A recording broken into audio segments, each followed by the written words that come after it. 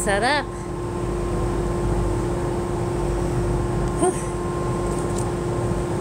I was running late, so I thought I would just start while I was sanding. Because it usually takes a few minutes for you guys to get on here. So, good morning. My name is Kim. Ooh, I'm knocking over my tripod. And we are working on this chair today. Let me get that.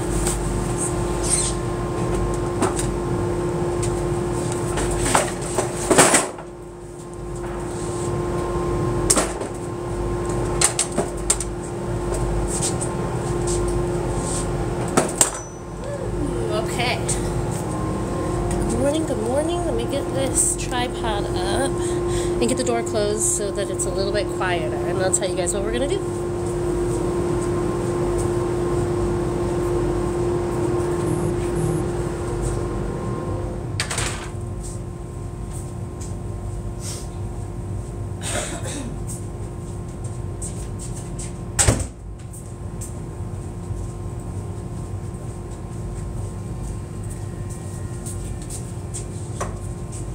Good morning. Good morning to everyone joining. Welcome. My name is Kim. I teach upholstery workshops. I also do a lot of upholstery tutorials and how to's here on TikTok. I do lives every Tuesday, so you can join me and, and see whatever project I'm working on. You can join me, ask questions about what I'm working on, ask questions about your own projects, ask questions about tools, anything you've ever wanted to learn. Good morning. Good morning, everyone. I'm seeing everybody join. So, today we're going to be working on this really cool chair, which is part of the New Year New Chair Challenge that I'm doing with Madam of Making. and a ton of other upholsterers over on Instagram. You're going to see some promos about that here, but I do encourage you to oh, go over to Instagram and engage on that if you can because it's going to be really cool. There are prizes to be won, Ryobi DIY packages full of tools. Uh, I'm giving away a furniture nerd sweatshirt. Like, it, anything you guys can do to contribute to that campaign will be really cool. It's good for all of us. So, today I'm here. We're going to work on this chair that I've already stripped down. I have two of these actually and we're going to be putting the foam and batting on them. But we also have to start painting them because I need to get the finishing on them finished before I start to put material on it because I don't want to get paint on my fabric. So the first thing we're going to do today is start painting these legs. I do all of this out of my local makerspace. I don't have my own workshop. So I have a membership here at my local makerspace called MakerWorks. I utilize this room not only to come in during the day to work on my projects when I want to, but I also teach my upholstery classes through here. And I teach upholstery classes four days a week on Fridays from 6 to 9 p.m., Saturdays from 10 a.m. to 1 p.m., Sundays from 10 a.m. to 1 p.m., and Mondays from 10 a.m. to 1 p.m.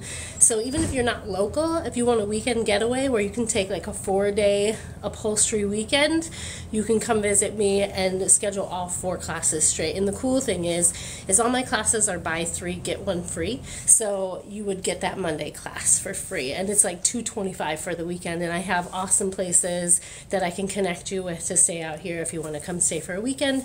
But a lot of locals actually benefit from this. So I have uh, my classes are limited to about six people, and they're typically sold out. So it's always good to get signed up on them quickly. But the cool thing about this year is last year I did three weekend upholstery retreats locally here that were uh, two of them were sold out. The third one we sold half of the tickets and we had a really great time. We stayed at a local bed and breakfast and then we had a whole weekend full of uh, eight hour upholstery fundamental workshops. It was really, really cool. This year, instead of doing that locally, I would like to take this on the road and potentially come visit a makerspace near you. So I'm already in talks with a handful of makerspaces. Uh, currently, right now, I'm in talks with DIY Cave and um, Bend, Oregon. So if you're from that area, you can give them a call, let them know that that's something that you're interested in, help persuade them to sign that contract. If you connect me with a local maker space near you to teach these workshops in, and you're the one that makes that connection, and I end up coming out to do a weekend upholstery camp with you, you'll get to take that that whole weekend course for free with me. So, if you are interested in bringing this to a town near you, I highly suggest you contact your local makerspace. If you're not familiar with your local makerspace, you can Google makerspace near me, and it'll show you your local makerspace. There are over a thousand makerspaces in uh, the United States, so chances are you have something relatively close to you. I am in Ann Arbor, Michigan. You can always come and visit me. I teach my classes four days a week here, but I also do virtual upholstery workshops.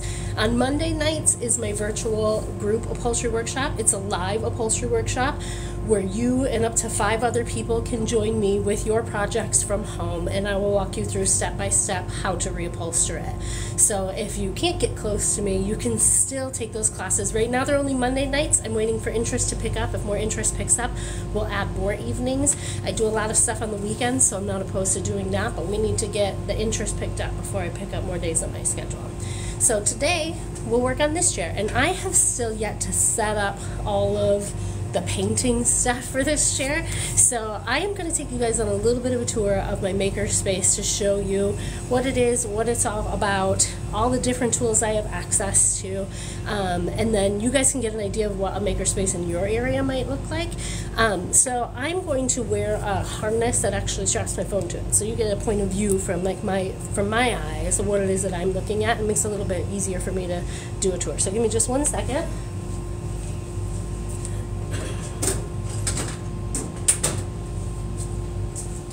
before I go, I will scroll through to see if you guys have any questions.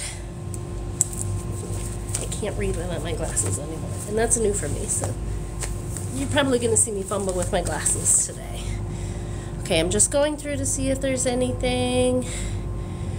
Hi, Curbs the Dude. Thanks for joining. Hi, Minna, Keycords. Dora, thank you guys so much for joining. I'm excited for you to be here. If while you're here, you're learning something or you're just enjoying hanging out with me, you don't have to purchase the gifts or whatever, I get like fractions of a penny on the dollar for every dollar you purchase on those. One thing that does a lot of good for me is if you're just tapping the screen to like it while I'm in here, like at the bare minimum, you can take a break every time I remind you and just tap the screen violently until that little pink heart shows up in the upper left hand corner and then you it'll be like a meter and goes to the end. When it reaches the end, it throws you a party. So if when I remind you guys to just tap the screen, if you can do that while you're doing that, this is actually shooting my content out to my or to everyone's for you page, people just like you who are interested in this, and then they find me and they find my classes, and that's how I run my business. So you guys are single-handedly saving the upholstery industry by tapping on the screen when I remind you. So I am going to flip this camera around and I'm gonna start giving you guys a tour of this really cool makerspace in my area. So I am new to this area. Uh, we have been here a year this September. Um, so I don't, I didn't, I wasn't aware of this. I was aware of maker spaces in general, but I wasn't aware of this one locally to me. So uh, when we moved at the time, I was teaching virtual upholstery workshops just um, let me grab my coffee while we're doing this. When we moved, I was teaching virtual upholstery workshops in my backyard for you guys because I just closed my business. My husband and I fabricated furniture for about six years in a brick and mortar, and we closed our business a couple years ago, and then we moved out this way. And I wanted to teach as many people upholstery as possible. So I was so excited to find this local makerspace who said that I could rent out this space uh, as part of my membership to teach my upholstery workshops. So it started off with a couple workshops a week, and now I'm up to four upholstery workshops a week. I've taught close to 300 people how to do upholstery since last October uh, not just past October, but the October before then. And it's been going really well. We have people starting their own businesses. We've done some job placements. Uh, it's been a pretty exciting thing um, to do. So this space that we're in right now is the conference room. And this is sort of like a, a all-purpose classroom. So anyone can rent out this space to work on their project during the day. Anyone can rent this space to uh, teach a class. We have a lot of groups that meet here, like quilting groups, woodworkers guilds, things of that nature. And this space is free for you to use as part of your membership. but it's also, if you're a nonprofit organization or you're holding meetings and not charging people, they allow you to use this for free too. So this is a really, really cool, useful space in this makerspace because just about anybody can use it for just about anything, and it's really cool. So I'm going to take you through here. And this is kind of where you enter this particular makerspace. This is MakerWorks, and we're in Ann Arbor, Michigan. We have our shop mascots, Lily and Poppy, who hang out here under the table. So this is where people typically come in, and then the first thing that they do is sign in at the front desk. If you're not a member here, you might be here to take classes um, or to get a private lesson for something or to just get a tour. Uh, but members will sign in. They, if they have specific tools that they're going to use that are tools that need to be reserved, they'll reserve them here. Um, and then we have our computers here. Our computers have all the software from all of the software programming that we teach here at MakerWorks. So there's uh, Fusion 360. There are several CAD programs on here. We have the Adobe Creative Suite is on here, Corel Draw, all the programs that we use to run our 3D printers, our CNC tools, um, the embroidery tools, the lasers, all that kind of cool stuff. So this is sort of the common area, so people might hang out here, work on their designs or computer designs or work on learning software. They teach some classes up here. We have several different types of 3D printers here. So we have two form resin 3D printers, which is where a laser comes down and cures layers of resin at a time, and that comes up from the resin and produces a 3D form. And then we have these filament 3D printers that print from filament, which is probably something you're more familiar with. Through this way is our jewelry studio. This is really cool because we're just starting to develop this out.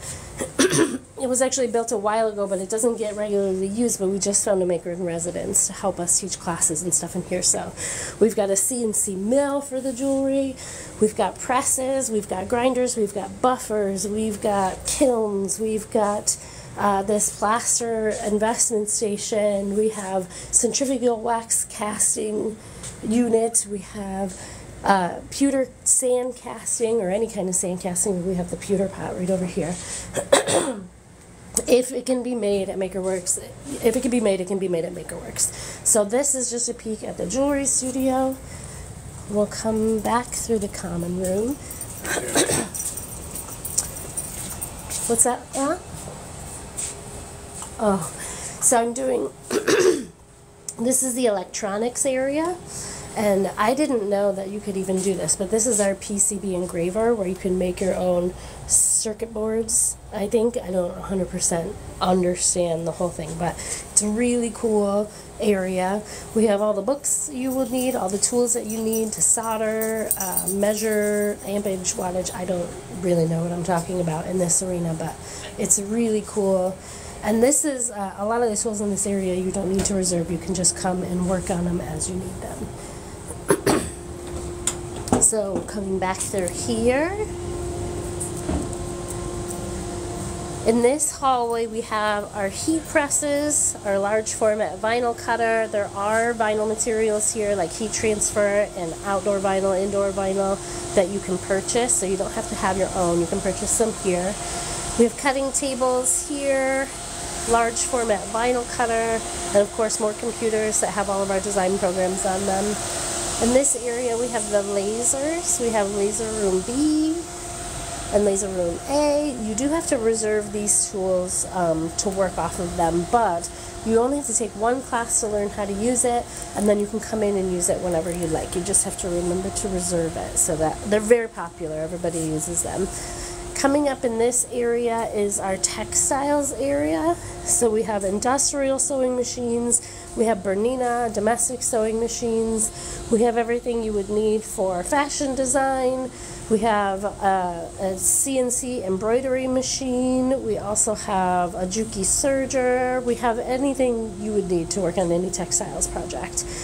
And then this hallway we're about to go through is the we have some of our businesses that lease space here. So you can be a small business and you can actually lease space. A lot of these rooms are used for storage for these businesses, not necessarily like offices, so they keep their projects in there and then they come and they use the space regularly for their business. And that's what I do. So I teach my classes out of here and then I use the tools to make my projects and sell them.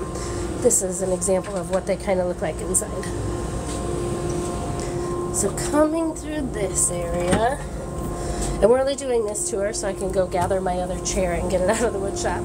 We have the rentable storage space for your projects so you don't have to lug your projects back and forth. More business offices. And then in this area is our metal shop. So if you want to weld projects, cut metal, we have a CNC plasma cutter in here. Our welding stations are over this way. This would have been so ideal when my husband and I started our business because he's a metal fabricator and a wood fabricator, and I do reupholstery. We would have never had to get a brick and mortar if we had something like this when we started our business, and we would have made so much more money. So it's a really, really great community resource. If you have one, consider yourself very lucky. Drill presses, horizontal bandsaw, benders, bandsaws, mills, lathes, anything you could potentially want. We have CNC mills and lathes, manual mills and lathes, shears. We have a sandblasting station, and we also have a powder coating, uh, a powder coating booth and oven over here, which is really cool if you're doing metal projects. Coming in through the wood shop, we have a SawStop table saw. It's going to get loud. You might not hear me. I'm going to keep talking anyways, but you might not hear what I'm saying. SawStop table saw. Here's the chair I came to get and my sander. And this is the wood shop, and the wood shop has every tool you could possibly need to work on your wood projects. They have air hoses throughout the space so you can connect your own air tools, but they also have air tools. We have planers, jointers. My favorite tool is the CNC router, the ShopBot, drum sanders, all the clamps you could possibly ever need. We also have a router table a wood lathe. And if you don't know how to use any of these tools, it's not a problem because they have classes to teach you and the staff is always here to help. Drill presses.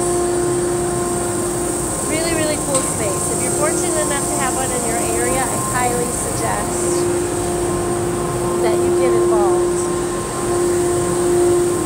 So I'm going to grab that chair, actually. We're going to take this back to the classroom and get to work on the other chair.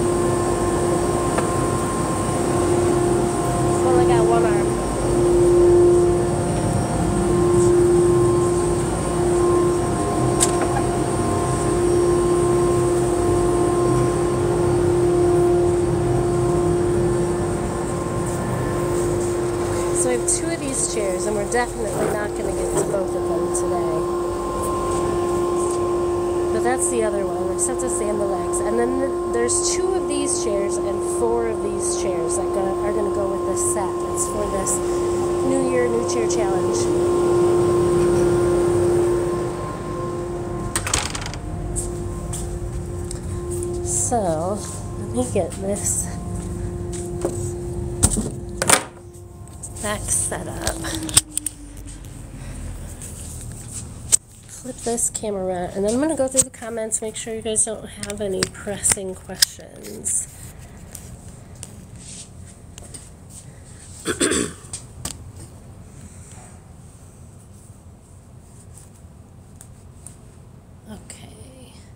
What city are you in? Uh, I'm in Ann Arbor, Michigan. You can come to me or I have virtual upholstery workshops. Uh, we can do that online. But I am working on doing a weekend upholstery camp tour this spring and summer. So if you have a local makerspace, contact them and let them know that you're interested in me teaching classes there. If you connect me with that makerspace, you will get to take those that weekend retreat for free. I'm new to glasses, you guys, so forgive me. I'm trying to read this is a dream. Would love this in my area. Yeah, maker spaces are so cool. And uh, this particular makerspace, the top tier membership fee is $220 a month. And that's insane if you are doing stuff to make money, especially if you're making and selling furniture. So if you're uh, restoring wood or things of that nature, everything you need, like woodworking tools, metalworking tools, everything you need is here. And if you're using all of these tools, this giant, this is a 14,000 square foot workshop. This isn't even one of the biggest in the, in the United States. So it's got all the space and all the tools you need to work on your project. And if your overhead is $220 a month, like that's insane. It's a it's such a valuable resource. It's really really cool. Good morning to everyone joining. Good morning. How are you? I love that job. I'm experiencing 35 years I'm at this, our teacher. Good morning. Thanks so much. Yeah, upholstery is, especially learning it, there are few options in the United States, like maybe about a dozen options in the United States. And so uh, now that the upholstery, everyone in the upholstery industry is sort of aging out, there's no one left to sort of pass on that education. So I'm trying to teach as many as possible. Is there any on Miami Beach? I'm not sure. I know there's a lot in Florida, but I'm not sure where they are located. Just you do it or order a designer. So I actually I was uh, I had my own fabrication business for in a brick and mortar for six years with my husband. We worked with designers, architects, contractors, residential clients. Uh, we uh, designed a lot of our own stuff, or we would reupholster stuff. So we fabri- designed, fabricated, and um, re- restored furniture. It was a lot of fun. Okay, so what we're gonna start with today on this chair is painting these legs gold. So I use, um, what's the name of the place again? This place is called MakerWorks. It's a community maker space. So if you're looking for something near you, I would Google makerspace near me. There's several databases out there that will show up as like the first options that have all of the makerspaces that exist listed and it'll even some of them even show you if they've been closed because unfortunately a lot of these makerspaces struggle because it's hard to keep members especially after covid uh, during that shutdown during that time, these maker spaces couldn't be utilized by their members, so they lost a lot of money during that time. So anything you can do to support your local maker space, particularly if they're a nonprofit organization who is doing a lot to benefit the community, then I would suggest you look for something near you. okay, so I have got to get my paint ready, which I have this. I use what's called an underpainting technique to, to paint all of my pieces. So I just layer different colors of paint on top. The goal with these chairs is to have them look white on the appearance on the outside. I always do a base coat of some sort. In this case, I'm doing a base coat of gold so that uh, as I start to buff out everything as I paint it on, you'll see the gold in any of the carved details, in any of the nicks and scratches that are there, and in any of the areas that like are faded away. The technique that I use to put this on is like I wipe the paint on and then I wipe it off, and then I let that layer dry, and I wipe the paint on, and I wipe it off and let that layer dry. We're starting with gold, which is just going to be a solid finish, but we're going to be putting an off-white color on top of that, and so that is just sort of going to create, as you wipe it on and off, it creates like a vignette, and it builds up color on the layers. It allows the paint to dry faster, it makes it more strong, uh, and I really like the technique. It sort of makes it look like it's already antiqued. I don't enjoy sanding paint off to make it look like rustic or used or antiqued, but I do like to build up that finish. But I'm an art major, and that's what I did in, in college, so uh, that having nothing to do with furniture at all. You need people to experience work in this company. I'm trying to find a job now. In the United States, there's no shortage of jobs for upholsterers because um, everyone who still has a business out here right now is experiencing the highest demand we've ever experienced. A lot of the upholstery, local upholstery places out here, their waiting lists are about a year out. So uh, it's really difficult to get in line to these upholstery places, which is why I'm teaching upholstery. I'm trying to teach as many people as I can. A lot of my students take on clients from their homes. I also do a sponsored student project where people who are looking for upholstery services can pay for the cost of classes and materials and then my students will do the work for them. So we're doing a lot out here to help bridge that gap um, of sustainability for small businesses as well as trying to get people trained so that they can take on jobs like these too. Ever since um, uh, COVID, the supply chain has been disrupted and it's making it difficult not to just get supplies and materials overseas, but to get custom made furniture or furniture that you would purchase online, everything that is sort of manufactured and mass produced overseas is difficult to get over here now because of the supply chain demands, because of the wars overseas. So now it is just as difficult to order something online for cheap as it is to hire someone local to do your upholstery, but there's just not enough upholsterers to take on the work. So the resale industry has gone up uh, to 16.9 plus billion dollars since 2021, since COVID happened. So the it's a really good time to get in on doing stuff like this to pull in a little bit of extra cash on the side. You're there's never going to not be a need for upholstery. People are always going to want furniture Whether you're doing it cheaply or whether you're charging a ton of money for it, you're always going to have a job in it. The second you pick up a pair of staple removers, everyone's going to be asking you to do upholstery for them. I'll promise you. okay, so I'm going to get started painting this now. I've been shaking this for a minute.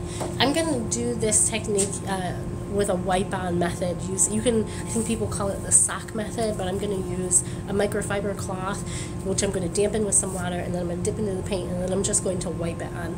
I've sanded these legs down completely You don't need to sand the legs down completely to do this, but this had a cherry stain on it, um, and some of that, sometimes that can tend to bleed through.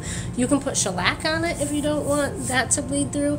I didn't want to do that step, and when I started sanding it, it came off very easily, so I just sanded it completely down. So now it's nice and smooth and slick and looking good, and I can turn this around while I get my materials together and we can start focusing on the painting aspect of this.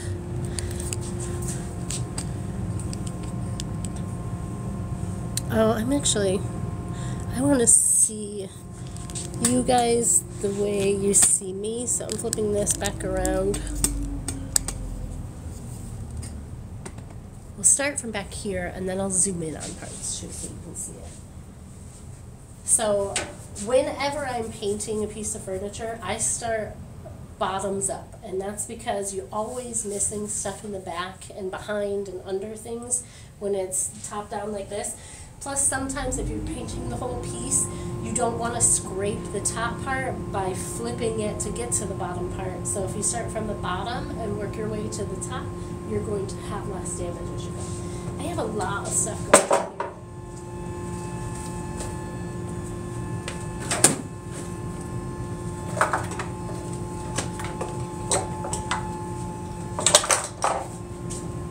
So we'll flip this over.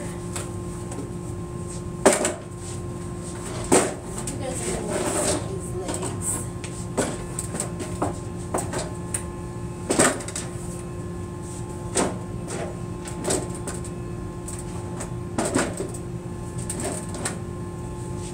Cool thing about these sawhorses is that they can be moved to suit just about any project.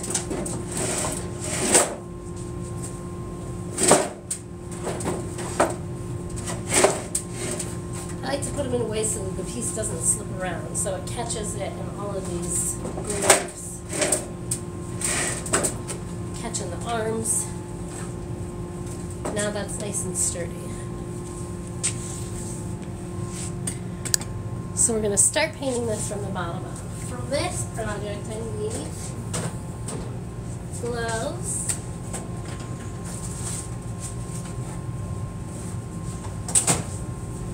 gloves, my paint, and we're gonna need some water. And uh, I also use a microfiber cloth, so we'll be right back with that.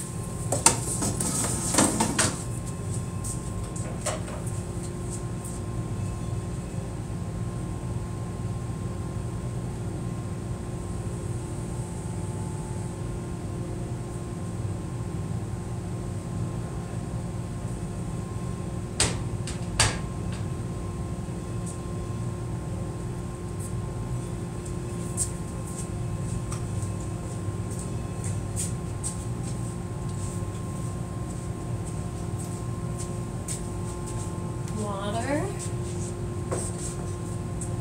Gloves if you don't want to get your hands dirty, but if you don't care about getting your hands dirty, you don't need gloves. Get some paint. And I'm not going to use a paintbrush for this, but I'm going to show you guys how to get, uh, effectively get like a beautifully smooth, silky, glossy finish um, without any streaks or anything in it. So that's what we're working on. So this paint right here is just an acrylic paint. It's a craft paint. I, I like to use spray paint typically as my base coat, um, which people tell you don't mix oil and water. But if you're painting things the right way, you can manipulate all of these mediums to work with each other. So not all rules are hard, fast rules. This is an acrylic paint, and what we're going to do is we're going to put this on in as thin a coats as as possible so that we get a streak-free finish. When you touch the finish when it's done, especially because we're applying it with microfiber cloth as we go, it buffs everything out as go. It's like silky, silky smooth. So it might like uh, it looks textured a little bit the way you put it on because it's layered colors, but it is so silky smooth to the touch. There's no streaks, there's no gunk, there's it's just really, really cool smooth finish. So I'm gonna get this going. I'm wearing gloves so that I don't get paint in my hands. If you don't care about that, then don't worry about. And coffee handy, just in case. So the first thing I want to do is sort of make this small because I don't want this um, microfiber cloth dragging, particularly these hard edges right here can drag on your finish and then it'll put like streaks or creases in it or cracks and I don't like that so I fold this up to a small bit. You don't have to use a paintbrush to get a smoky, silky smooth finish. This is going to um, this is going to buff your piece as you go. That catch hurts my soul. I'm not sure what that means. So I'm going to get this wet first.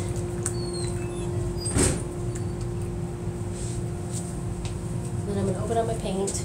And then I'm just going to start smoothing this out. So I'm going to get this around Oh, the microfiber catch on the wood. Yes, that can that can hurt your soul.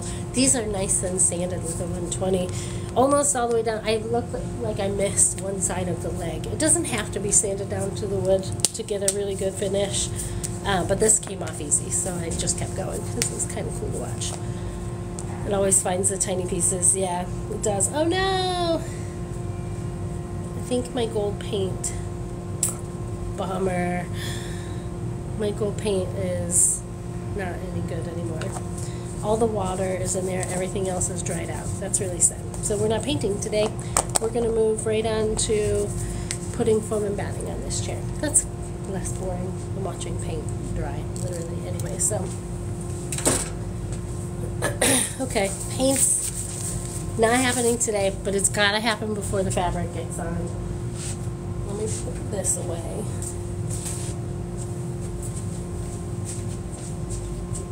back up.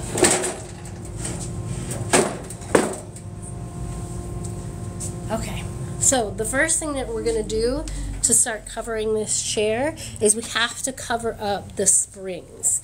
You want to cover up the springs with a barrier fabric because if you don't, it's literally going to cut right through the foam over time. So it's very important to cover these up. We're going to use a synthetic burlap to cover this up. You can use a regular burlap. You can use a heavy duty upholstery scrap fabric or a piece of leather or vinyl or anything sort of heavy duty. It's just a barrier between the foam and the fabric. So it doesn't really matter what it looks like if you are interested and concerned about sustainable materials, using scrap materials is perfectly fine to do something like this. Just make sure it's kind of a medium to heavyweight fabric so that it can sustain the use of time. Um, and so I'm going to take you over to the table so that we can start cutting that. Set this up here, and I'm going to shut a couple doors.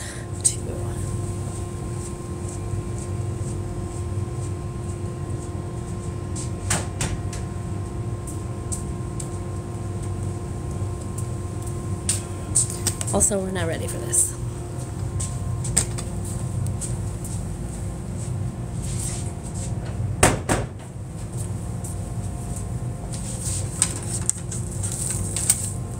Okay, so this particular piece of fabric is going to get stapled down to this top edge of the frame. So the top surface of all the edges of the frame. This chair is squared in the front and rounded in the back. Ignore that. It doesn't matter. It doesn't matter if there's a curve in the back. The piece of material that you're cutting for this seat is going to be a rectangle, a rectangle or a square, but something very square edged. So what I need to do is measure from the back to the front at its widest point. In this chair's case is the center because it gets more narrow at the sides where it curves.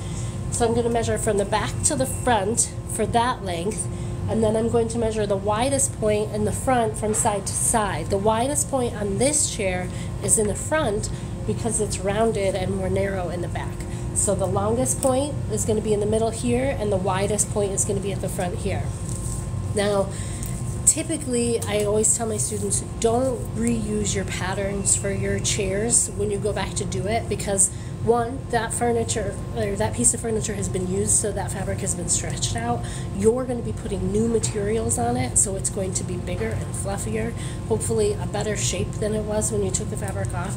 So it's not 100% reliable. So if you learn to make your patterns from the get, you're going to have a much easier time learning how to do upholstery. In this year's case, this is what I like to call a wrap and staple. Every single piece that goes on this chair is a rectangle shape.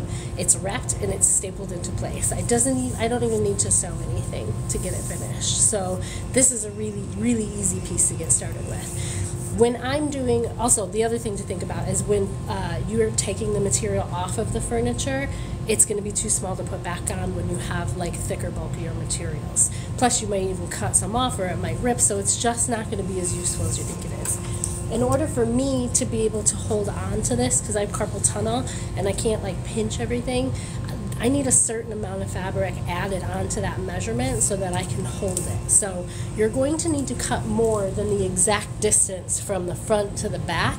You're going to need to add some additional material so that you can hold it on either side as you go to apply it because you need to be able to pull it a little bit to make it taut. For me, that's two inches. So I will add two inches to the back and two inches to the front so that I can hold it on either side, which adds four inches to my overall measurement. So I'm going to measure from here to here, add four inches, and then the widest point in the front and add four inches, and that is what I'm going to cut my piece of burlap at. So from here to here, it's 22, 24 inches all together with the four inches added. So we have 24 inches by 29 inches. So 24 by 29 is what we have to count. And I'm counting on you guys to remember that from here to the table because I'll probably get to forget. 24 by 29. Let me grab my ruler. Let me grab a piece of chalk.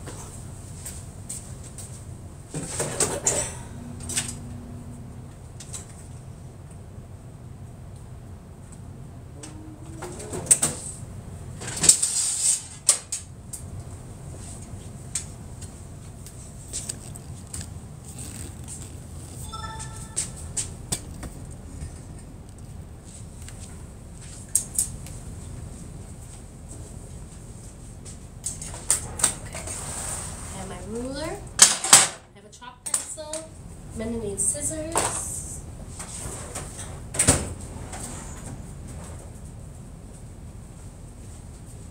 And my synthetic burlap.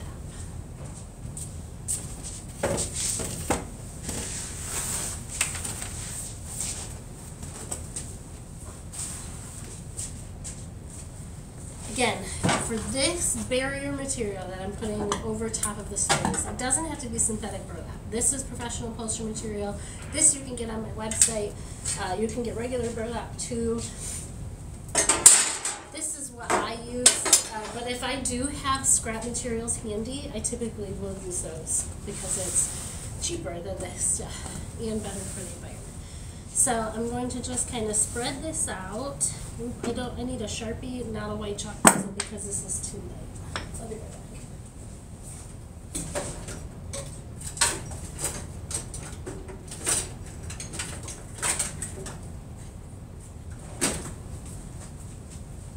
So I do remember the measurements, 24 by 29.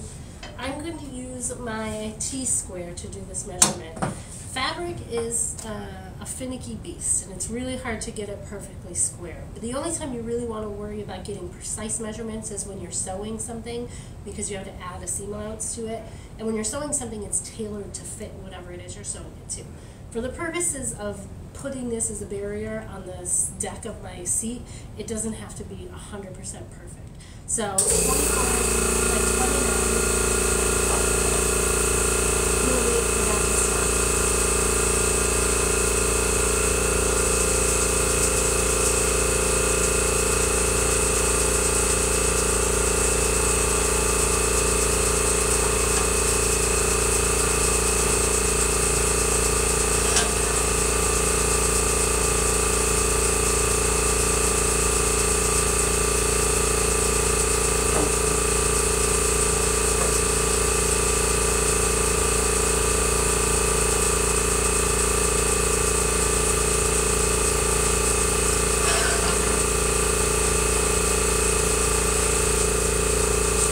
to be able to use this footage, so I'm waiting for the sound to stop.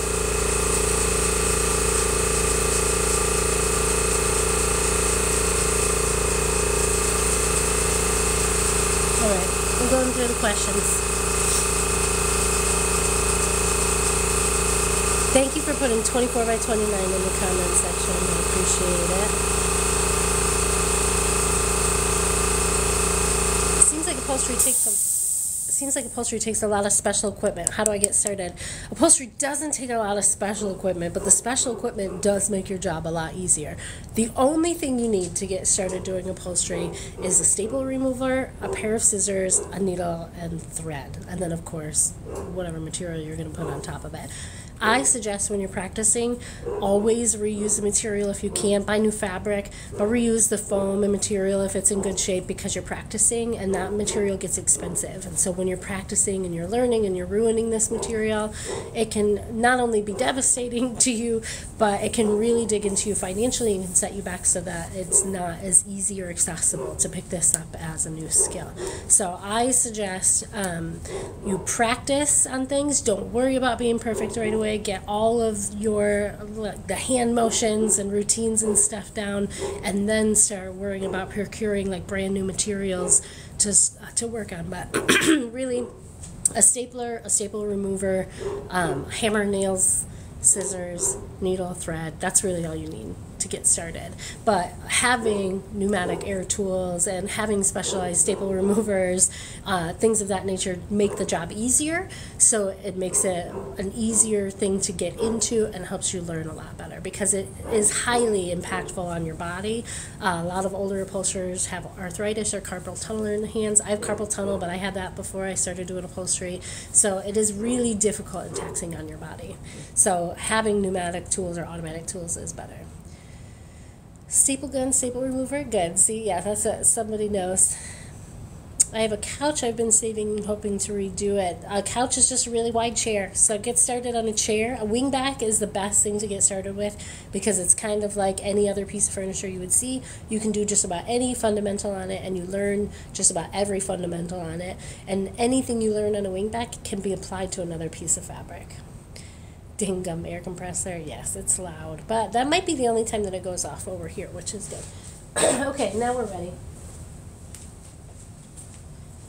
Okay, so a T-square is a good thing to have to help you keep your fabric as square as possible. When you're just cutting out rectangles to put on the piece and you're going to be cutting off all the excess, your measurement doesn't have to be perfect, but you need to get in the habit of being able to measure perfectly. And fabric can make it difficult because it moves and it's flexible and it's stretchy. This has a factory edge that's pretty straight, so I'm going to start my base measurements off of that factory edge. And I believe it says 29 by 24 on there, so I'm going to start there. This is the square edge of my tool, so I'm going to align that with the straight edge, the factory edge up here. And on this very far edge is where I'm going to start my first measurement. I could square this off right now so that I could measure from this point in this direction and it's perfect, but I just need a roundabout measurement and so I don't mind that it's like this, but when I go to cut it, it'll be squared on that side. So 29 by 24, this is 34 inches and in order to conserve material, I'm going to take that longer measurement, 29, in this direction so that I take less material off this way. So on my ruler, and I don't know if it's like this on every ruler, but probably if it looks like this, it starts with a 1 on one side and a 48 on the other, so that you can use either end of this ruler, whatever direction you have it. So be mindful of what side you're looking at when you put your measurements on here, because I have very often confused sides and put the wrong measurement and ended up making it smaller than I needed to, which was a nightmare when you're spending 250 bucks a yard on fabric. So I'm going to take my 29 inch measurement this way. And then I'm just going to bring this down just a little bit, estimated 24 inches, square it off at the top and mark it at 29 inches, just a little bit further down. Now I can use these two dots uh, and line them up and make my mark this way. So I am going to, I don't need the square edge for this because I have the marks already made. So I'm going to use this end of the ruler and I'm going to leave that at 24 inches. So I'm connecting these two dots. I'm putting it up at 24 inches on this side and then I'm just going to draw that line and mark it on this end. So now I need to mark 24 inches from this side.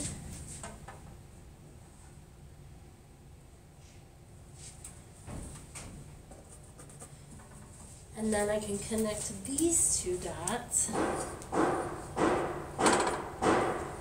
And if everything is squared, this should line up flush with that straight edge when you connect these two dots. And it does do that.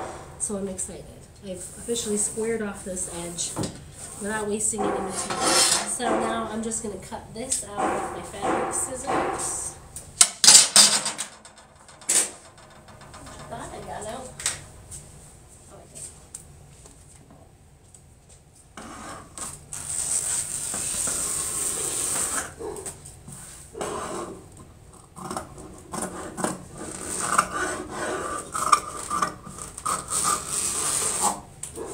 And now I can take it back over to the chair and we can put it on there. Gonna need these.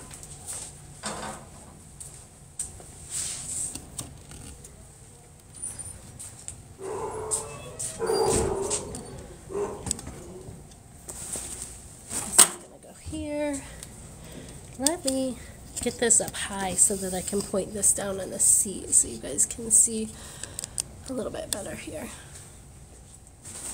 So this material has to be applied to the seat deck and it's going to get stapled directly to the surface of this frame, the very top of this frame.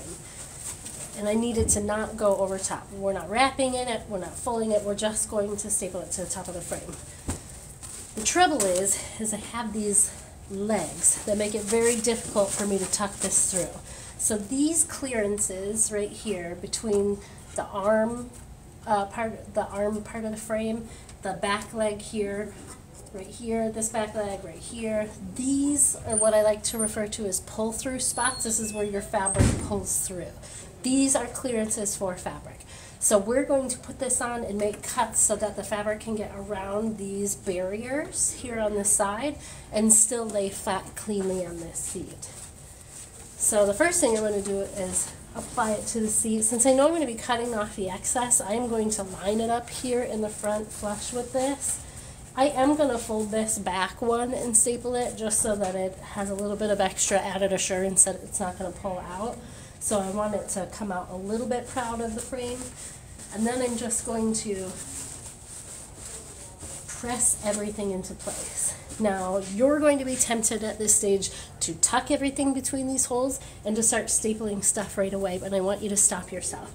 The worst part of upholstery is removing staples, so at this stage what I want us to do is we're going to first evenly distribute this material across the surface by locking it down in the center here and locking it down in the center here so that we have enough material on each side. This way it's not going to move before we make our cuts. So we're going to lock these two down first, make our cuts, push everything through, and lock it down in the center that way so we have it evenly stretched and distributed across the surface. If you were to start stapling it here and going around in a circle and stapling it here, your material tends to shift. And when it shifts, it shears and it gets these wrinkles in it. And you don't want wrinkles in your upholstery project. So I spent years and years and years learning the best like tips and tricks to get the cleanest work possible and this is the best advice that I can give you is first evenly distribute the fabric worry about throwing in all your staples last so two staples we're going to put in here one in the front and one in the back so one in the middle in the front. I, I always tell people you're doing centers. So centers in the middle and the front and centers on the side. So the first two, one in the center here. If you're nervous about applying fabric at this stage, a couple things for you to consider. One, this is your practice layer of fabric. This is going to get covered up by a bunch of other layers. If it's not perfect, it doesn't matter because nobody's going to see it. So don't be so hard on yourself. and two, you can use what I call a temporary staple so that you can easily remove it if you're like nervous about it being placed in the wrong place. And the way to do that is instead of stapling flat down, tip your stapler to the side and staple and there'll be a gap right underneath that staple so that you can get your staple remover under there easily without damaging the fabric and remove it much easier. So you don't have to go to town on staples right now and you don't have to put the staples in all the way. So this will tuck back from back to front in just the middle because there's no barrier in the back so I can put it in the back and I want to pull it nice and taut so that I can put a staple in the middle and the back. And now I say taut and not too tight because if you pull this too tight and someone sits on it, it can tear away from the staples if there's no stretch. So the goal is to not pull it tight like a drum. The goal is to pull it taut. So you're pulling it to just just when it starts to give a little bit of a stretch and then you're going to put a staple. Don't want it to be loose. You don't want to be able to like pinch it or like move the fabric around when you rub it when it's done because it's only going to get looser over time. But you do want it to be nice and taut without being too tight.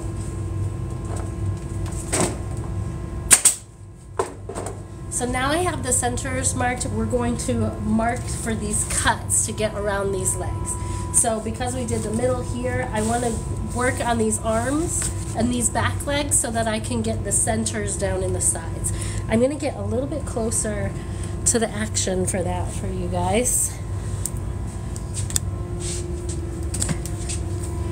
Now this particular layer is cut the same way that every layer that goes on after this is cut. So this is a really great practice layer for you to start working on getting these cuts right. So that's what we're doing here today. So I have this barrier where this piece of fabric can't tuck through. If I tuck it through here, it's going to buckle there. If I bring it there, it's going to buckle around that side. This fabric needs to be relieved so that the fabric can go through the frame like it's intended.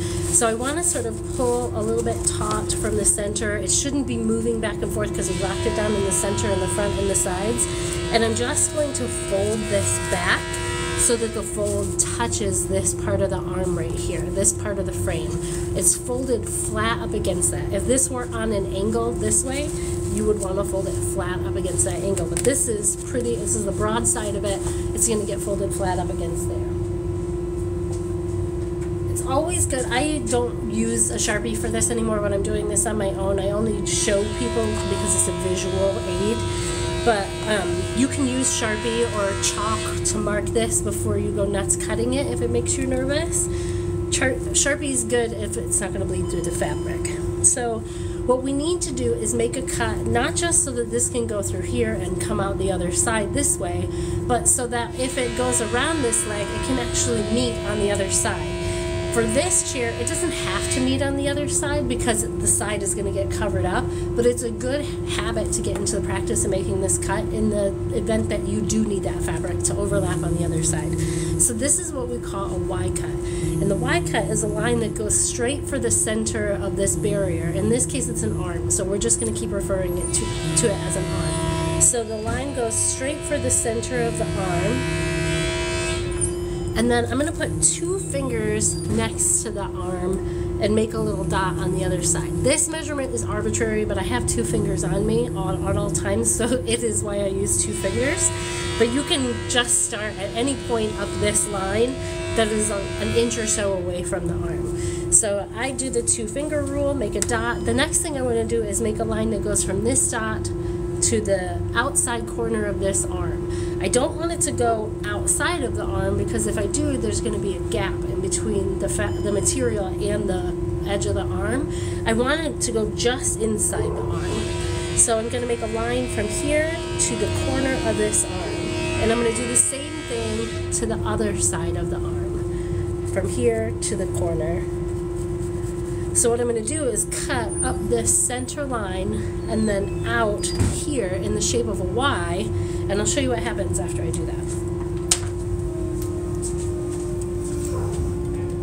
Let me get this a little closer so you guys can see.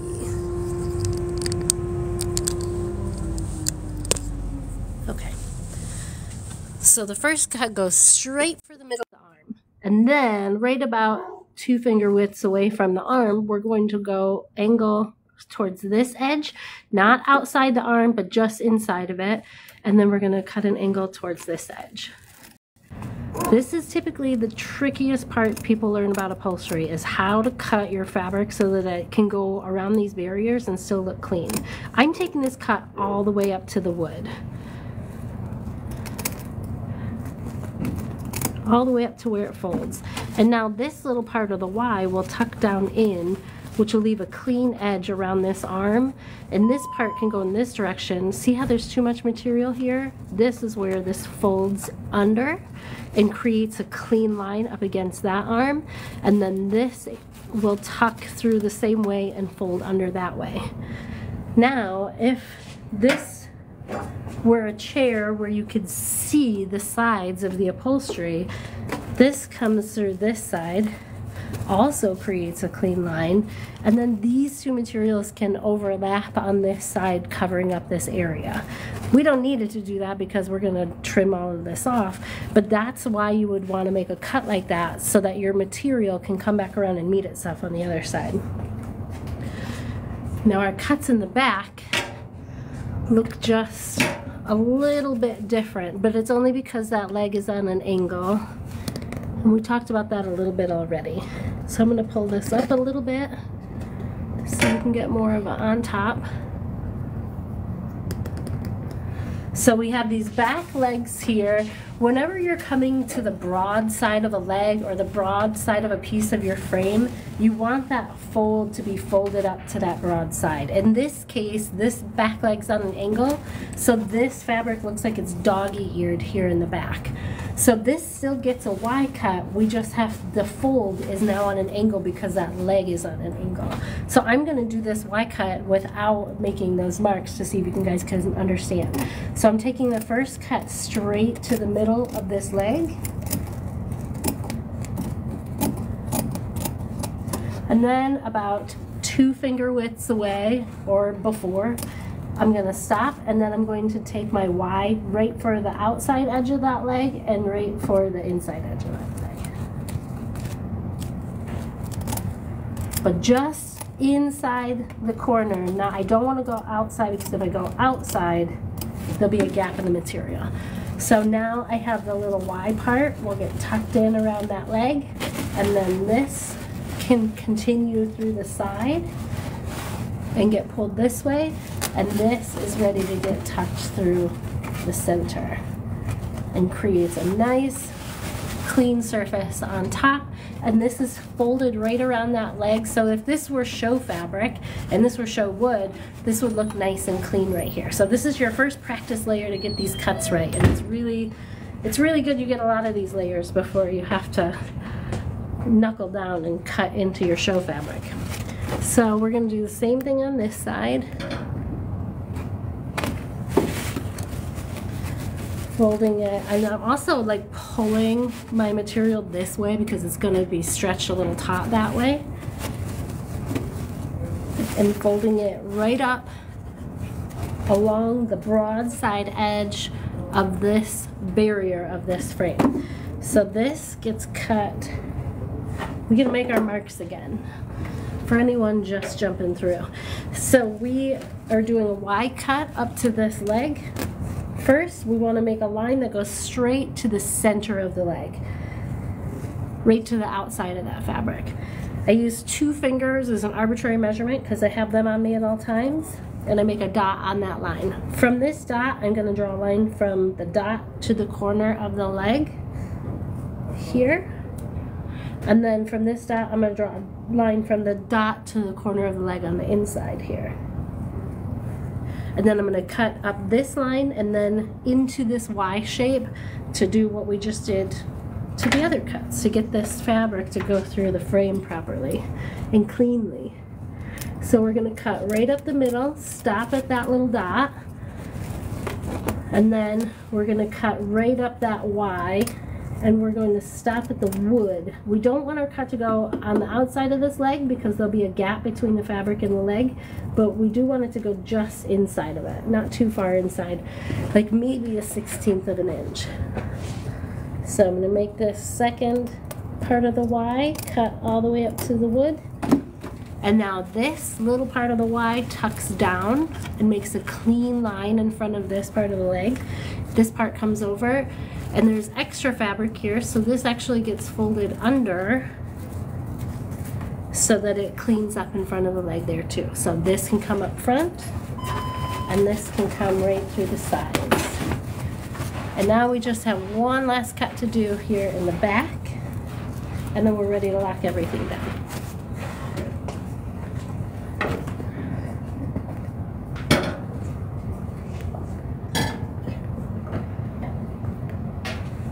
And after I finish this cut, I'm going to answer your guys' questions. So if you have any questions about this or anything else, put them in the comment section and I'm going to read through them here in just a minute. So this is doggy eared, again, up against the angle of this leg because it's at an angle. So I want my line to go straight to the center of that leg. Two fingers in front. And then I'm making a Y to one side of this leg on the outside and then one side of this leg on the inside and that's going to be my cut. It's a very simple cut that I stressed out about for years before I perfected it. And now I don't get nervous when I make it anymore. And I didn't think that that would ever be possible. So off to this part of the leg and then veer off to finish off that Y to the far side of that leg over here and that cut goes right up to the wood. So now the Y can tuck in front of the leg and then these pieces tuck through the frame. And I just want to show you again how this cleanly folds. So we'll do every leg while we're here around these legs. So there's a little bit of extra material on all three of these sides of the leg that can get folded in to create a clean look around here. Now this is a barrier. It doesn't matter if this is folded cleanly or not. But the cleaner your work, the more clean it's going to look when it's done. And it'll be beautiful and stunning for that reason because it's clean. Okay, so we have these legs too. There's a little bit of extra fabric that comes up on both sides.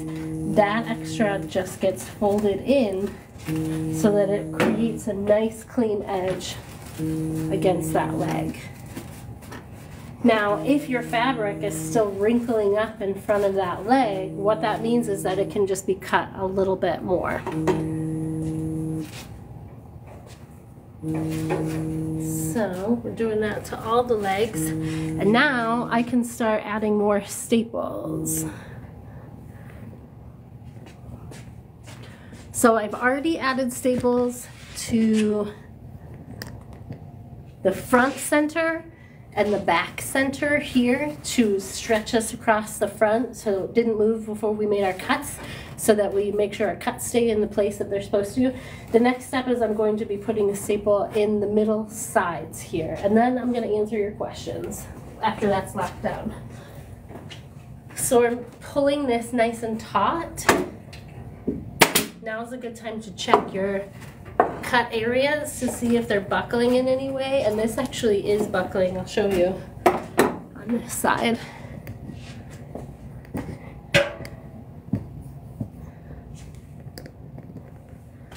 Whenever the fabric buckles around one of these pieces, it means that it needs to be relieved. You need to make a relief cut in order for that wrinkle to go away. So when I pull this way, it's buckling up around here, which means that there's just more room to cut. So I will untuck my fabric from this area. If you don't untuck it, you can't clearly see it because I pulled everything over a little bit tighter, that makes sense to lock it down. Refold it up in front of that frame and then I'm just gonna make my cuts a little bit longer so that that can be pulled closer to the frame. When I make these cuts, I don't wanna continue to go in the Y. I wanna continue to go straight down for that leg because I need it to fold up along that side and there can't be a gap. So the, the cut just continues to go straight there. And we'll do the same thing on this side. Retuck that, push everything back, and pull that nice and taut, and now that, that little bubble has gone away. So my next staple is going to be up here in the corner. Well, we'll put one down here by the fold so that doesn't go away. And up here in the corner. I want to staple this far enough back so that when I fold this up, it doesn't stick outside of the frame. You don't want any material to stick outside the frame because you'll see it when you put your upholstery fabric on it. All right, I'm going to read these questions and then we'll finish the rest of the seat.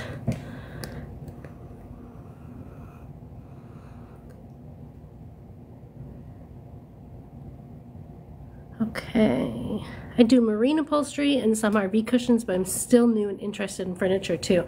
It is applicable. So I think that marine and auto upholstery is way harder than soft furnishings upholstery. So it's all applicable. I hope you stick to it. I do these on Tuesdays for free. I also teach virtual upholstery workshops, in-person workshops, and upholstery camps, which I'm doing on tour this spring and summer. So maybe I'll come to a space near you. I'm looking for maker spaces uh, across the United States interested in hosting me because that's where I teach my classes here and it benefits them very much when I do that. So I'm looking for local maker space. If you have a maker space near you and you want to see me come out there this spring and summer to teach some weekend upholstery workshops, contact them. Send them to the weekend upholstery camp link in my bio. If you're the one who makes the connection with me and that makerspace and I end up coming out there, you can attend the weekend retreat for free. It looks so clean. Yes, it does. So that's the secret. That's the secret to making cuts on the material. What is the name of that material? This material is a synthetic burlap. Is synthetic burlap required? Would love to use non-synthetic fabrics if possible. It absolutely isn't. This is a barrier fabric that is used to cover up the springs so that the springs don't cut through the foam. You can use just about any type of fabric is a barrier fabric so long as it's like heavy duty enough to withstand the everybody sitting on it so you're thinking hundreds of pounds of people over the course of like 20 30 years um, a heavy duty like uh, canvas or scrap upholstery fabric, medium weight to heavy duty fabric works, regular burlap works, hemp burlap works. You can get that at Jo-Ann Fabrics now too. You can reuse materials. You do not have to use synthetic burlap. Do you make new chairs or only reupholster old ones with new fabrics? Uh, I do both new and old fabrications. So my husband and I had our own fab shop for six years where we designed and made our own custom furniture and fixture fabrications for designers, architects, and contractors for commercial spaces and uh, residential spaces. But we also restore old furniture. I don't run my business anymore because uh, after six years of working seven days a week, 15 hour days, and not being able able to hire anyone because nobody knows how to do this, we burn out and I just couldn't do it anymore. So I am teaching people how to do upholstery, teach as many people as possible because the demand for upholstery is so high. There's not enough trained, skilled people out here to do it, and more people need to take it on so that they can learn how to do it, make money doing it, and take the strain and stress off of the existing businesses because a lot of the people in existing businesses are aging out of the business um, and they can't do it anymore or they're waitlist are over a year long, and so they have to wait a long time in between projects before they get paid for anything, and it's just not sustainable to run businesses this way. We need more uh, trained, skilled tradespeople, and there's not a lot of formal opportunities in the United States to do this. So I have this DIY approach because I am self-taught. Uh, there's no formal options for education in this area for me. So when I started teaching myself how to do this, I wanted to teach as many people how to do this as I could. There's a big makerspace in Dallas. Call them up. I'd love to go to Dallas. That's really cool. You do weekend retreats. Yeah, last year we did weekend retreats here locally, and we did the classes here at this makerspace that I work out of, and then we did the weekend stay at a local bed and breakfast, uh, which was at the Newton of Ypsilanti, which is a historic mansion in Ypsilanti, Michigan, just outside of Ann Arbor. So it's like two miles away from the makerspace we were doing our classes. They had chef prepared meals. We stayed there four nights, five days. We had breakfasts, lunches, uh, dinners, snacks. Like it was incredible. It was a really fun experience. We sold out. We had three upholstery camps out here last year. Uh, they were like fifteen hundred bucks a pop. It was insane. But the ones that I'm bringing to you to maker spaces near you, I want to be as accessible as possible. So we're trying to keep them under a thousand dollars so people can attend the weekend. But there may not be as many fun bells and whistles as before. But the important thing is, is we will be hanging out the weekend together doing upholstery, which is what it's all about.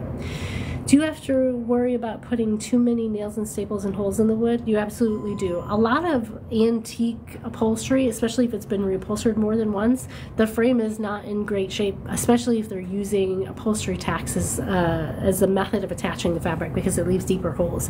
So there is a finite number of times that a piece of furniture can be reupholstered. Everyone always asks, do you have to take out all the staples and nails in order to redo it? And the short answer is yes, because of there's a finite number of nails and staples that can be put in a frame. But the other answer is uh, it can bulk up those areas and it can look like garbage underneath. And the more material you put in a wood frame, the more the wood comes apart and then it starts to break apart and then it's not as functional as it used to be. So you do have to worry about putting too many holes. I know how. Hire me. I love it. I would love to hire you, but I don't have my business anymore. I closed it. But I am trying to train people so that maybe one day I can get back to doing that. My dream of upholstery is to own like a tattoo shop, but like for furniture, where people can come in and they can pick a piece off the wall, they can pick their fabric, they can pick their artist, and then that person will make it for them. And I want to have like a team of really cool chicks that does that. And so that's what I'm looking to get back to one day. So I'm training people to do it. Uh, I'm trying to earn a living doing just upholstery education so that I can put my full time effort into making that dream a reality one day. Can you make a living in reupholstery business? You absolutely can, and especially if you're smart about it. One of the dumbest things that I did when my husband and I started our business was leave our home and go to a brick and mortar because it was just him and I, and we were taking on big jobs that only him and I could do. We didn't have anyone to help, so they would take a long time, which would be a long time between getting paid between jobs. Um, and we had no shortage of jobs. We were busy. We had year-long wait lists, uh, but all of our money ended up going into our overhead. If we would have stayed at our garage, or if we would have known we could access a makerspace like the one I have here, we would have never left our house and we could have made a lot more profit. I also suggest if you get into the business of doing this that you take it take on a one in, one out philosophy, which means you take in a project, finish it, get it out the door, and then take on another one. Don't get a wait list because every time you back up a project, everything in that wait list gets backed up and you start to upset customers. If you do one in, one out, you're going to pull a project in. You won't get paid till it's finished, so you're going to be motivated to finish it faster. You're going to have shorter wait times, and you're going to create a demand for yourself.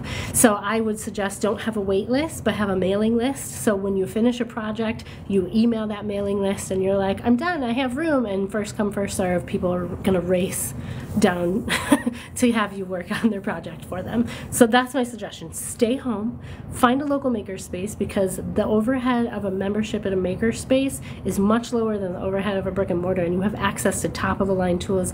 Here I have a CNC router, a CNC plasma cutter, embroidery machines, sergers, industrial sewing machines. I don't have to own any of these tools. I pay 220 bucks a month to come in here and use them whenever I want. So having access to a local makerspace is a really good way to get started in this business.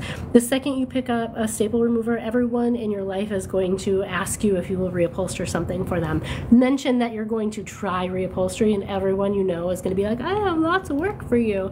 It's There's a high demand for it and there's not enough skilled tradespeople out to take on that demand. I was doing dining room seats at 175 bucks a pop. That's just the wrap and staple seat. You don't even have to have the chair at your house. You just take the seat, wrap it, staple it, and give it back. It's a really fast, easy way to make money and people get those changed up all the time we have a months long waiting lists and get asked all the time about furniture. Yeah, it's a it's in high demand, and the people who are in in the industry in the United States can't take it on by themselves because there's just too much of it. Ever since COVID happening happened and it made it difficult to order online and get stuff mass produced from overseas, uh, the resale industry, reupholstery industry, uh, development industry, everything has gone way up.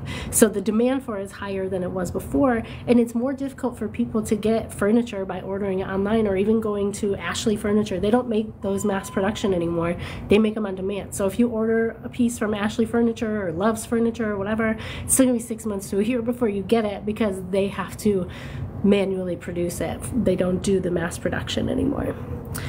My next project is my couch. Fantastic. A couch is just an oversized chair. Where are you located? I am in Ann Arbor, Michigan. I just finished my king size bed. I'd love to see it. I'm on Facebook and Instagram too. Uh, we have a, a, private group on Facebook called the Local Upholstery Club. So you can actually join the Local Upholstery Club if you're working on projects from home and you get stuck. You can tag me, but there are, are a variety of people with a variety of levels of experiences in that club, from looky-loos to people who've been doing upholstery 50 years. And it's a hyper supportive group if you're just getting into learning this skill. There's no judgment. Nobody cares if you did it wrong. Nobody cares that you're you're teaching yourself. We're all there to support you because we know how important it is to have you and welcome you into the industry. So you're not going to get that like we're better than you attitude out of that group. It's a really, really great supportive place. What is the best way to begin in this craft and be successful? I'm looking for a next phase, no job. So, the best way to get in this craft is to get started and get practicing. I started by pulling furniture out of the trash and restoring it. And all along the way, I was just taking pictures and posting it on my personal Facebook page where all my friends and family were like, oh my God, you do upholstery. I have so many jobs for you. Uh, and it was before I even knew how to do anything. The first year of learning upholstery, I was already working with designers who knew that I was new and practicing, who helped give me jobs that would help me learn things effectively until I was really, really good at it. And then I was making furniture and fixtures for restaurants, uh, uh, high rises, uh, like rich residential areas. There's no shortage of it. So the best way to get started in it is to practice. Pull stuff out of the trash, restore things, conserve materials in the beginning when you can because you don't want to put a ton of money into this until you're making money from it. But I promise you, you'll be making money within the first couple of months, even before you know what you're doing, because everyone you know is going to be like, I want to help you learn because they know how much cheaper it is to get someone who's learning to do it for them than it is to hire someone to do it. What is the best way to price work when you're new? So, the best way to price work when you're new is to this is how I do it. This is, this is my formula.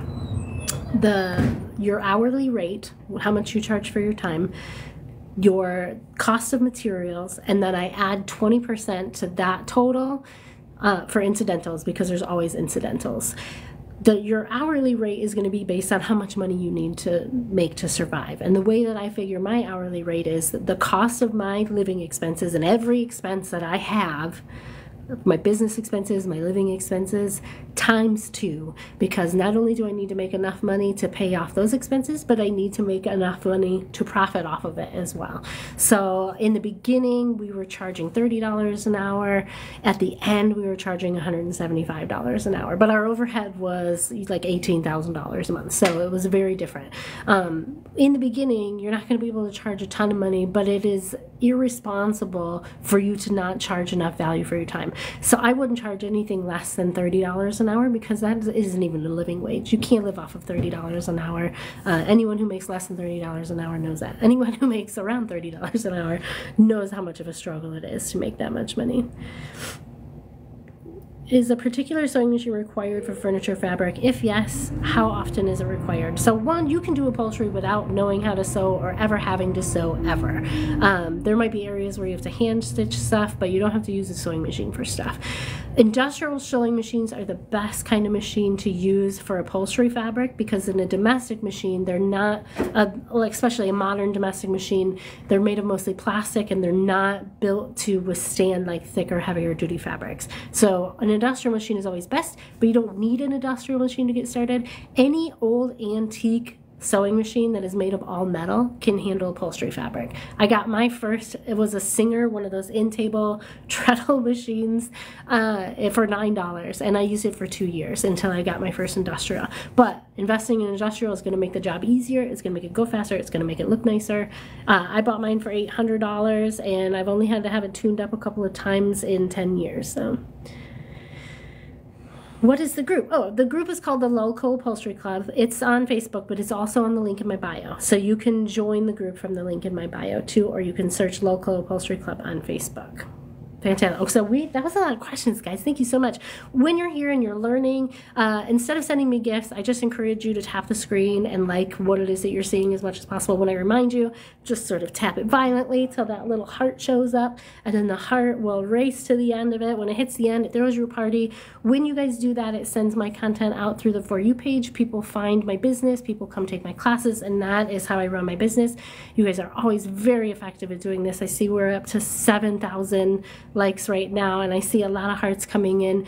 Um, it's very effective. I make sales while you guys are here of my classes, and you're doing a lot to sustain the upholstery industry just by tapping the screen, so I really appreciate when you do that. Uh, so Ray's Revitalized Furniture has put her listing of how much she's seen sewing machines for on the bottom too. Yeah, check out Facebook Marketplace. A lot of times you can see these antique machines are free, so it's really cool. So we're gonna finish stapling this down on the top. I'm gonna put this back here. I gotta grab my coffee real quick.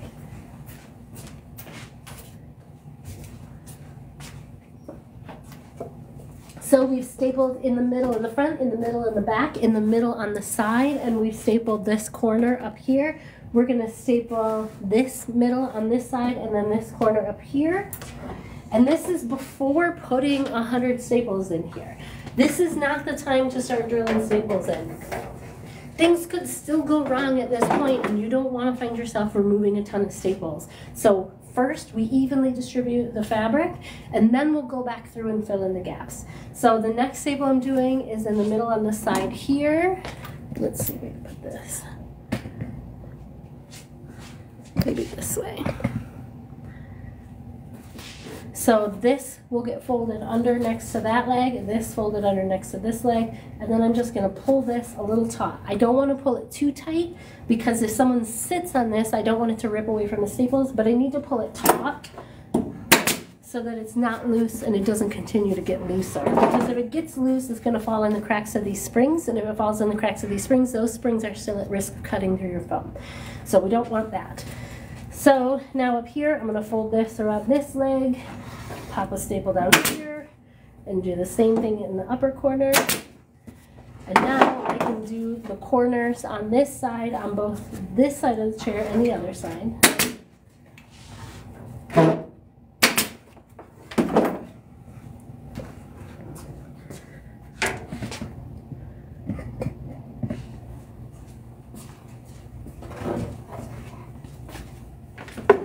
Already got the middle staple there, so I'm folding around the legs, pulling out that corner. When I pull these corners, I'm not just pulling out straight, but I'm kind of pulling out this way to stretch the material this way. If it starts to buckle in front of your legs, you're going to want to make longer cuts. So I'm folding it up alongside that leg. I'm getting rid of the slack between the staple here and this edge of the leg. I don't want the fabric to be wrinkled in this area because it won't look clean and one more thing. So the next thing I'm going to do is I'm going to fold all of this over, back up in this way, because I just want to double over this edge before locking everything in. Because this fabric can sometimes fray. It actually has a backing material in it that prevents it from fraying, but it has a fray to it. So this will help it to last a little bit longer. So now is when I can put a bunch of staples in because everything is stretched out in its place and it's not going to move. And you'll notice that I didn't put a row of staples under that row of staples because it's completely unnecessary. And if you've ever removed staples before, you will be very grateful that I just did that because if you're the one removing this, you don't have two rows, two rows of staples to remove. So I'm going to do the same thing on this side. And then the same thing for the front.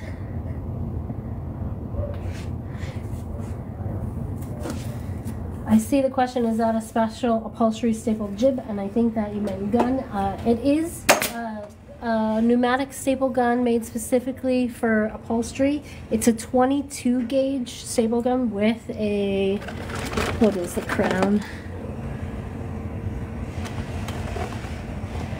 I feel like it's a half inch crown on the top. Um, this is what 22 gauge staples looks like. And these go in this way. Now these staples are much thinner than like a stapler you would get at Home Depot that connects to um, an air compressor. This is a pneumatic stapler, has a hose connected to it. Air is what powers it. You can use electric or you can use a manual one too. It doesn't have to be special, but the special ones make the job easier. The staples are thinner, so they do less damage to the material. They're faster too. They don't take any impact on your body, so they're much easier to use, whereas a manual staple, you're like pushing a lot and it can hurt your hands over time. So now, my staples are all within like an inch of each other at this stage. You do not, some layers are gonna need and require your staples to be end to end. This is not that layer. You do not need end to end staples at this point. Just like someone asked before, is if there's a limit to how many holes you can put in your piece? Yes. So we're trying to limit how many holes we put in here by only layering up the staples on this layer. So I'm going to go around to the side here and do the same. It'll walk around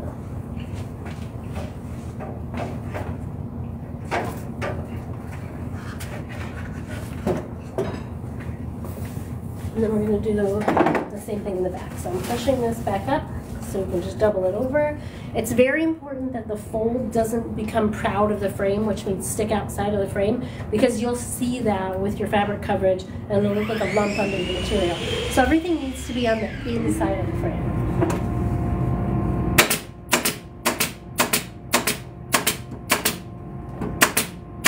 And then I have one more area to do that in the back.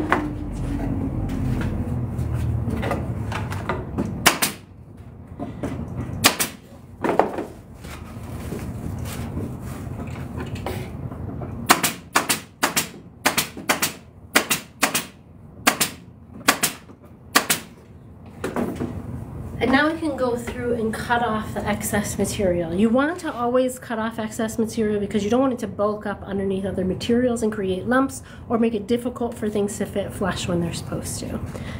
What kind of fabric is that? That's synthetic burlap. And you can use regular burlap, you can use scrap fabric, you can use all kinds of stuff. You just came across my For You page. Can this help with me redoing my VW bus seats? I want to learn. See guys, when you like it, it sends me to a For You page and people find me. Yes, soft furnishing upholstery skills are transferable to auto upholstery skills. It's a little bit different because they attach to the frames differently because the frames are typically made of metal and not wood, but essentially the same concepts, the same way of sewing. I do these live on Tuesdays so you can learn from whatever project I'm working on, but I also offer in-person in-person upholstery workshops, virtual upholstery workshops, both group and private workshops, and I have tutorials online, anything that it is I can do to try and get you guys to learn. I have a private Facebook group called the Local Upholstery Club. The link to that's in my bio. Go there, join the group, and if you are working on a project and you have questions, you can post it, tag me in it, make sure that I can see it. But there are upholsterers from all walks of life, from all methods of upholstery, from various levels of experience, so you'll get a lot of support in that group just for joining. She does not do car upholstery, but it is all the same fundamentals. Yeah, it's all transferable, but it is different. I don't do car upholstery myself, so you won't see me doing car upholstery, but it is all transferable.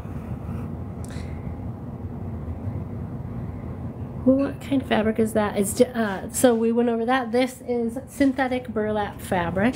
My grandmother worked at an upholstery shop that made airplane seats. This is fascinating. I'm so glad you have good memories of that because I've been raising my kids around this and they don't think it's cool. So I'm hoping one day that they're like, my mom used to do upholstery and I used to build forts out of the furniture.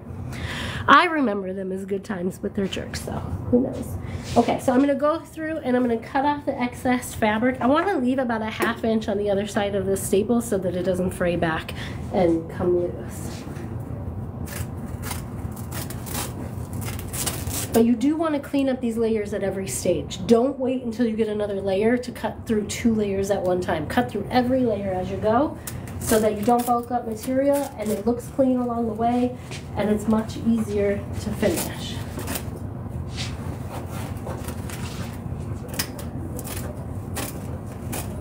I'm just going to go around the whole chair and remove this excess material. And then we can start putting foam on.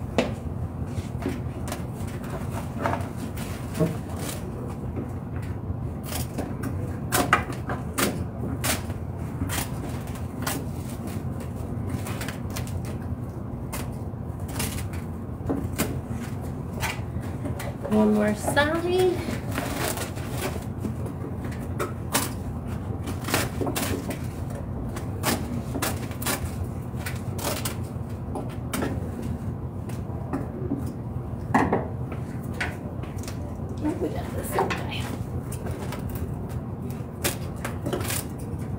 So that looks good. That looks nice and clean. Let me give you guys a close-up shot of the top.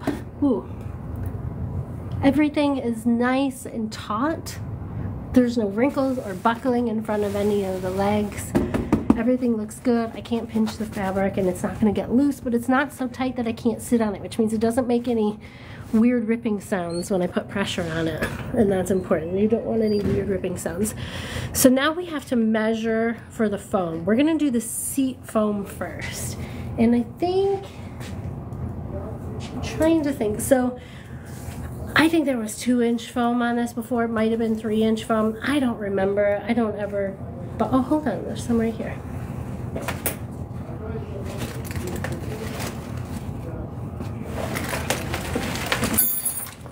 Okay. You don't have to make chairs look exactly how they looked when you took them apart. You can redo them any way you want. I can put buttons in this thing, I can put channels in this thing, or I can make it look smooth. I will be doing uh, the way that it was before. Will a lot of these skills transfer to auto upholstery? Indeed they will. Indeed they will. The sewing, the pattern making, all of that stuff. I think the difference between auto upholstery and soft furnishings upholstery is some in the technique of how the seats are made with the different decorative details and how the foam is shaped, but also how to attach it to the frame because most auto upholstery frames are metal. Um, even in marine, it's like fiberglass or plastic bases and less wood, so it's a little bit different, but all of the skills are transferable. My grandma used to make purses and duffel bags from the leftover fabric and it was so cool. I'm so glad you have good memories of that. Okay, this is the seat foam from before. You can measure this and make it the same. Uh, this is two inch foam. This is what I suspected. But also if you're unsure if your foam was in dust when you went to go take it off of there, you might not know what the thickness was before. So it's important to learn, like standard seat height is about 18 inches. Now on modern furniture, that's true. On antique furniture, that's less true because people were much smaller, so furniture was lower to the ground. So keep that in mind. If your foam is too thick on top of your seat, it's gonna feel like you're sitting on a bubble. If it is too thin, you're gonna feel all the infrastructure underneath. So it's important to know what kind of foam to use. I'm going to use a medium, it's a high density foam, but a medium firmness on the seat of this. This can be a two inch foam. That's gonna make sure it's not too soft that when I sit on it, you can feel the springs and not too firm that it's uncomfortable to sit on. A medium is like my most default uh, like firmness that I use on seat foam and I might use soft on the on the arms and on the back because that doesn't get as much weight pressure on it it doesn't have to be as comfortable um, and it can give it a softer look on the back too so I'm going to be using two inch foam for this. And now I have to measure the seat to cut off a piece of the foam to use to go on this. What's the springy mesh under the seat called? This is called synthetic burlap. But we also have under the seat seat here, there's jute webbing, and that is also synthetic. That came with the chair. We're reusing, um, that was in good shape, and the springs were in good shape, so we left it as is. But this is called synthetic burlap. In this area, and especially here, it's the same fabric, just a different color and a different weave on the back seat. This is also synthetic burlap, just a different kind. Um, these are used as a barrier for to be between the foam and the springs so that the springs don't cut through the foam over time. In the back, that's less true because we don't have springs up there, but in the back, that's used as a barrier to help keep that shape so we can put the foam on it. And when someone puts their, excuse me, hand on the back of the chair, it doesn't go through the frame it, it's going to create a barrier there. The foam in Michaels and Joann's is very soft. Where can we get firm foam? Uh, yeah, so you only get one density foam in Joann Fabrics and at Michaels. It's a high density foam, but it's not um, professional upholstery foam. It's more of like a craft foam. I sell foam and or like upholstery supplies, professional upholstery supplies on my website. You don't have to have a business, and they come from the vendor that I order my professional supplies from. They third party ship for me, so you can order them there, and everything over a hundred dollars is um, free shipping. And the foam comes in like big sheets, so you also have to have a room to store the foam, unfortunately. But you uh, can save a lot of money.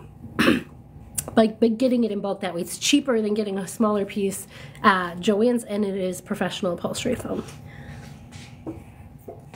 Okay, to measure for foam for the seat,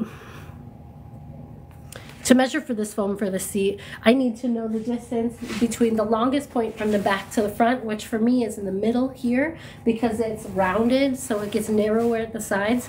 So I'm going to measure the longest length from back to front and then I'm going to measure the longest width at the front here because this is the widest part of my chair. In the back it's narrower, so this is going to be the widest width. So I'm just going to cut a rectangle out of my foam and then bring it back here and cut it to fit my chair. So I need to cut my foam to be a little bit bigger than my frame so that I can carve it to fit the curve of it. So when I measure this, I'm going to add two additional inches so that it sticks out an inch on either side of the frame. So I have enough material to go through with my electric bread knife and cut that and carve it to fit with the frame. Hi, Gabriel. I see Gabriel here. So that's what we're to do. So measure back to front, add two inches, measure side to side, add two inches. So back to front is 20 inches, plus 2 inches is 22 inches. Side to side is 25 inches, plus 2 inches is 27 inches. So 22 by 27 inches. Someone remember that because I will forget by the time we get over here. On this back wall, you can see my wall of upholstery supplies. If you're coming to take in-person upholstery workshops with me, I have all the materials that you'll need on hand available for purchase, so you don't need to worry about picking those up in advance. I don't carry fabric, but I usually have foam and batting and things of that nature here. So I'm going to choose a piece of two inch medium density foam. All my two inch foam is medium, it's high density, medium uh, uh, firmness foam. And then I'm going to put it on the table and then we're going to measure it out so that we can cut the piece for the chair, which is 22 by 27 inches. You guys got to remember that for me.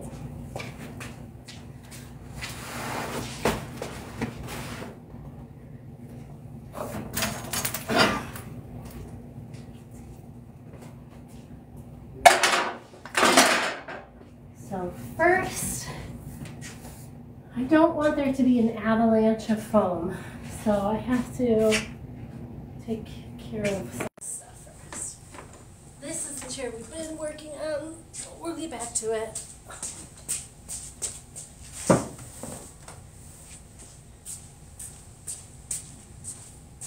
We have cotton batting. We don't need that yet, but we might need it later.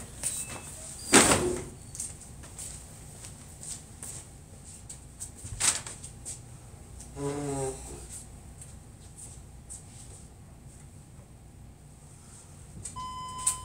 Student projects. We have our poly batting, which we will need, but not right now. Now I think I can get to this two inch foam. Ooh, that's nice.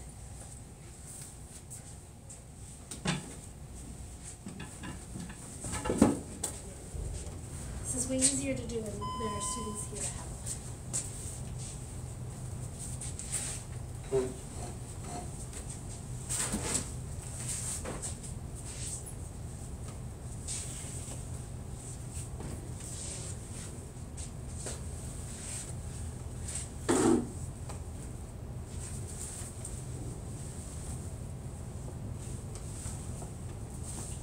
That was impressive, even for me. Okay. So, you do not need. I'm gonna get this set up first.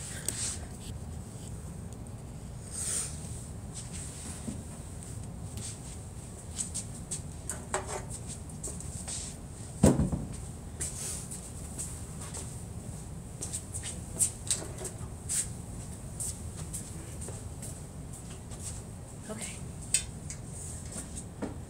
You do not need saws to cut foam. You can use a serrated bread knife. Any serrated knife will work.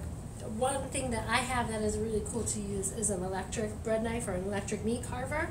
Those make amazing foam cutters and they last a really long time. So I suggest you pick one up. You can find them at thrift stores for super cheap because everyone buys them and nobody uses them, so they always give them away. So I need to measure a piece that's 22 inches by 27 inches wide. This is 30 inches wide. Let me double check that. Yep, 30 inches wide. So I'm going to take my 27 inches this way and my 22 inches this way to conserve material. So I take less material off of the long uh, length of this foam that I can use later on down the road. So I'm going to do 29 inches down this way using my square edge against the factory edge of this foam is going to help me make a nice square measurement. I'm also on the very edge of the square edge of the foam this way, so one, I can compare and see if it's square. In this case, it's not important if it's 100% square so long as I have the coverage in the center because I'm going to be cutting off all the excess. But when you're making square cushions, you're going to want to make sure that this measurement is square. So a T-square is going to help you make that perfect measurement. So I'm measuring it 20, seven inches this way. Then I'm going to go up maybe about 24 inches or so, estimate, uh, and then I'm going to mark 27 inches this way. So now I can come through here at the square edge of the top and connect these two dots with my T-square and mark my 22 inches down this line after connecting those dots here and then on this side I'll bring it all the way down to this side because it's a nice square edge and mark 22 inches on this side. So if my factory edge is square, when I line my square up with the square edge on this end of the foam and connect it with that dot, it should land right on and connect with that dot down here, which makes this a perfect 90 degree square. So if my foam needed to be 90 degrees squared, I got it. That's, it's gonna be 90 degrees square.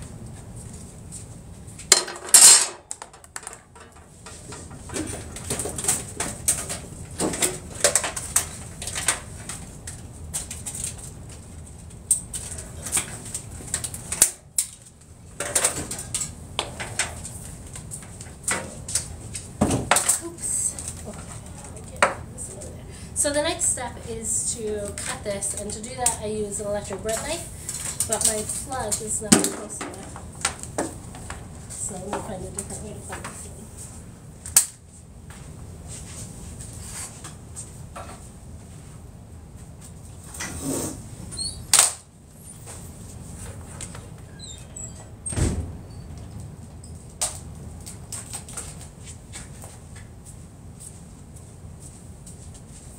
Now unfortunately, knives are not made to cut foam, so the trigger's on the wrong side and the cord's not long enough for what you want to do. So if you're going to use one of these as a foam cutter, you're going to have to be prepared to have extension cords and uh, practice your grip on this.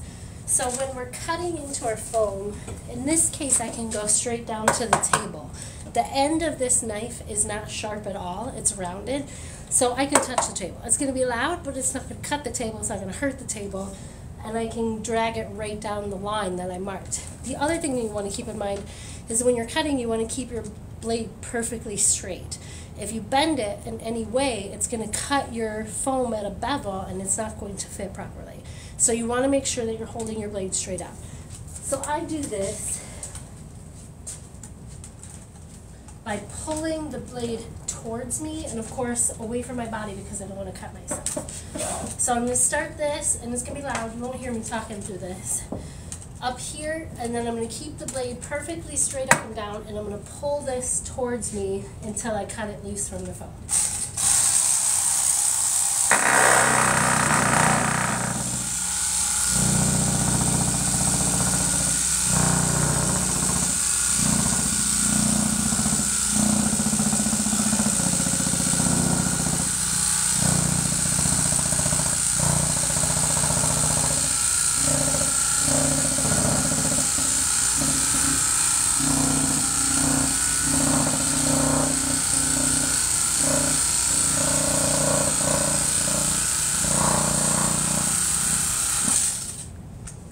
Excellent. And because it's rounded at the tip and it's not sharp all the way through, it actually doesn't cut all the way through, but it leaves just a tiny film that is easily tearable that I can just pull right off. So now I just got to cut it in this direction. Try to avoid cutting like this. You can't see the angle of your blade. You're going to get it crooked every single time. Try to make sure that you're cutting it straight. You might be able to dangle it off the edge of the table and cut it this way straight. We'll do that. We'll get less of a sound that way. But do make sure you're watching your blade.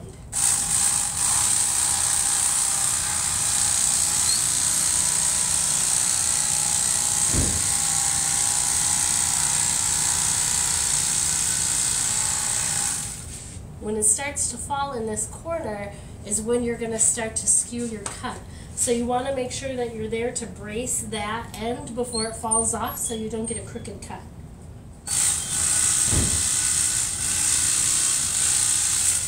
Perfect. Now you can see how smooth,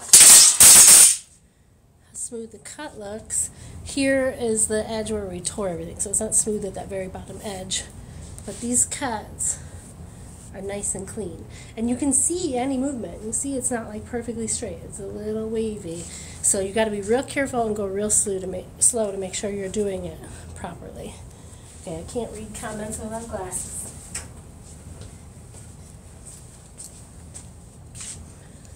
Let's see.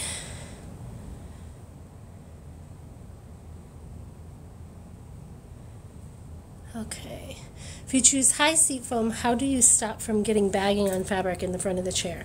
If you're experiencing your fabric getting baggy on top of your foam in front of your chair, it's because your fabric wasn't pulled on tight enough to, it wasn't pulled on taut enough. So there, it was put on too loose, and when people start to sit in it, it overstretches already, it gets baggy much faster. So that would be, you would just have to put it on tighter. And we'll do that with the seat when we get fabric in. Today we're just going to be putting foam and batting on. Did you say you put foam between the spring and the first layer of fabric material, or do you use webbing? I do not. So, I'm going to show you. That's a confusing question because there's a lot going on there. So, I'm putting foam on top of my springs, uh, but I put a layer of barrier fabric there first. This is synthetic burlap, but you can use regular burlap, you can use duck cloth, you can use heavy duty scrap fabric, anything. I do jute webbing, then springs, then my barrier fabric, then foam, then batting, and I always put a layer of cotton batting on the top too. Rachel uses webbing, then spring, then tie spring, then burlap, then foam, then batting. Yes, same same order. You said you kept the springs because they were still good. How can you tell? Well, very rarely will the springs go bad. Um, unless they're like rusted and broken, you can't use them anymore. Very rarely is that the case. This is a more modern chair too. Everything on it is still relatively new. It was built in 2000, so it hasn't been used very much. All the jute webbing is still tight, not sagging. Everything is still tight up here. The shape is maintained the shape, so it still has like 30, 40 years before anything happens. Springs hold up a really long time. It's the strings that sometimes can get tattered and fall apart, and the jute webbing, if it's a natural jute webbing, tends to disintegrate and tear away. This is a synthetic, so it's probably going to last a little bit longer in that respect. Uh, this is not a cheaply made chair. It was made very well. It's still made with hardwoods, so even though it's more modern, it's still a well-made chair. I used my bread knife to do mine last time. Yeah, bread knives are great for cutting foam. So the next thing that we're going to do is we're going to glue this to the surface of the seat. So we're going to use a contact adhesive. We're going to spray one side of the foam, and then we're going to spray the, the side of the seat, and we're going to stick this on it. This is not going to be able to get tucked through the sides right away. We have to make some cuts before we do that, but we do want to get it glued down on the frame so that it doesn't move before we make our cuts. This is going to be bigger than the seat. We're going to cut it, uh, carve it to the frame to fit it after we get it glued on. So that's what we're going to work on now. Let me get this set up so you guys can see really well.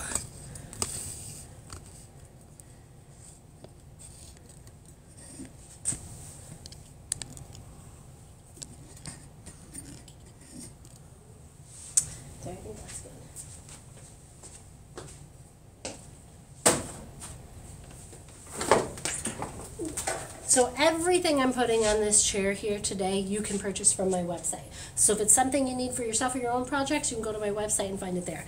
This is contact adhesive. You can get contact adhesive at the hardware store, you can get it at Joann Fabrics, you can get it at Michael's. This contact adhesive is specifically made to fuse foam together. It's an upholstery foam contact adhesive. It's a super duper adhesive. The adhesives that you use at Home Depot or Joann Fabrics are not this strong. They will not fuse foam together. We're, however, just going to use this to stick the foam to the seat and a contact adhesive from Home Depot or Joann's is perfect for that use because you just need it to get a little bit tacky to hold the foam still so that it doesn't move when you cut it or when you're reupholstering it. So what a contact adhesive is, is that it only sticks to itself. So I have to spray this to the surface of my barrier fabric and I also have to spray it to the surface of my foam before I stick it together. And I want to make sure that it's not wet when it touches. So I'm going to spray this down on both surfaces and I'm going to let it dry for a couple of seconds, like 15, 20 seconds until it gets tacky. And then I'm going to place my phone on top of the seat deck and it's going to be a pretty permanent stick. Now if you're fast enough, you can pull it up if you need to like move it or place it around, but pretty much it's a very permanent stick like right off the get. So be very careful. Those sawhorses too are genius. Yeah, and you know what? They're $25 at Home Depot. I built the boxes to put on them. My husband worked with me to put all of these together, but the sawhorses, the black things themselves, are 25 bucks and they fold up. I have a bunch of them here for my classes so that you can stow them away very easily. They're very portable. I have a pair at home that also have adjustable height, which are really cool too. Those are not $25. Those are like $100 a piece. So I'm going to spray this. This contact adhesive comes out and it looks like Spider-Man's webs, like when he shoots webs. So it's pretty controllable. There's not a lot of overspray. You can see where it goes.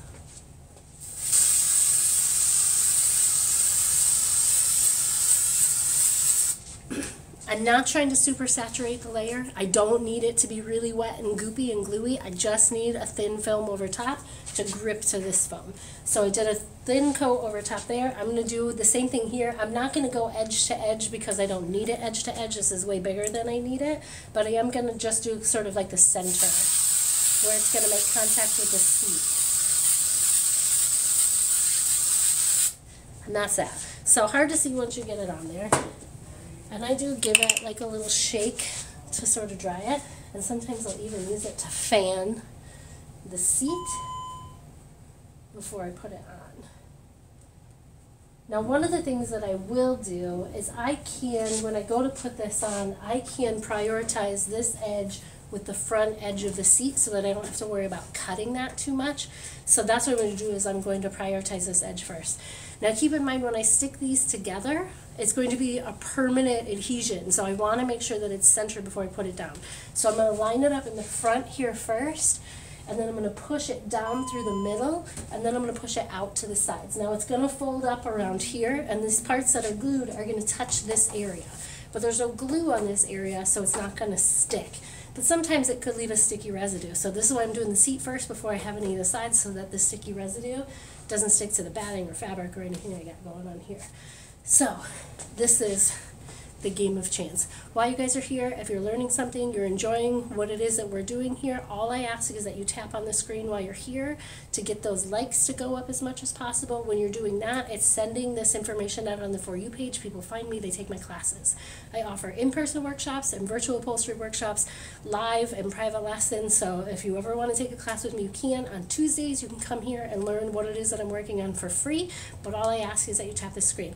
I wouldn't even ask you to send gifts because I get fractions of a penny on the dollar that you spend on TikTok to send gifts, it is way more valuable to me for you to tap the screen. When you tap it violently over and over and over, like I can see someone doing in the corner, a little heart shows up in this upper corner and it's like on a meter. If it reaches the end, it throws your party, everybody's happy, and that's that's the goal. So whenever I remind you, if you're learning something, please tap the screen because it goes a long way to help me grow my business. Okay, so this is it. We're going to line it up at the front first. I do want this edge up at the front. I'm going to bring it just like uh, an eighth of an inch outside the edge so that it's not too far back or sharp up against this. And then I'm going to first push down in the center and it's already stuck, like I can't lift it. And then I'm going to push down to the sides. And you'll see this foam is going up and around the sides. That's fine. That's perfect. I don't need it to go through the holes yet. I just need it to stick down to the seat. So I'm trying to get it as firm as possible. And I got a little bit of a twist here. So replace that. So I'm sort of pre-tacking these edge areas so that this can stay. And now the next step is to make the cuts in the foam so that it goes around the barriers of the chair frame, just like we did with the barrier fabric. So it works the same with the foam. except for it's a lot harder to cut. So I'm going to show you how to make those cuts. Let's get close.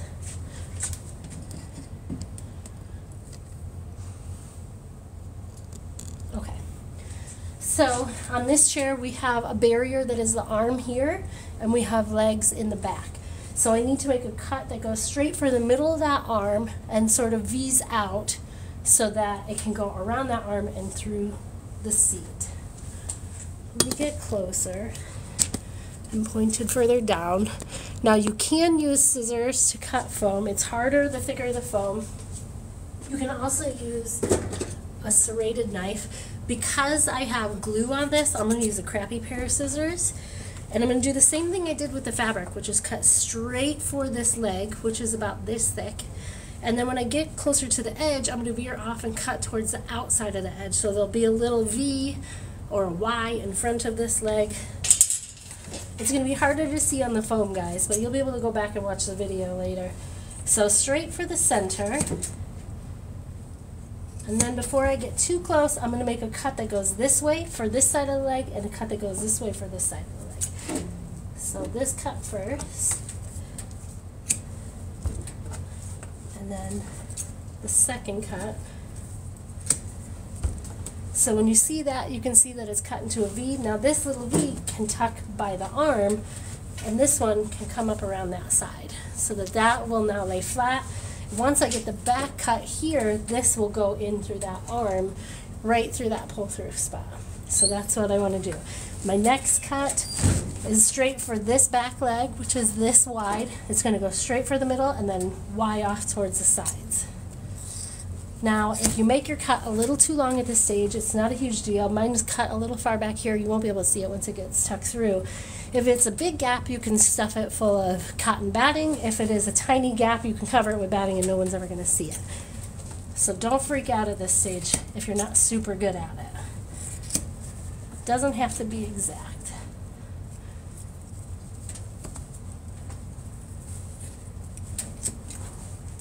So it's going to get harder for you to see this V cut, but that's the V cut here. This is going to go down here. Now this can get tucked all the way back. This is a lot of foam. And I don't want to wrestle with cutting all of this, or with tucking all of this in that tiny little hole. So I'm going to trim it back first, because I just need it long enough to tuck inside here. It doesn't even have to go all the way out to the edge. It just needs to tuck underneath that arm. So I'm just going to trim a lot of this off. It's still folded up along this arm, so that's how I know I have like too much. So when I go to tuck it back there, it'll fit under. So you just need enough to tuck under there.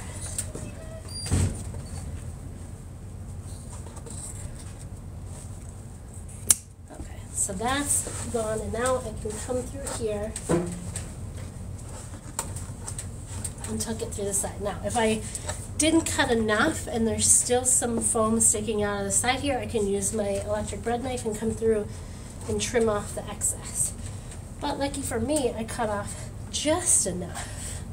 It's like I've been doing this a minute. So this part can go back after we get the other side cut. So let's cut this side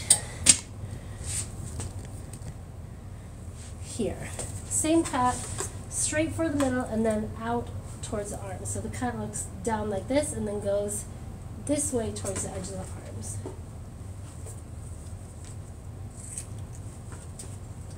And it's hard to see how far that cut goes, so you really got to be paying attention and watching. I can see a little bit better over top of this. So that one's good. Now I got to make this cut down to this leg. And harder to do.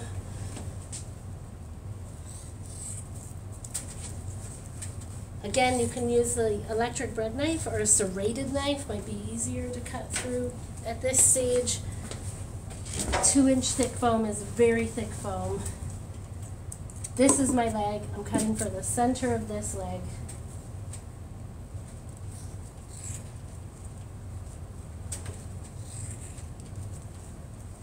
And then when I get close, I want my cut to go around that mm-hmm. leg. So I cut it in a Y shape, one to this side of the leg and one to that side of the leg. Here.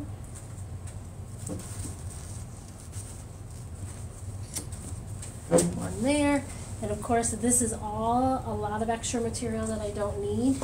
I just need this material to tuck back. So I'm going to leave a little lip so that it tucks back, but cut off the rest of the excess.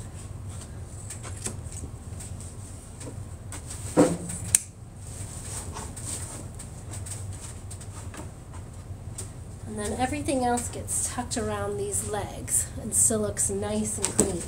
Now we have the same thing going on in the back here where we have a lot of extra material. We don't want to wrestle with shoving all of this back. It's unnecessary, so I'm going to cut off these extra flats.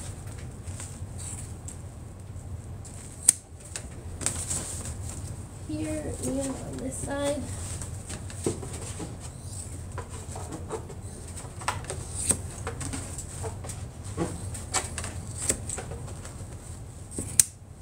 Perfect. That, tuck back. And the little Y's that were in front of the legs just sort of push down in front of that leg to make it look nice and smooth. Look at that. So that's how nice and clean it looks. And you can even see back here, there's a little gap, like I cut a little too far, but you're not going to be able to see that. You can put glue in there, a little bit of spray adhesive, and it will stick back to itself if it's too big. Would one of those hot wire cutters work? It sure would, but hot wire cutters burn this plastic, which is made of like caustic materials and it's very gaseous. I, if you're going to use a hot wire cutter, make sure that you're using it in a ventilated, a well ventilated space and that uh, you're wearing a respirator. Let's see, I'm looking for other questions. Uh, I don't want those boxes too. I'm going to have to copy. Please do copy. These are really great. Uh, these are really great assets to my shop and for my students too. So we have just a little bit of overhang up here this isn't glued down. There was no glue contact there, so I'm going to glue that down because I'm coming back through here with my electric bread knife and then trimming this to fit perfectly. But I don't want my foam to move, so again, I'm going to spray both sides. I'm going to let that get tacky. I'm going to do that to the whole front, actually.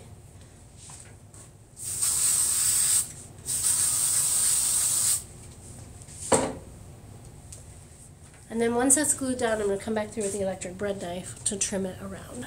So let's get that.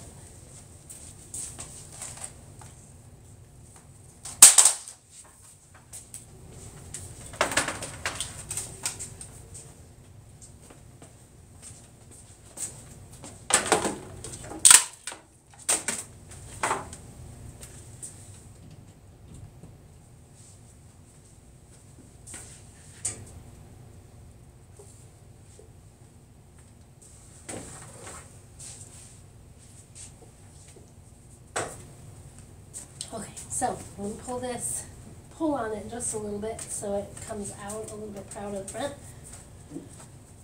And stick it down all the way. Now that's permanent. Now this foam lifts up the whole chair. That's how very, very permanent that spray is. Okay, so now that we've got cut down, I'm going to take my electric bread knife across the frame of this and trim the foam directly to the frame. The cool thing is, is I can use the frame as a guide for my knife and run that all the way across and it'll make it a nice straight cut. The difficult part is getting the knife to go straight and trusting yourself to do it right. So I like to start with uh, the foam as far up this blade as possible because then I have more control over it. And then I'll make sure that my knife is pressed up against this frame the whole time.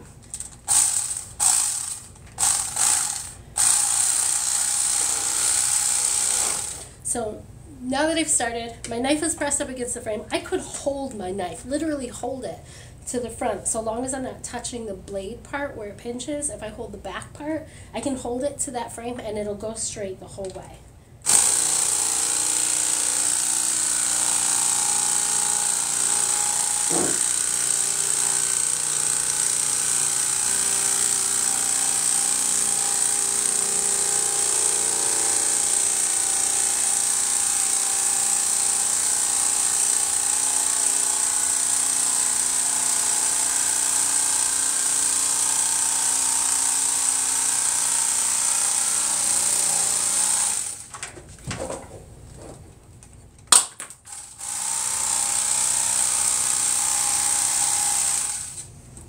Perfect. There's a little bit of a jiggle in there, but that's okay. It's going to be covered by the batting. I'm going to come back mm-hmm. through and clean up that spot where it's missed. It was like too thin there.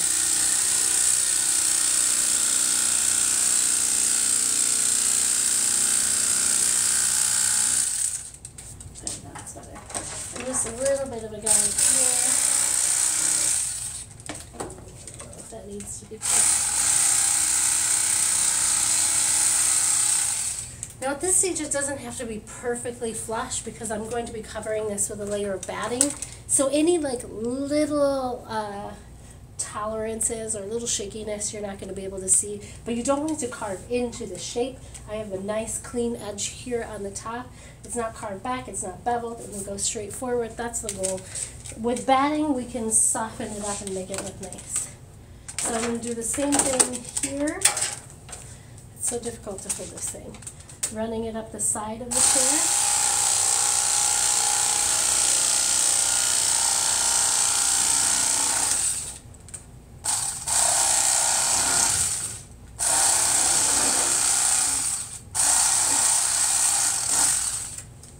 That looks good. It only comes off a little back here, but you can run the blade this way too.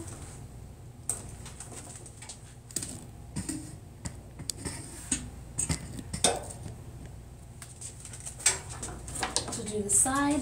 Now here we don't want anything sticking outside of the frame because we have a panel of fabric that goes here and if anything sticks outside of this frame you're going to see it lumped up behind that fabric.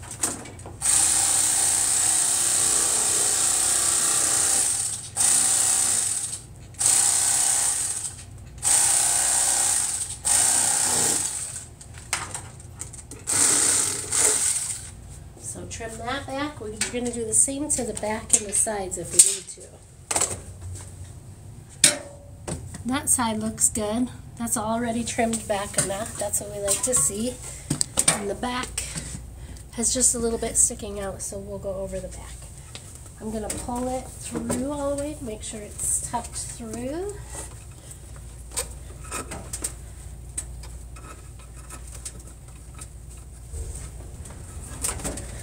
Give it a little push from the top too. And then take my bread knife through to the frame and trim it back flush with the frame this way.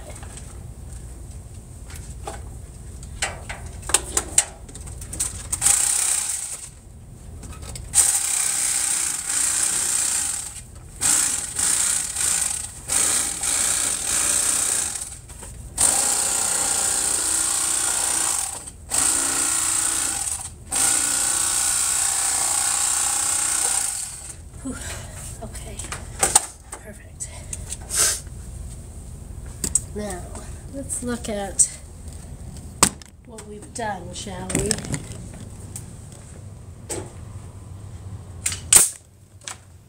I didn't know that happened. Okay, so now the seat is complete.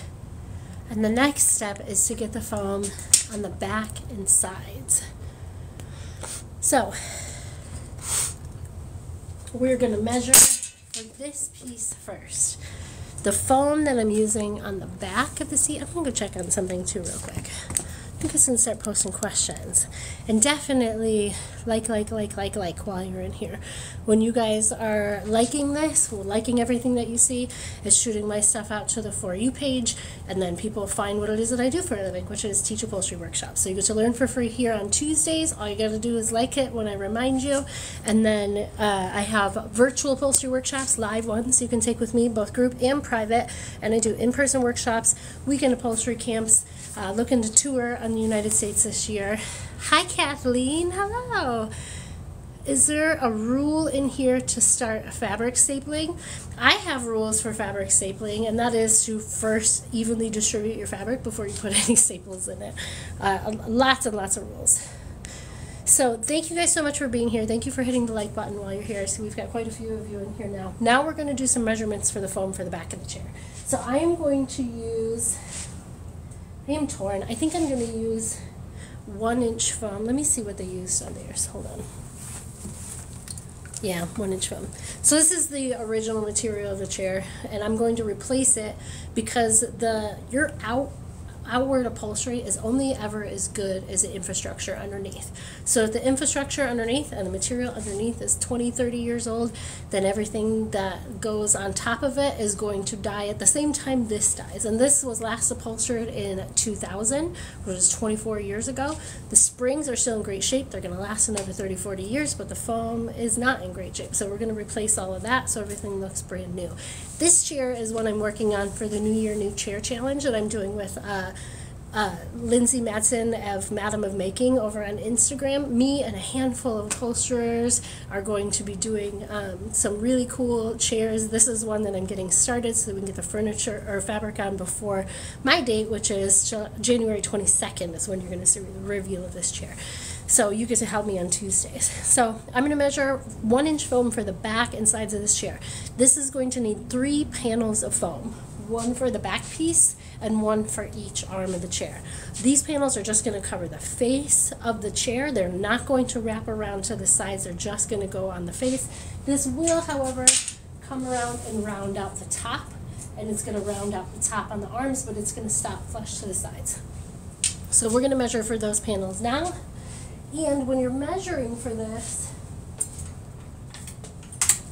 when you're measuring for patterns for foam and for materials on this, on this particular chair is a wrap and staple chair, you're thinking in terms of rectangles and squares. Don't think about the roundness or the shapes or the polygons that you're looking at. Think in rectangles or squares because you start with that and you cut it to fit its shape and then you don't have to worry about that shape. It's going to be tailored to fit it. So I need to measure the longest point from the top of the chair to the bottom here, which actually needs to tuck inside that hole just like the two inch did because the foam has to come together like this in the seat so that it is uh, touching like this. So you don't want the foam to butt up into it like this. You want it to come together like this so that foam also has to tuck down inside there. So I'm going to measure the longest length from the center from the top to bottom inside the frame and through and then the widest width from the top across because that's wider up here, it's narrower on the bottom. So this is going to be a polygon shape after it's cut and then these sides are going to be rectangles. So that's the lengths I'm measuring.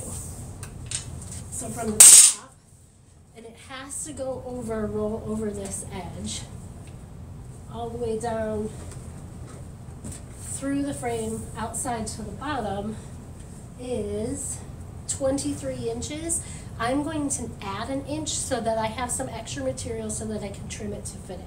So I'm going to do 24 inches tall and then the widest width, and this is not going to, actually it is, I'm going to have it wrap around uh, the sides to round off these sides because these sides aren't perfect. It's going to start on this side and come around to the other. Now keep in mind this is a curve, it's concave, so you want your measuring tool to go into it, not to be across it, because this is a shorter distance. So from this side, fold it over, run all the way across the top, and hold on that side, is 24 inches. I'm going to give it an extra inch um, to make sure that I have enough and make it 25 inches so I can carve it to fit. And because those two inches, or those two distances, the 24 inch and 25 inch are so close, I'm going to do a 25 inch square so I don't have to remember too many measurements on my way to the cutting table, which is where we're going now. If you guys have questions, go ahead and put them in the comments. Oh, let's measure those arms first. So we have a 25 inch square for the seat back, and we'll measure the arms too.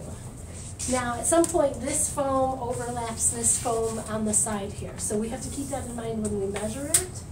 So I'm going to measure it a little bit further in here. And then this is not going to wrap around the face of the arm, it's going to stop there. So I'm holding the ruler to this at the top, which I believe is the widest point, and I've got 15 inches. I'm going to add an inch to make sure I can carve it to fit it. So at 16, this has to come through the frame on the bottom, come around and wrap around the top. That's giving me 10 inches, I'm going to add an inch, and then I'm going to make it 11, so we have enough. So we have 15 by 11 inches and a 25 inch square. I'm going to write it on the board so that I don't forget. This is cool part of having a classroom nearby. So 25 inch by 25 and then 15 by 11 inch square. Now, when you're cutting this out of foam, the direction doesn't matter because there's no nap to it. When you're cutting it on fabric, you're going to want to know which way is 15 and which way is 11 inches. But here we don't need to do that. My grandma used to write it on her hand. I've done that too. But I can see this from across the room while I'm talking to you guys, so I write it on the board.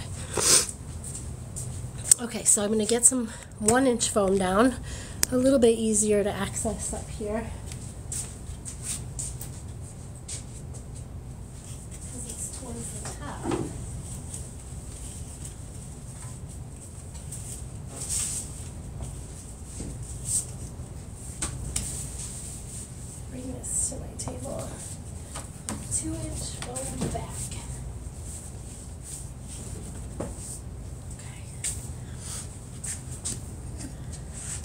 smell bacon. And that's weird because I'm in a makerspace and we don't have a kitchen to make bacon. If you guys are here and you're learning something, all I ask is that you tap the screen while you're here. When you're tapping the screen, it sends my content out to the For You page and people find me, and that's how I run my business. They use that for spring floor and gymnastics. Not this particular foam, they don't. This is a different type of foam, but the place that I get this from, they do sell that type of high density foam for gymnastics. This is a poly foam. This is a medium density one inch foam. Sometimes I like to use a soft density on the backs, but this is pretty heavy duty. This is what I'd like to use for this chair.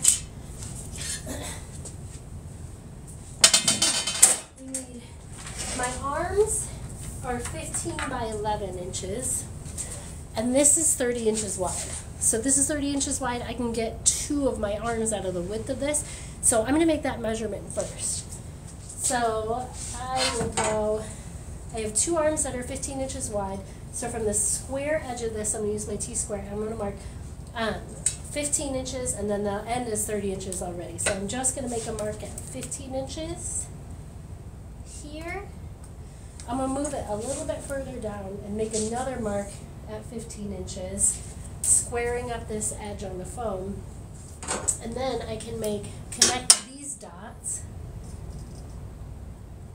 make that line, and this depth has to be 11 inches. So I'm going to make a mark there for 11 inches, and then I'm going to come down to this edge and make a mark at 11 inches, and then I'm going to make one all the way up here at the top too, and then I can connect these dots, and if my foam is square, I can square up this edge, and when I line up one dot, it's going to line up the rest of the dots, which it does beautifully. Cut those out. So these are my arms. With one inch foam, you can use scissors to cut it, so that's going to be much easier. The next one that I need to do is the back, which is a 25 inch square. This is 30 inches wide, so I'm going to mark 25 inches down this line. I'm going to move this up a little bit, and I'm going to mark 25 inches up here. Then I can connect these dots. Ooh, that's a different, so Important to note that on one side of this ruler, it starts at 48 inches, and one side it starts at 1. And you always want to make sure you're starting at the wrong side. So 1, 25 inches. Up here, that is at 25 inches, so now they should match up.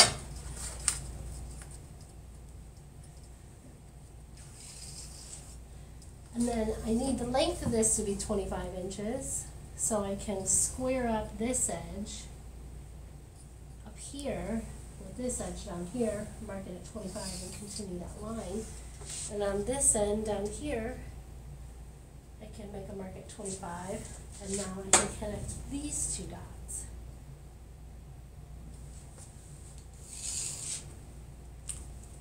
So that's a 25 inch square, and everything is looking square. I do see that my phone is now dying. Hold on, let's get that figured out.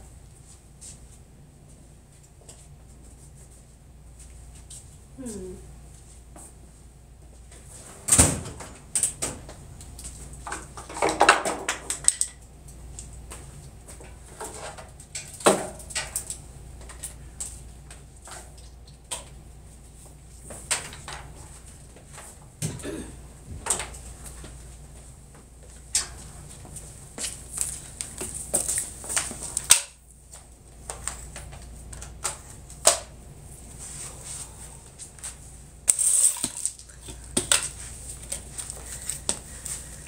All right. I think that should work. Okay, we got juice. Do you decide the foam uh, uh, density? Yes, it says fitness, but I assume you mean density. Yes, uh, you get to decide the foam density. I have defaults that I use. I don't like to give my customers a lot of options because there are so many different types of foam. There's like uh, low end quality foam, mid grade quality foam, high end quality foam, and in between those grades, there's also soft, medium soft, medium, medium firm, firm, firm, firm. Like there's a lot of different variations in between them. I use a nice mid grade foam that either has a soft, medium, or firm uh, density. So um, I tend to stay there unless someone has some interest for a specialty uh, foam, but otherwise I try and keep it simple. Um, and if someone has a preference, I can I can find them any kind of foam that they want. Otherwise, I'll just use that because giving people too much choices can make the process take a lot longer. So I'm using medium density, I'm using high density, medium firmness foam. Can you ever use memory foam? You absolutely can. You can use memory foam. The thing with memory foam is it's called memory foam because it assumes the memory of the, the action that has always happened. If it's a bed and you lay in it, over time, it's going to make a dip where you lay in it. If it's a seat and you sit in it, over time, it's going to be a dip where you sit in it. It's going to, that's how it's designed, is to sort of meet the shape of of what it is. So not ideal for furniture because it can like very quickly start to make everything look kind of gross. But not bad if you're putting like a thin layer of memory foam on top to sort of make that upper layer softer. Okay, so now I can cut this with scissors.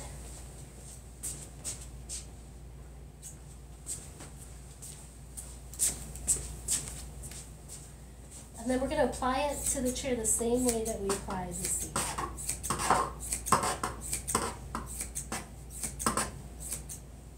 It's much easier to cut one inch foam with scissors than it is to cut two inch foam with scissors.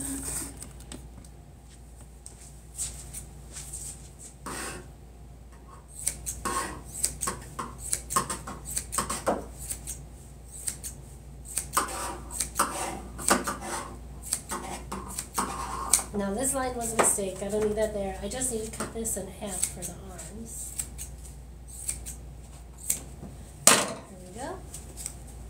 And sometimes foam will have like this crust on the side that can easily be peeled off. This is just got a ticket, so it's not crust. The crust can easily be peeled off, it'll make it softer. Because foam is made just like how bread is made in like a big tin, like bread. So you just dump all the chemicals in there and it blows up to the shape of the tin. And that's cool. Okay. I'm not going to be able to go too far because I got to keep this plugged in. I can move this to face you.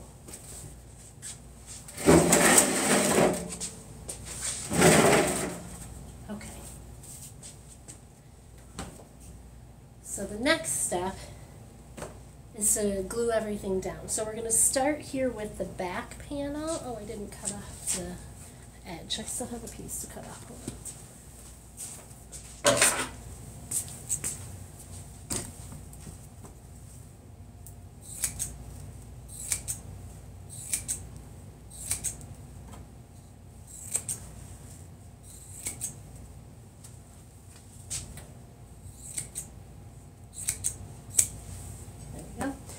So using the same contact adhesive that we had before, we're going to put contact adhesive on the back of the chair, and we're gonna put contact adhesive on the back of the foam, and then we're gonna stick them together.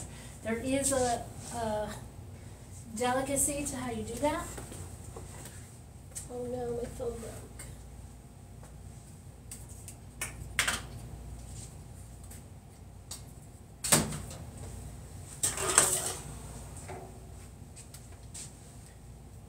This is the contact adhesive that I use. This is specifically to fuse uh, upholstery foam together. So it's a very heavy duty contact adhesive.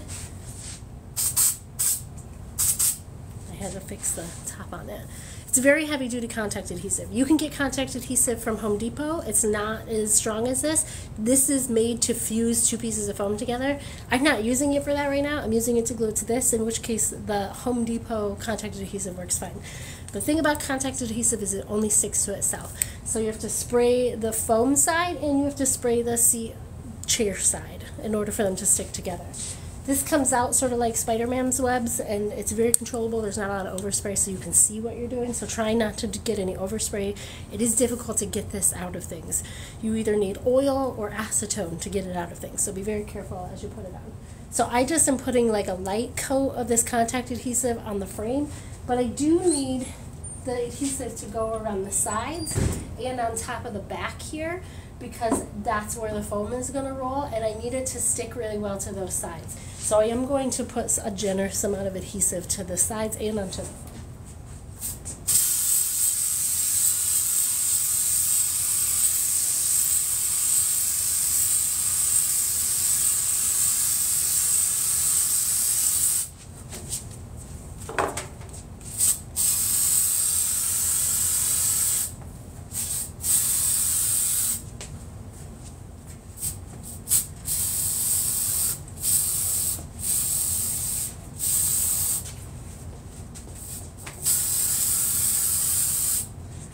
So now I have the adhesive on the frame. Now I can apply it to my foam.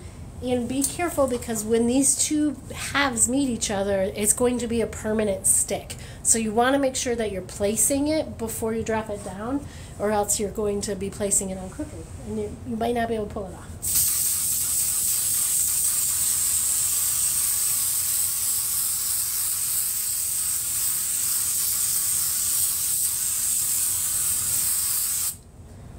So I do need the sides, these two sides to be tacky before I stick them together. So I'm just going to sort of like use them to air each other out.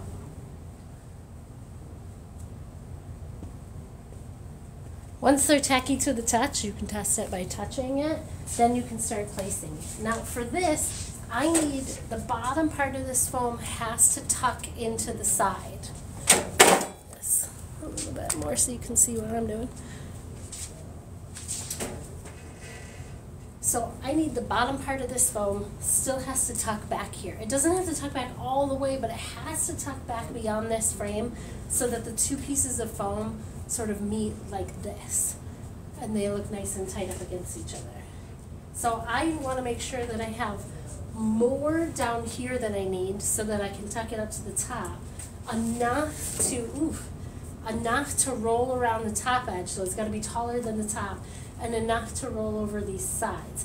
This foam will not roll to the back of the chair. I do not want my foam in any way to come to the back of the chair because it'll bulk up that area and make it look really sloppy when I go to put the back panels on. So, very carefully, and I'm going to fold this up to the center too because if this gets glued straight across, I'm going to miss this concaveness and it won't lie flat in there. And I want it to lie flat in there, so I'm going to fold it in half and sort of center place it a little long at the bottom and place in the center and then I'm going to press it down in the center first so that it sticks there and then I'm going to just sort of like wipe it out to the sides on both sides. Now the glue on this foam won't stick to this part of the chair because there's no glue on that part of the chair. So it's only going to stick to parts that I want it to. And I also have to roll it the side. So the next step is I actually have to make some cuts to relieve the foam so that it'll go around the side. The first one is going to be right here in the ditch of this arm. because I need this to wipe around this way, I need to make a cut straight across this frame up to this frame so that that foam will wrap around that side. And I'm just using this as a guide and then wiping this this way. So I should be able to now bend this over the side and it'll cover. There's just not enough glue on the foam there, so I'm gonna re-glue the foam in the sides so that that will stick down. And that's gonna need to dry, so we'll come back to it. I'm gonna do it around all the edges though.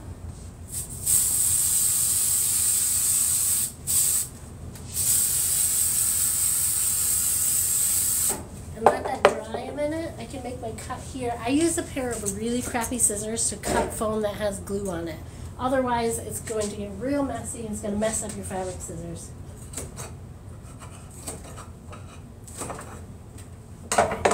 So this material here is extra. I don't need it. I can cut it loose right along the edge of that line where that frame is because this arm is going to meet up that. But I do want to keep that cut as straight as possible for when I put that side arm foam on. Oop, went too far down. Luckily there's glue on it.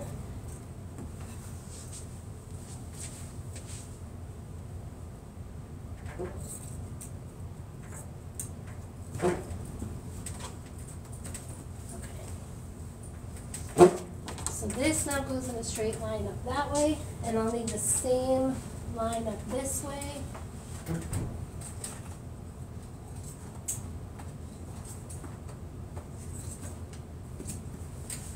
So this piece should be narrow enough now that it will tuck back through the frame. There might be too much material. You can trim it back.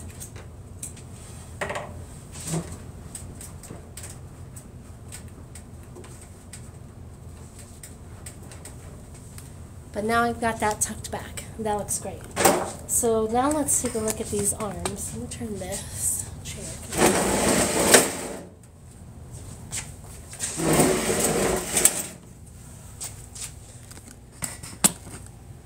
Move this to the side so you guys can see how this rolls over the edge. Now I want this to roll over and foam up this side, but I don't want it in the back. I need the back to stay flush. So I'm very careful to just sort of press without stretching to make sure I can get it tucked on that side. Now if it doesn't stay stuck all the way to the edges, you can go back in there with some glue and make sure that you're getting your glue all the way to the edge. That's my issue with this side. There's not enough glue on the very edge. So that's got to dry, that's got to get tacky, but I can do the upper part of this chair. I think that's ready. So this can also come down, fold, and glue, and it'll stick right to that edge.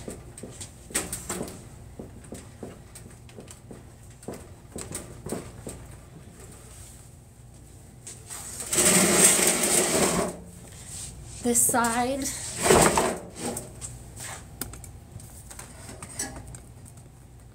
as you guys can see, goes right up to the edge. So after I've got it glued down, I can come back through with my electric bread knife and trim it to fit the frame. The other side's drying, but I think that I've got enough material here that I can trim it for you guys. So I'm going to take this knife and I'm just going to flush it up against the frame and use that as a guide to cut this up. Here, I'm going to use the back of the frame to cut this flush. And my knife is just flat up against this. You don't need an electric knife. You can use a regular serrated bread knife. That'll work too. But just use the frame as your guide.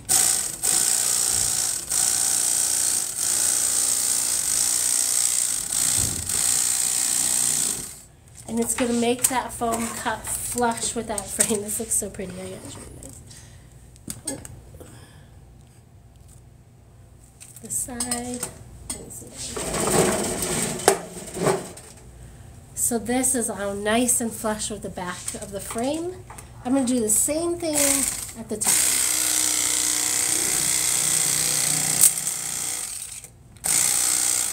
As long as I'm using the frame as a guide, this line of the foam is going to follow that same line.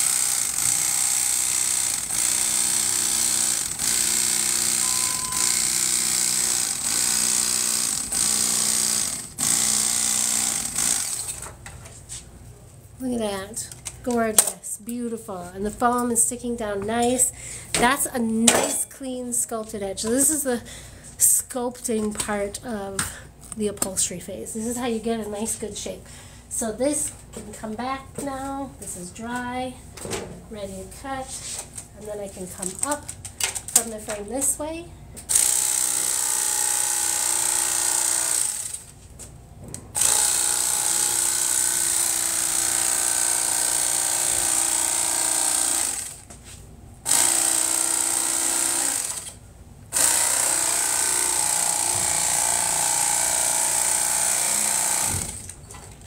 all around this side. So now both my sides look great.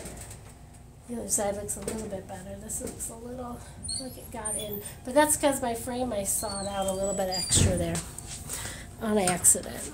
It's not a big deal. It'll still look great. Okay, let's turn this around so we can do the arms.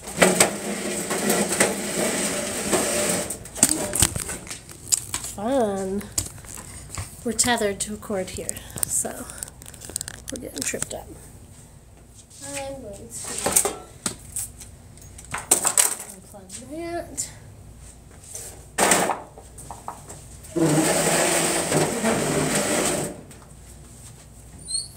So the next step is to do the arms the same exact way. We don't want the arms to fold or across the front, but they are going to fold across the top.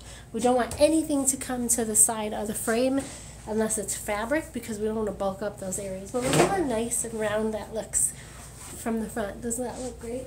This is where we cut a little deep, but it's glued back up there and the other foam is going to hold it in place. So this foam has to go this way. It has to be long enough to tuck into the bottom here. So when we start it, we want to make it long and long enough to wrap around the top. It doesn't need to go on the sides and it's only going to meet this edge of the foam here. So we're going to prioritize it up there. So I'm going to glue this area first and then the foam and then stick it to it. So put glue wherever you need the foam to stick.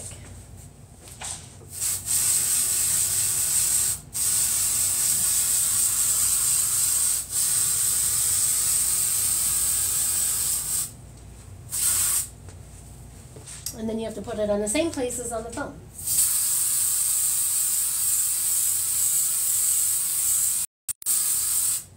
And because my foam is going to meet this edge, I'm going to put glue on that edge, which I already did, and then I'm going to actually put glue on this edge so when they touch each other, they fuse together, which is why it is good to have good uh, upholstery contact adhesive because it'll fuse foam together permanently. So I need this to be tacky before I stick it together. I can't wait to see it finish. Oh, you got to see the fabric. And you can go to my Facebook page and see it, but I am carving this whole table out with like this peony floral arrangement on the top, and these chairs are being upholstered to match it. So this chair is being reupholstered for the New Year New Chair Challenge that I'm doing with Madam of Making on Instagram. And if you follow that, there's opportunities, especially if you're a DIY person, there's opportunities to win big tool packages and cool prizes. I'm giving away a Furniture Nerd hoodie. So there's lots of cool things that you can win if you follow that. And if you're following that challenge, you're helping all of the upholsterers that are involved involved in that to grow their businesses. So get involved, and you'll I'll be posting about it here on TikTok and on Facebook and on Instagram and Pinterest and all of the places where you post things. So you'll be able to follow it there. Okay.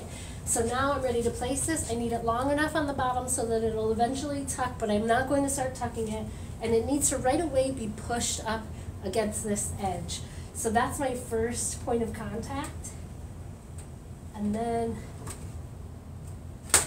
before I push it down anywhere else, make sure it's too long on the bottom, and then pressing it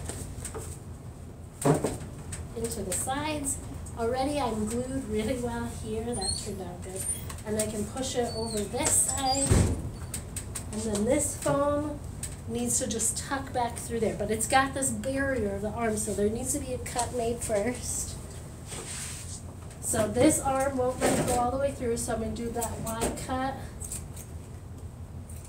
for that arm. So that part can go on this side, and this part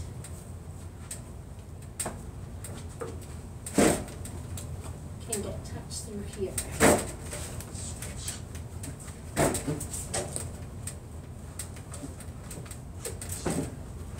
That looks excellent. Check that out. This is what it looks like. Ooh. Up close to the seat. So you need these two pieces of foam to be tucked together like that. You need them to meet like that. So I've tucked that back just a little bit, but not enough to come out to the other side of the frame. And then you can watch me carve it flush with the frame on this side. Let me get my knife.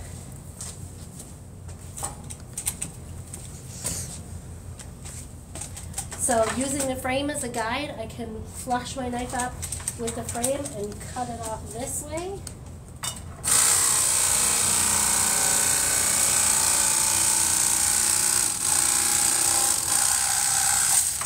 I don't want any of this foam to fold over the edge of this arm because if it has to attach to the outside edge where I attach my outside panel, there's going to be a lump there and it's going to make it look sloppy.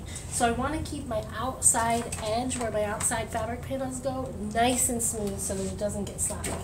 I'm just going to use my frame to cut it to this point.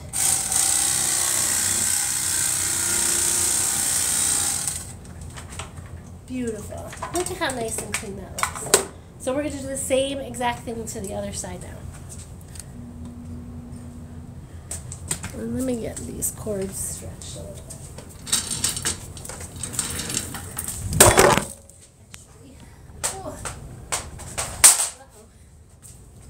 I lost you. I'm tethered by a charger, so.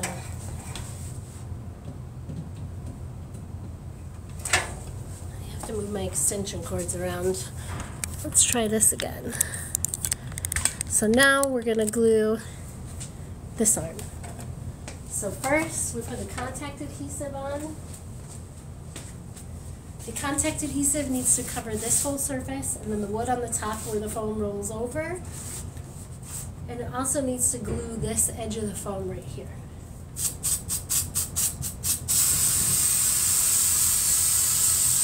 I'm being very careful not to get glue on my seat because if I touch this foam down to my seat that already has glue on it, it's going to permanently stick to here. But I can see and control my overspray.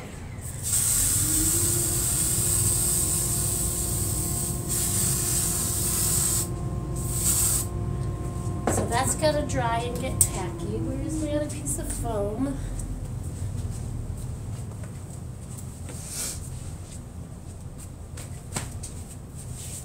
And then this has to be glued to stick to it. Every, the whole surface has to be glued.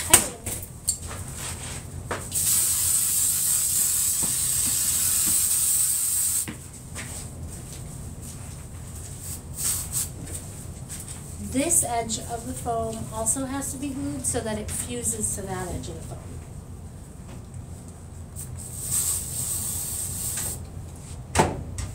Okay, so I'm going to use my foam to fan it. And when I apply this, remember I need it to be a little bit longer on the bottom so that I can tuck it in.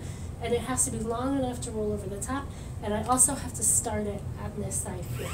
You don't want there to be any puddles of glue. If they're still wet, it's not going to stick.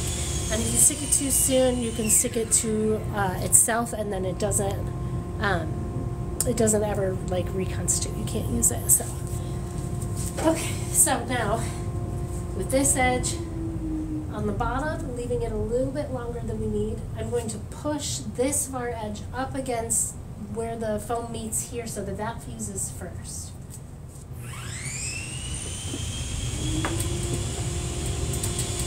Good.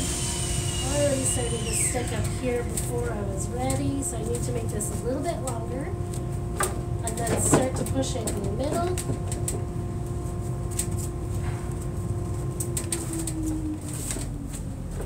Then I can start to roll it over the arm this way so that everything still meets it.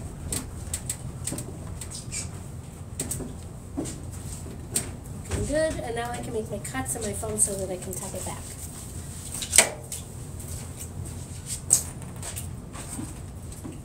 So this piece, this piece can be tucked all the way back. It might be too long.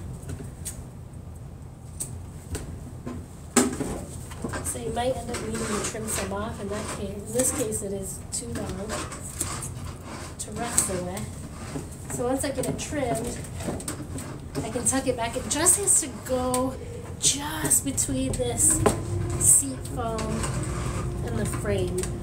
They just have to meet like this so that they look nice and smooth and tight there. This looks good. Needs a little bit of glue on the edge here. That dry a second. And then we're going to trim it to fit it. So this first step I can trim right up the front. I just push the knife flush with the frame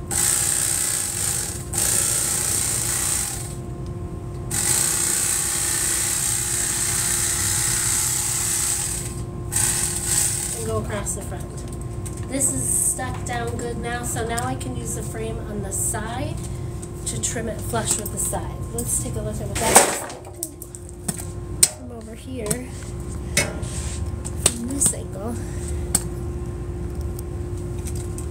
So using the frame as my guide, I can push my knife up into the frame and cut it flush with the frame.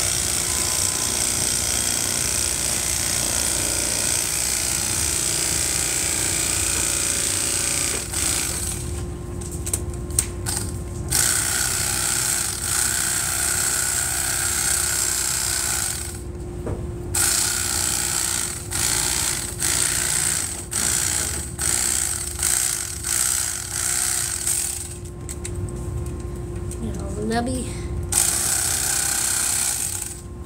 There. Now everything is flush here. It got a little jagged here because I stopped paying attention, but batting is also going to go over this so you're not going to be able to see any of those slight imperfections. But you don't want anything rolling over to this side of the frame because this has to stay nice and flat and clean for the final fabric that goes on top. What time are we looking at today? almost one o'clock. And I can unplug this knife too because I think All right, I'm going to go back through and look for questions real quick. Is that a meat carving knife? It is, and it's my favorite tool for cutting foam. I also use a bandsaw to cut foam when I'm looking to cut specific shapes. I'll use uh, an electric meat carver to rough cut the foam out, and then I'll take it to the bandsaw and make it a nice clean shape. That's what my mom always used. Yeah, so there's no shortage of electric bread knives or meat carvers at the thrift store. They're usually about less than 10 bucks. Everyone buys them, nobody uses them, so they always get donated. Perfect for cutting foam. It's the perfect, perfect stuff for cutting foam.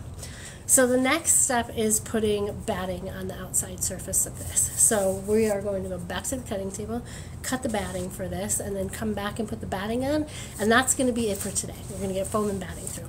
If you're here and you're uh, learning from what it is that I'm doing here, you're enjoying yourself and you're hanging out today, the only thing I ask of you is that you tap on the screen violently and add as many likes to the equation up there as you can. The when you do that, it engages with my content and it sends people to my for it sends my content through the for you page so people find me. They can take classes with me. I do in-person upholstery workshops. I do virtual upholstery workshops. I do private workshops. I have um, I have tutorials. We have a private Facebook group that you can join for free. And if you get any uh, if you're working on a project at home, you get stuck on anything, you can tag me in it and I can help you for free through that group. There's a lot of really accessible ways to learn upholstery from me. Uh, this is one of them.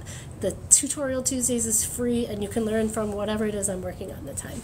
Your live share was one of the best. Thank you so much. I really appreciate that. I have a lot of fun doing these and I've been working for 2024. I'm working to get these edited down into long form tutorials so I can get it on YouTube. But the editing process takes so long and joining you guys live is the easiest way for me to show you these tutorials. So right now we're doing it on Tuesdays. We might add more to the future. I am already teaching upholstery lessons four days a week and I teach five classes a week. So two on Mondays, one in the morning, one at night, and then then I do Friday, Saturday, Sunday as well. So if you want to come visit Ann Arbor, Michigan, you can book a four day class uh, Friday, Saturday, Sunday, Monday and hang out with me for four days and maybe even finish piece while you're at it. I can find you a cool place to stay while you're out here. So let's measure this for batting. So we need to measure three panels, one for the seat, two for, or four panels, one for the seat, two for the arms, and one for the seat back. Those are going to be four different things. Oof, too cold up there. You're not kidding. It's like negative something out today, but it's supposed to get warmer in the next couple days and get like over 20. But I agree, it's pretty nasty out here. You can come to one of my summer retreats. That'll be way more fun. Okay, so I usually have my measuring tape around my neck. It has disappeared. Let's find another one.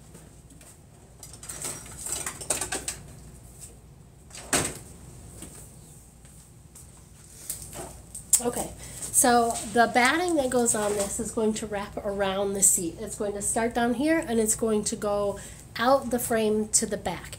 It is not going to wrap under here and staple. I like to keep this edge clean, so it's just going to staple here to the front and go back.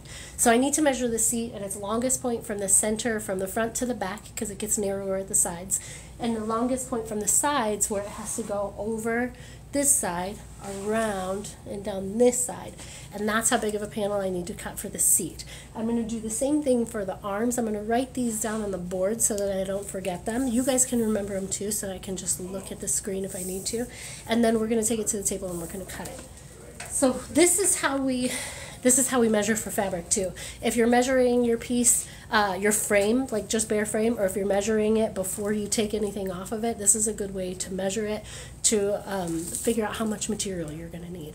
So the way that I'm measuring it is I'm assuming one, fabric comes at a 54 inch width bolt mostly. When you're new, do not assume you can get more than one panel of fabric out of one width of it because you're going to end up needing extra fabric for mistakes and if you forget that you can fit more than one panel in one, then you're going to give yourself a little bit extra fabric and you're going to be a lot less stressed out. So what I do is I add up the lengths, not the widths, but the lengths of all of these panels and I add them up, I divide them by 36, and then I round up to the nearest yard, and that's how many yards you need. It changes if you have a pattern because patterns need to be matched, so you're going to be adding extra fabric for that. You'll need to know the math of the pattern repeat. We're not going to do that today, we're just measuring for batting. So I'm going to measure the length of all of these. I also have to measure the width because I do have to cut the width out of my batting. It's like 90 inches wide. So this, my goodness. Okay, let's try that again. So first, I'm going to run my measuring tape through the frame until it pokes out the other side. You should be able to clearly get your hand through both pieces of these foam. You don't want it to be locked up. You don't want it to be blocking anything. And then I'm measuring down to the bottom part of the frame in the back, and I'm going to measure down to the bottom part of the frame in the front. And that's my measurement. Now, you need extra material to hold on to with your hands to pull this into place. And the way that I measure that is I add two inches on this side and two inches on the other side. So it's this total measurement from front of the frame here to back of the frame in the same place plus four inches. So here I've got 29 inches plus four inches is going to be 33 inches. So 33 inches this way, if I'm measuring for fabric, I can round that up. That's a yard. I need a yard of fabric to cover in front of this. 33 inches lengthwise by, oh my gosh, there is a extension cord I keep tripping over, sorry guys. 33 inches by 35 plus 4 inches is 39, so 33 inches by 39 inches for the seat. I'm going to write that down on the board.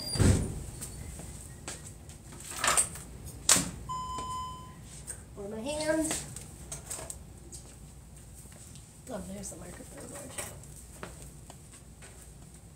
Thirty-three by thirty-nine Now, if this were, if we were measuring for our fabric, we would want to know which direction was 33 and which direction was 39, and be mindful of that when we're adding up all of our panels. So here, I'm going to push this down into the frame at the longest point, which is actually, it's taller in the back than it is in the front. So the longest point is actually in the back.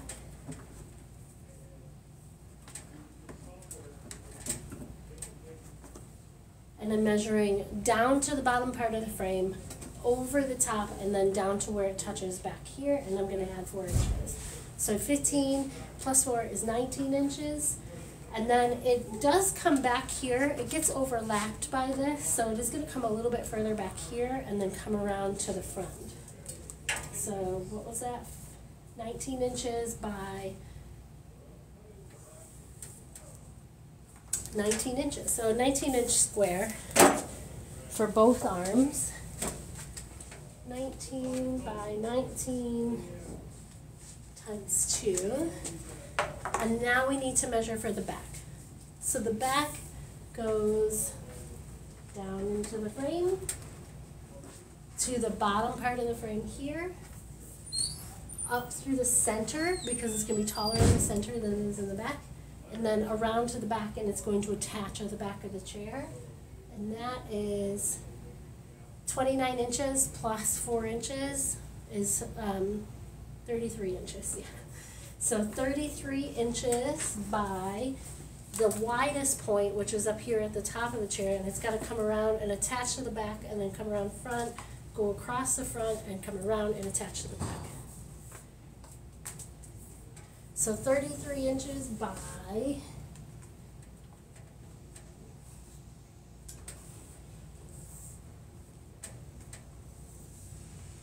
Thirty-three inches, so thirty-three inch square for that. Okay, so now I'm ready to go to the cutting table and measure my batting. We can take this for now. We got enough juice to make it over there. Come over to this table and pull out my batting.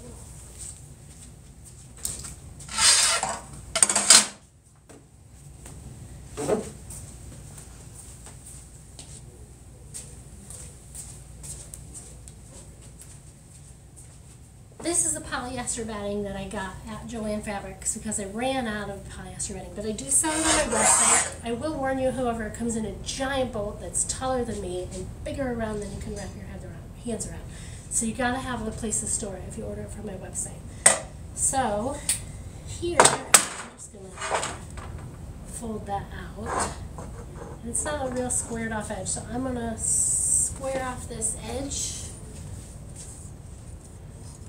first with my T-square so that I get a nice straight line to measure. And I want to take it as far over as I can.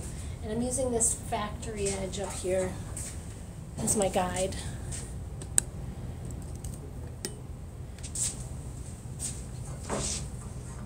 Factory edge is my guide. And I'm just doing this to keep the, the line square for everybody who has to use it around me.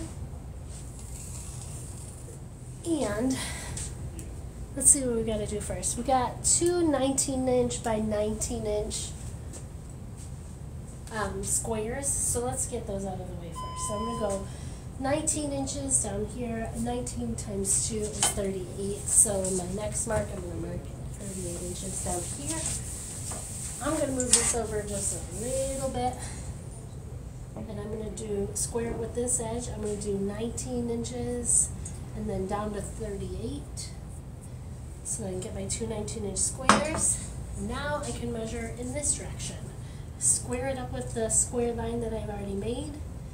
I can measure 19 inches down this edge. 19 inches matching these two points up.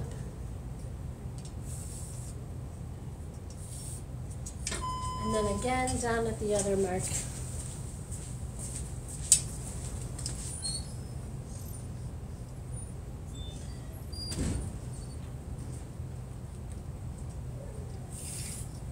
now I can connect all of these dots to make that final line.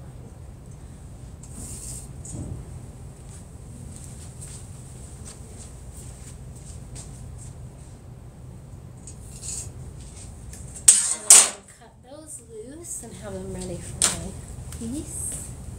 Need a pair of scissors. So like just so.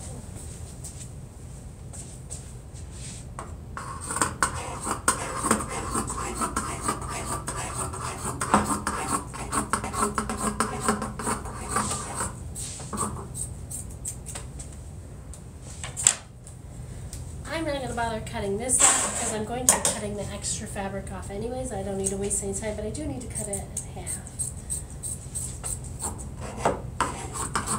And there is way too much material on this end, so I'm gonna cut that piece too. So these are my arms, these are ready to go. Now I can do my seat and my seat back.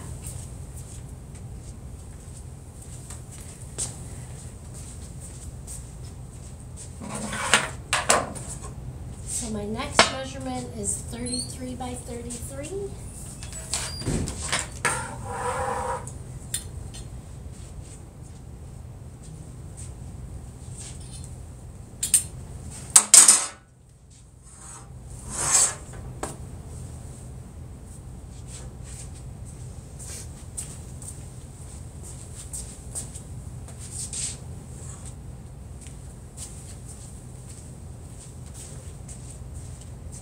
Important to everything spread out cleanly on the table too.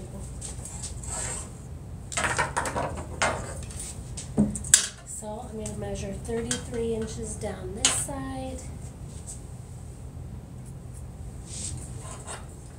Move it down a little bit and measure thirty-three inches down this side. Then I can measure thirty-three inches on this side. These two dots. Measure thirty-three inches here. So now I have two dots this way. Thirty-three inches, and this part is ready to be cut out.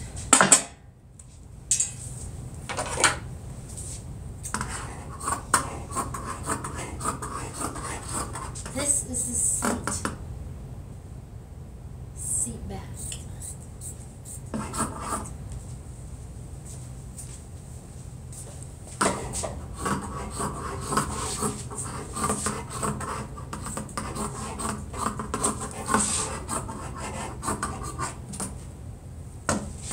That one's ready to go. So the next part is the seat. Seat. We have enough on this end. Oh, we do have enough on this end. Okay, let me cut this piece square first. So I need thirty-nine inches in this direction. I'm gonna measure it from this end this time. Thirty-nine, it's forty, I'm not even gonna bother cutting it, it's just forty across. And then I need forty across this way. Then I can mark this line at thirty-nine inches. And mark the same dimension on the far side at thirty-nine inches. And then I'll be able to connect these two dots. So it's a thirty-nine inch by thirty-nine inch square. It only needed to be thirty-three by thirty-three, or thirty-three by thirty-nine. So it's bigger than it needs to be, but that's fine. We're squared off the batting. And we'll cut off the excess. Actually, that's a lot extra. So I'm just gonna measure thirty-three inches down, because I don't need to cut out, I wanna conserve material, and I don't need to cut that much. Thirty-three, thirty-three on this side.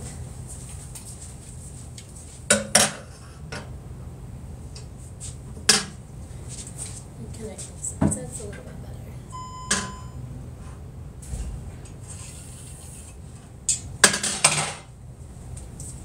And your measurements at this stage don't have to be perfect. It just has to be a little bit bigger than what you need. Because you're going to cut off the extra anyway.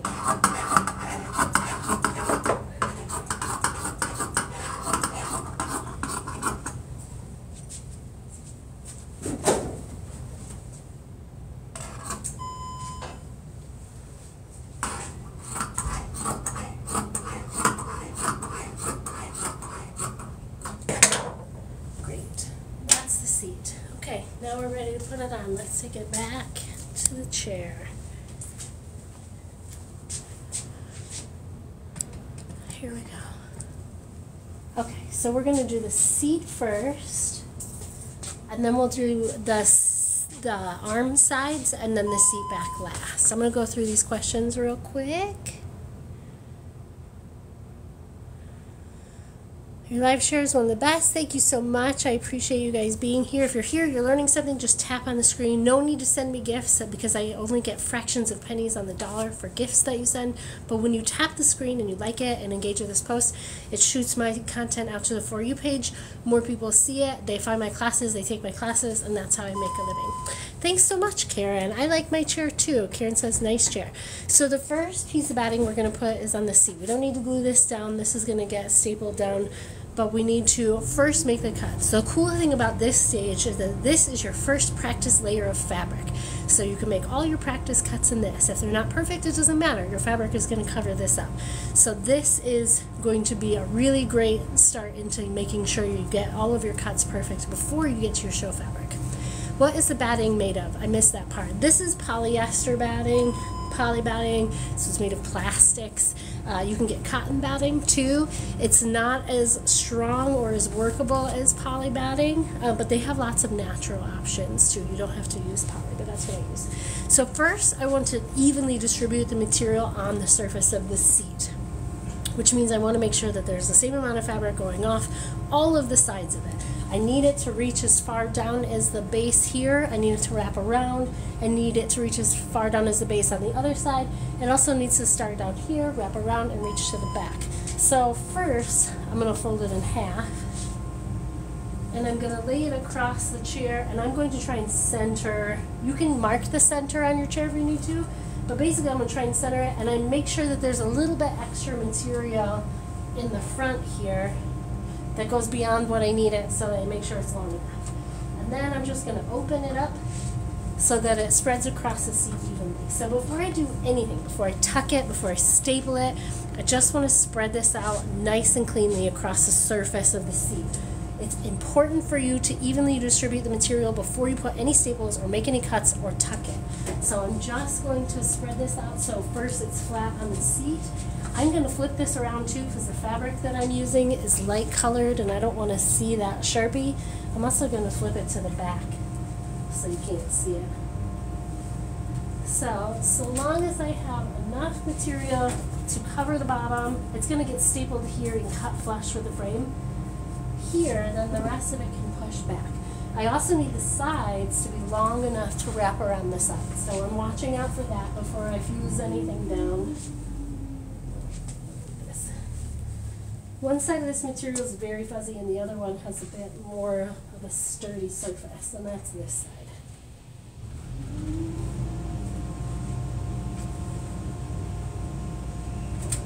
So everything is flat here first, then I'm going to pre-tuck these edges into the seat. I'm not tucking the length down, I'm just tucking where it is next to the seat. And I want to make sure that it's nice and smooth and in its place. This way it locks it in so it doesn't move before you make your cuts. So I'm doing that by the arms and I'm doing that at the back.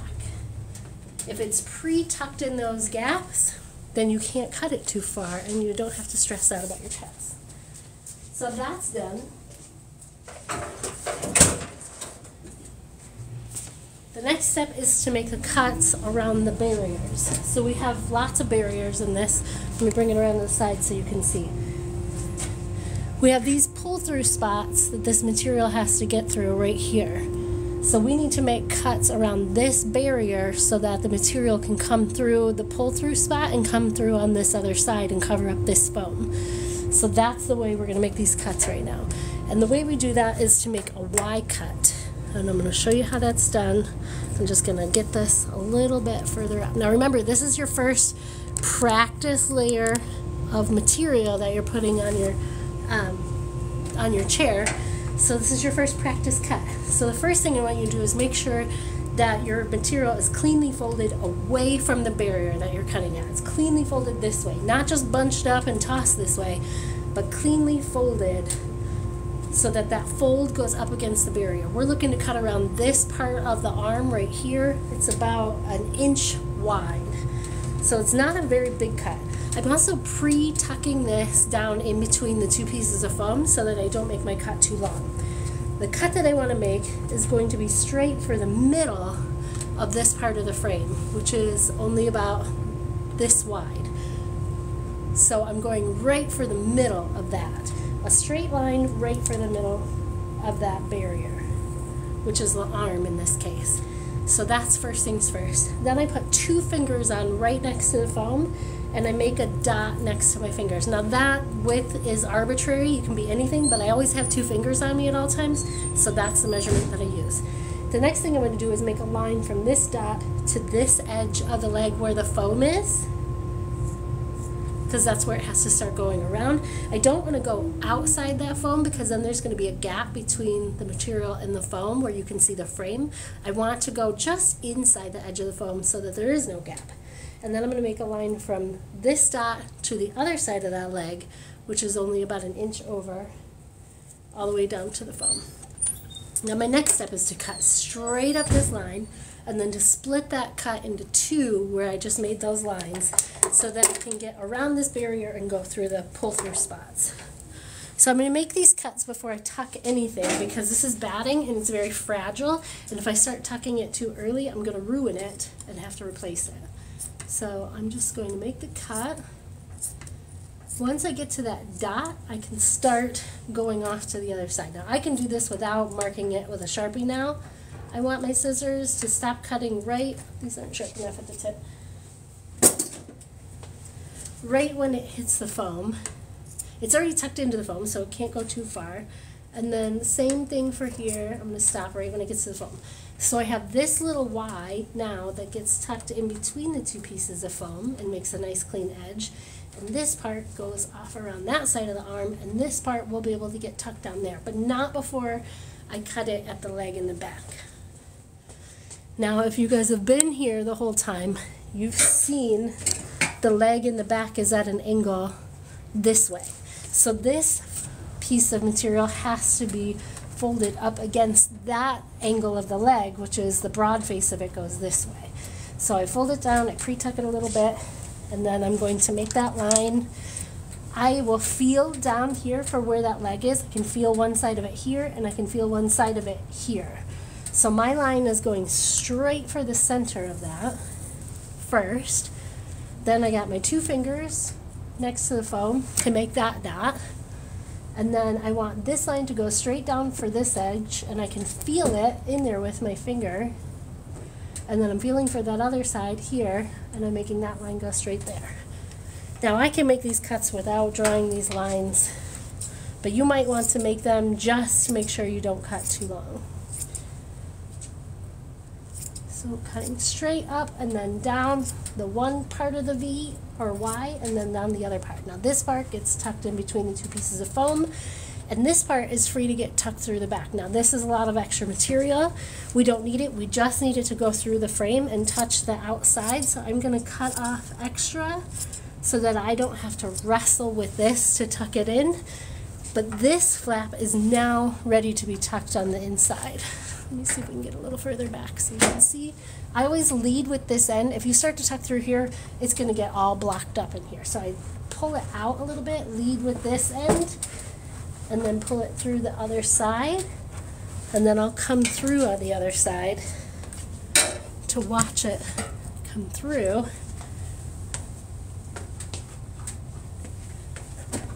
and try and pull it through as cleanly as possible. If it starts to tear apart at this stage, it's fine so long as the integrity is held on the seat. It doesn't need to come through and staple down here because you're going to have so many more materials that come through. It just needs to come through and tuck here. And I'm going to trim it to the side of the frame. So, here's my scissors. Here they go. So this, I'm just gonna trim right up to the edge of the frame.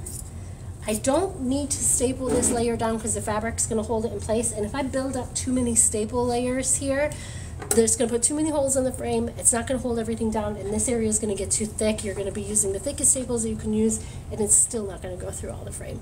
So you don't need to staple the batting down at this point. You can just have it come right up to the edge and trim it off. Now I need to do the cuts on the other side. And I'm not going to mark it this time because for me it's difficult to do. Okay, so this side first.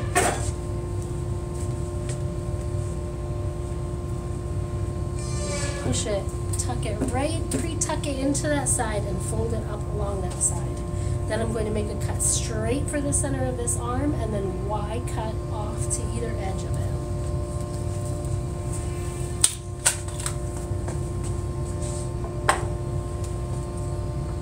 Straight for the center. And if you didn't leave a mark, you can feel with your fingers. I can feel the outer edge here and I can feel the inner edge here for where I need to make my cuts but I also know it with my brain. And I've been practicing for a long time, so I know where to make them. So this little Y gets tucked right in there, and then this can come over to this side. And this is almost ready to go here, but we have to make the cut in the back first. So for this back so I'm to pre-tuck it back there. Doggy ear it back so it's folded up against angle that leg. We're going to cut through the center and then Y cut off to the sides.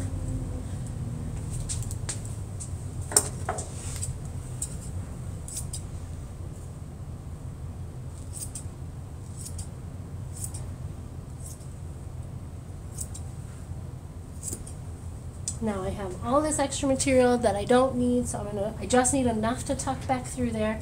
So I'm gonna remove the excess so that I don't have to wrestle this.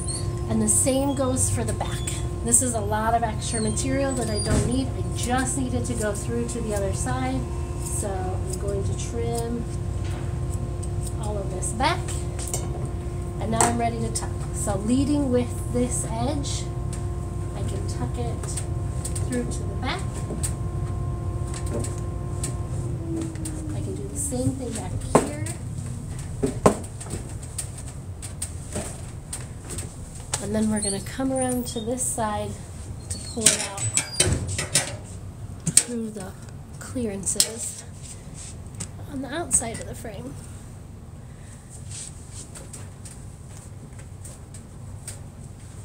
Try not to pull too hard. This material is not very strong. It will fall apart in your hands, as it did right here. And then I can just, once I have it all the way through, I can trim it up to the frame.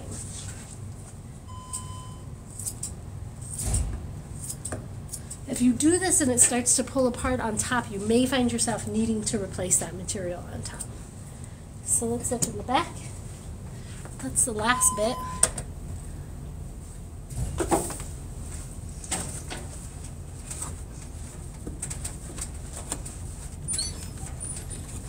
And we're always trimming off the excess material as we go because we don't want to trim through three or four layers of this after we get moving. We want it to look nice and clean the whole way through. So just trimming that back to the frame. That looks great. Awesome. So the next part is going to be these arms. And that is essentially done the same exact way, only at the arm level. So, this is my arm fabric. It's a square, so it doesn't really matter which direction. It has to overlap in this direction, so I need it to come a little bit further out here and there needs to be enough to tuck through here and pull through and then this part needs to come around the top. So I'm going to place this first so that I have it in the right area, pre-tuck this a little bit to the sides and then I just have to make a cut up here for this barrier to allow this to get tucked into the back. Same cut for that barrier as we did the seat. So this gets the same Y cut going right for the barrier that we just did for the seat. Straight for the middle, and then off to the side edges. And you can feel where that is with your fingers too. The little V gets tucked in between, that'll finish off that area, and then this bit can go on that side, and this bit can get tucked through. There is a little cut that will have to get made for the one side of the leg it's going to encounter here. And also this material is too much material so I can trim it back. And then leading with the edge, I can tuck it back. You want to keep this pull through spot clear. You don't want to just cram batting through there. You want to make sure that it is cleanly going through to the other side so that you can stick your fingers through there because you're going to need to stick your fabric in there too. I'm going to show you what that looks like. You can use a piece of plastic or a ruler, um, a paint scraper, lots of different things to tuck through this side. So here, I just need to make sure that my fingers can come through this side. And you'll see it's already getting entangled in some of this batting. So it's Mm-hmm. tough to get it to come through sometimes. But so long as that path remains clear, I can get my mm-hmm. fabric through it. So this, we're gonna staple around this way, but we're not gonna do that now. We're just gonna get the arms on, staple everything at the same time. So that piece is on. The other thing I'll say is that this is a harsh edge, and sometimes you might see that harsh edge even if another piece of batting is overlapping it.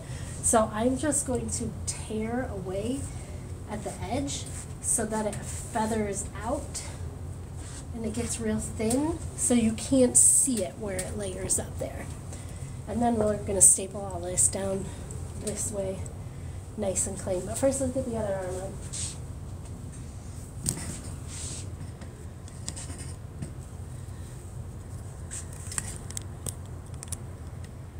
And then after I do that arm, I'll answer your guys' questions. So first we place it. It needs to overlap in the back here. Pre-tuck it this way. It needs to have enough material to wrap around this side. This is way bigger than what we need it, but it's a great start for when we're doing uh, when we're doing things for the first time. So we have more fabric than we need, more material than we need, so we make sure we don't mess up. So everything's pre-tucked, ready to go. I'm going to make a cut for this barrier right here, the Y cut that we just did on the other side. And that's a cut straight for the center of the leg or the arm, and then a Y cut to the outer edges of that. Now I can't see it, but you can reach in there and feel it with your fingers. So this little Y gets tucked in between those pieces of foam, and this can go on this side, and then the rest of that can get tucked into the chair. So I'm going to pre-tuck that again, and I know I have to make a cut for this side, and I can actually rip this off now, because I don't need this material, so that'll feather back, and then trim this back, because it doesn't need to be this long, and then tuck this through to the pull through spot in the back. Make sure that my fingers can go all the way through so my fabric can get through. I'm not blocking any of those clearances. So we have two arms in the seat ready. You'll notice I've not put one staple in here yet. And that's because we don't want to put too many staples in before we're ready and we end up having to take them out. I'm going to go back through. It looks like we've got a handful of questions here now. So I'm going to read those first. What is the batting made of? I missed that part. It's poly batting. It's made of polyester plastics. Uh, good teachers are rare. Thank you so much for what you do. I wish I could learn in person. Thank you so much for your generous compliment. Um, I really enjoy teaching a lot, and I want to teach more people. I've taught over 300 people in just over the past year, so uh, it's been pretty exciting for me here. More people need to learn how to do this. There's not enough. Uh, skilled tradespeople in this field, so we need a lot more upholsterers. Uh, you don't have to live near me to take my classes. I do live virtual upholstery workshops. This is free, but I do uh, bring your own project workshop on Monday evenings. That's open to uh, six attend up to six attendees, so you can bring your own project, zoom in from home, and I'll walk you through step by step to complete your piece. But I also do virtual private workshops too. So if you want just you and me to work through a project together, I can help you there. I have a club on Facebook Facebook, a, a, virtual upholstery club, which is just a private group on Facebook called the LullCo Upholstery Club.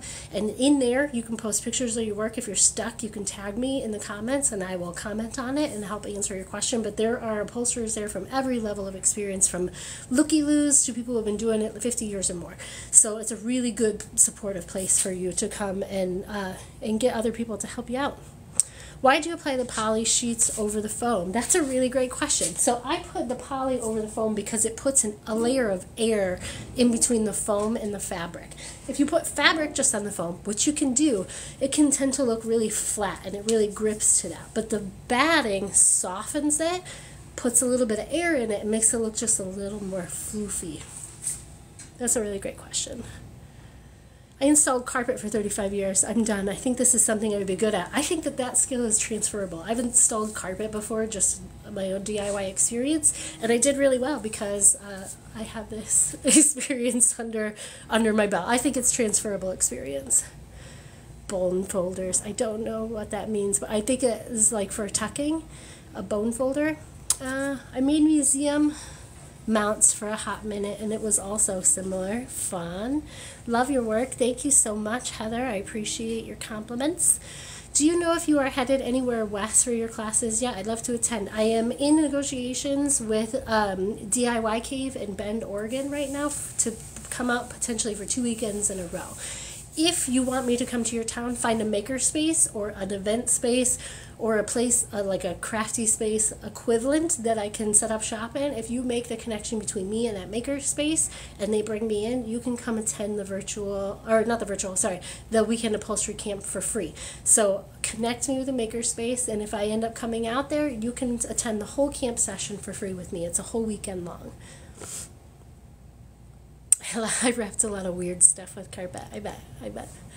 We need a ton of new upholstery techs. Yeah, there's uh, not enough people in the industry to keep up with the demand. Most businesses are looking to hire people, but there's nobody out there who knows how to do it because there's no trade schools. They can't afford to train you because it sets them back weeks on projects. So it's really difficult to train someone while you're in production, which is why I sort of am offering these like upholstery classes as well as this stuff on TikTok to sort of give you an exposure to the upholstery industry if you were to walk into an upholstery shop with zero experience on anything and say, hey, I will pull staples, I will work for you for free if you just show me how to do this, nine times out of ten they're going to tell you no and they're going to send you out the door because it costs money to slow down and teach you how to do this. If you come in with some experience and you're just like, hey, look, I've been pulling staples for years, I know how to sew box cushions, I know how to do this, I'm self taught, but I can learn really quickly all the ropes, they're more likely to bring you in for that type of experience because you have some exposure into it already. So that's a that's something to think about. It's hard to find a trade school for upholstery. It is. There are not a lot of professional um, uh, learning educational opportunities in the United States, maybe less than a dozen of them, and I'm not considered one of them. So they're, the trade school for upholstery, they don't even have that anymore in the United States because everything went overseas and was being mass produced overseas. The upholstery industries that, mm-hmm. uh, that um, sorry, I'm getting text from my kids the upholstery businesses that survived here in the United States are the people are now aging out of the business. You don't see a lot of new upholstery businesses getting started because the education is not being passed down. New people are learning it. They're not teaching it out of shops because they can teach you and then you can take it to your garage and you can do it for more money there. So they're not trying to breed competition. But because of it, we're running out of skilled tradespeople to do this. And now there's a high demand for upholstery and not enough people to do it. So we have like year long wait lists and things of that nature.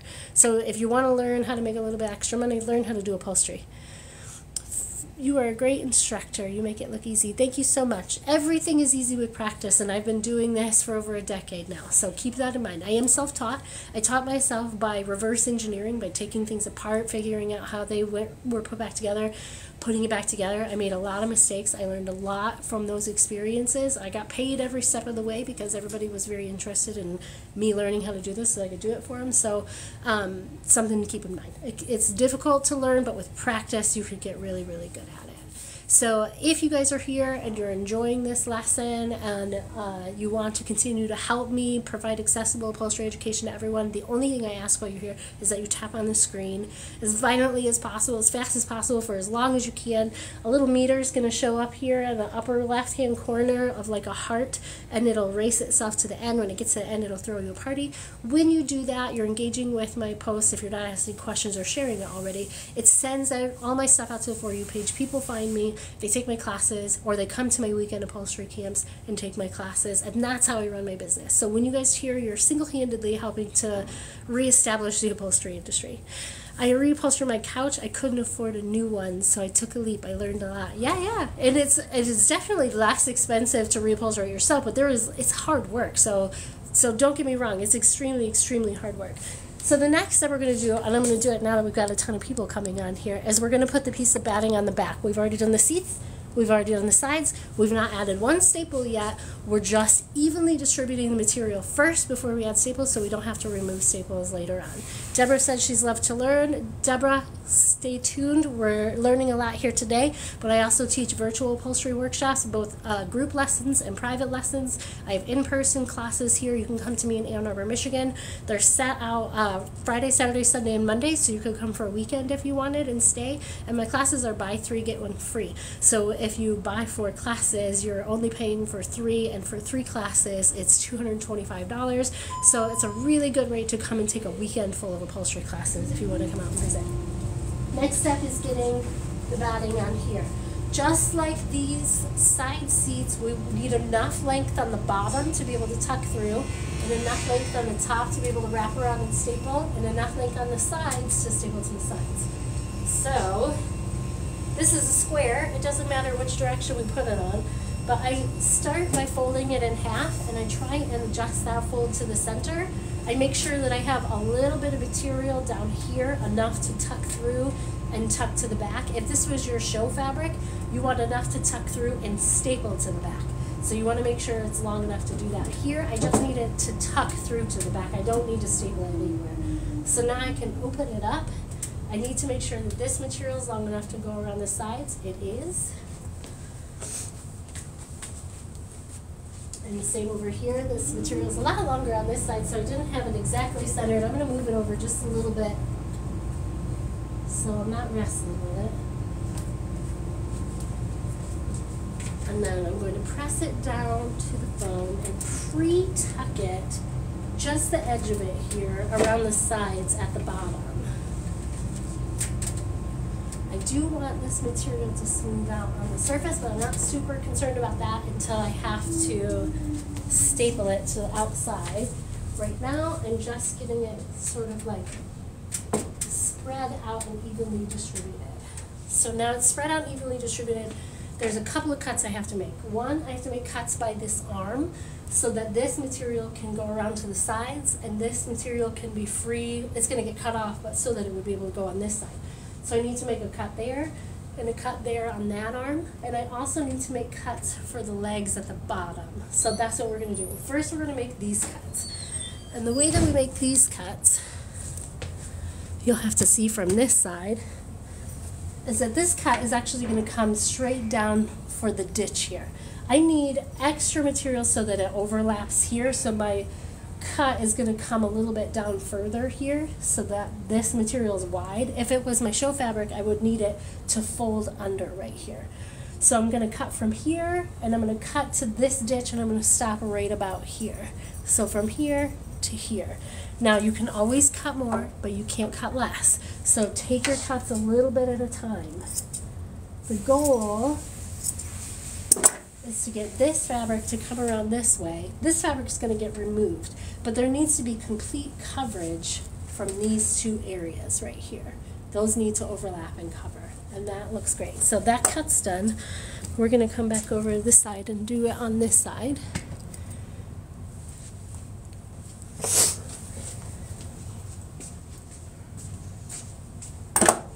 And if I were to bring this up, and fold it to the side, I could make a cut straight for here. I need it to come lower than this arm so that it will overlap that arm. So here, and I'm just cutting right into that ditch. Just like that. So overlaps on this side, comes around, these sides overlap here, this whole area is covered. So it's gonna go that way. Now I have this, a lot of extra material here. So now I need to make cuts for these legs. And I only need to narrow this flap so that it can fit between the insides of the legs here because that's the opening starts here and ends here. So I need to just make this that narrow. So I'm making those first two cuts for those legs. And then I have all of this extra material, but that has to overlap here, just like we prepared the other one. I'm just going to tear, think you can see it better on this side. From this cut to this cut, I'm just going to tear it so that it thins out in that area and it felts and goes smooth into the arm. And you might be able to see that better on the other side when I do that. So this extra material is gone. I pre-tuck this, can make sure I don't do it too far. And from this cut to the bottom cut, I'm going to tear away that material so that it felts itself, it smooths it out, and you can't see that transition when I put the fabric on. So now this little flap is up all the way back. And you want to make sure that that area stays clear so that you can still tuck fabric back there. And now we have everything placed and ready for staples. So the first place I'm going to add staples is going to be to the center back here. I need to pull this down and add a staple so that I can lock in the curve of the front and I'll show you what I mean by that.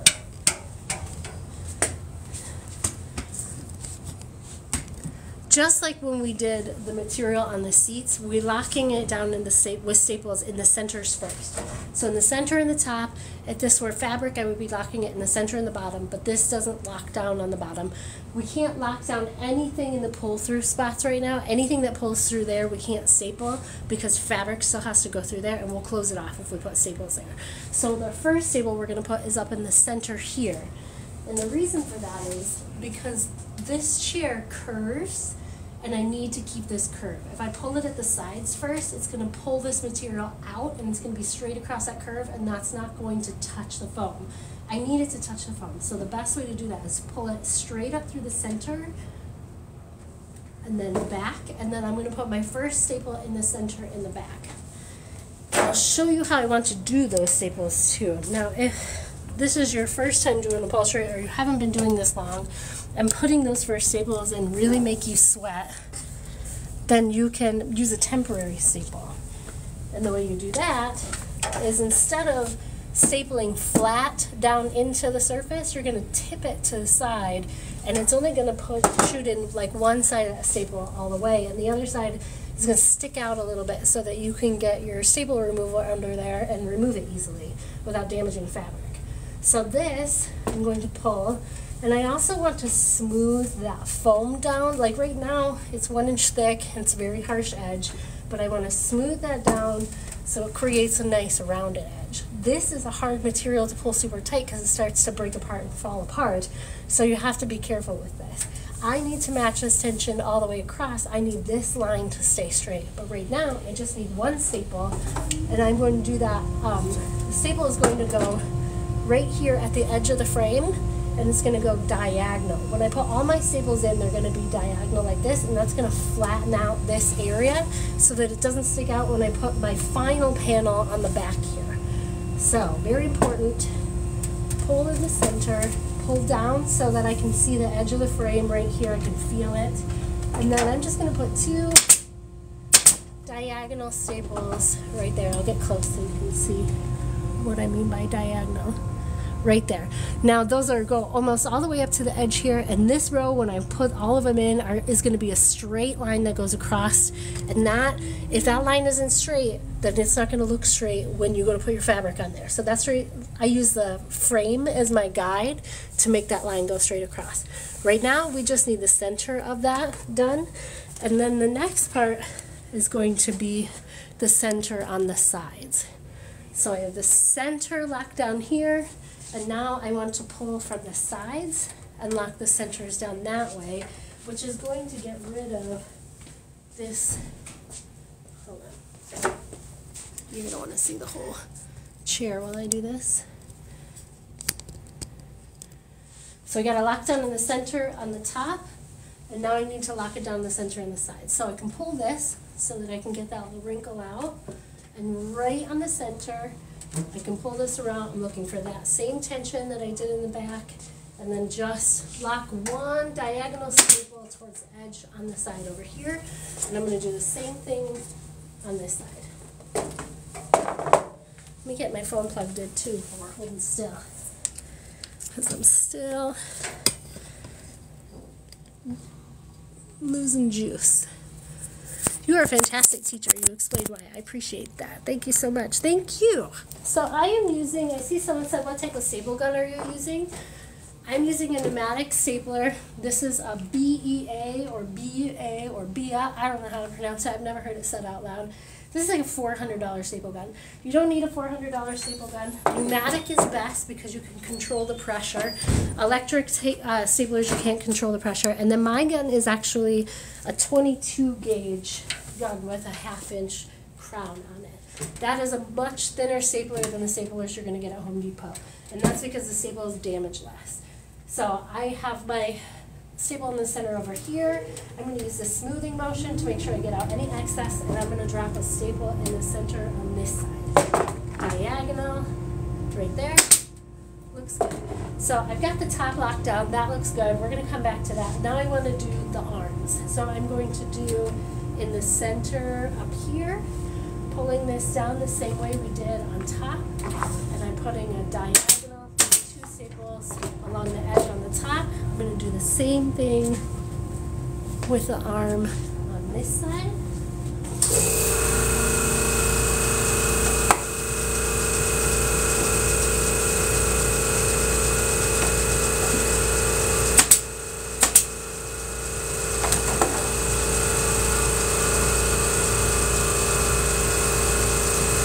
The air compressor is loud, so I'm going to wait for that to go off before I say anything else. Are your diagonal staples permanent? Um, so I'm using permanent staples, but I suggest if you're new at this, you use a temporary staple so that you can get it out easily. This material can get damaged by staple pullers really easy, so you want to give yourself a way out, and you don't want to put too many staples in until you're sure everything is in the right place. So right now, I'm just doing those center staples to keep those locked in place so nothing moves. I'm going to this, the center in the front is going to roll around front and I'm going to staple one there too.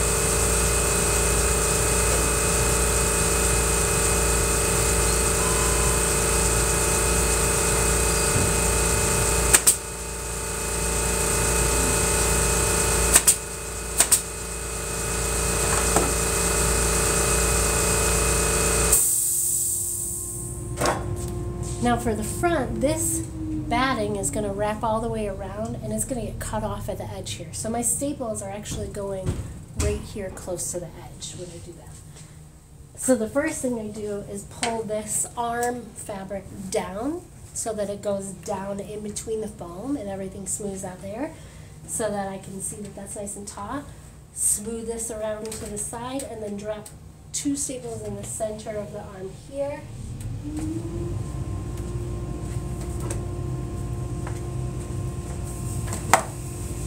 Using the diagonal direction again to keep this flattened out.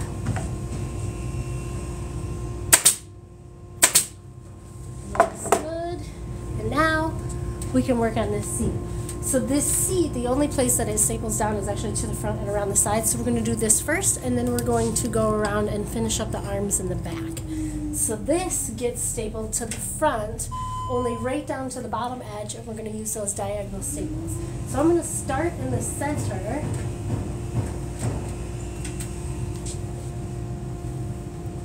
Like this. And I'm not pulling this part down too far because this is a nice rigid edge and I want to keep this nice and straight. If I pull too far, it's going to go like this. I don't want to do that. I just want to pull it down taut, not too tight. I have to pull it under the frame, even though I'm only going to staple it to the face so that I can see the edge of the frame. Because these staples need to be diagonal and sort of next to each other and along the edge of that frame. Now I'm going to zoom this in on the bottom so you can see the direction of these staples. This is how the staples are going to go throughout the whole project. This will give you an opportunity to kind of see how they get lined up. So I'm going to actually work my way from this center staple down to this leg. I'm not going to go around the corner, but I do want to work my way from the center staple down. I'm using this smoothing motion so that I can smooth all of the excess material down so that it's taut, but not too tight. If you pull too tight and someone sits on it, it can rip away from the staples. You don't want that. I just need it to be nice and smooth. So you can see my first two staples there already. I'm going to take these, they're going to be within a half inch of each other and they're going to go diagonal all the way across. Now what happens when you do it across and you're making this nice and straight is that this is flattening this out. So when your fabric comes around, it gradiates and it smooths out and looks nice and smooth and clean along this edge. If these staples are crooked, you're going to see that. You want to make sure that they stay straight. So I'm going to take this down to just before the leg here because there are some folds and cuts I have to do around that leg and we're going to do those at the same time. But I am making sure to keep this line nice and straight. All my tension should be the same. Rana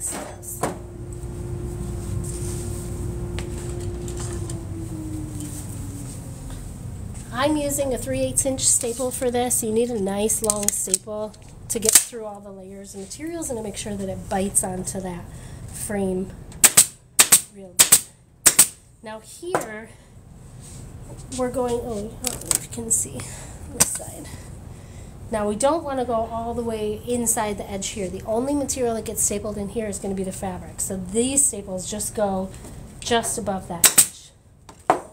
And now we're going to come around this corner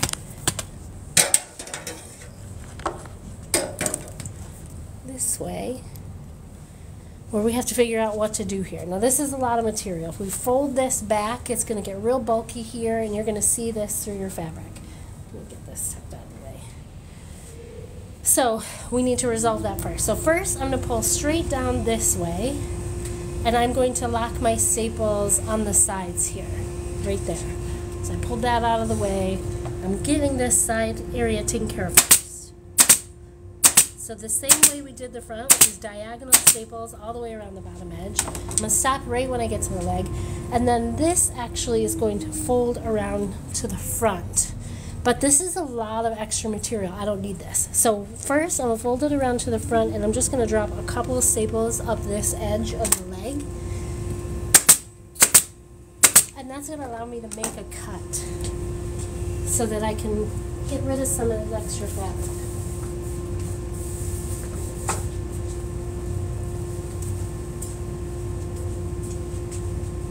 So I'm going to make that cut straight up the outside edge of those staples that I just put in there.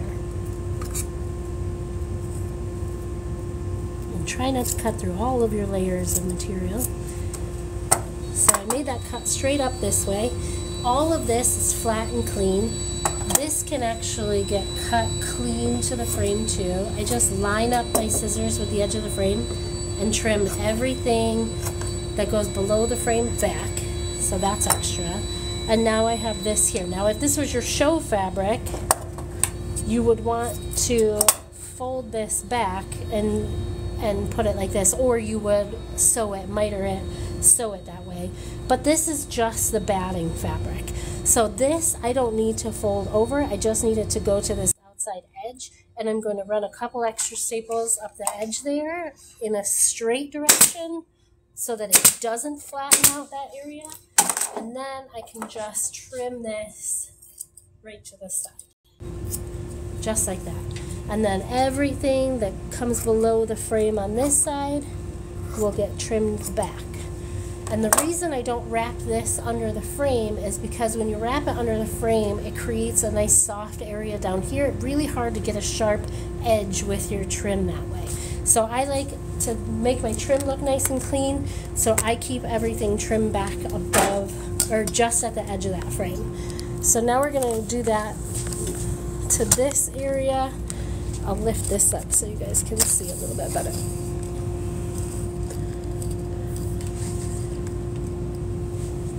So let's do that very quickly around this. So I'm going to do this side first. Get that out of the way.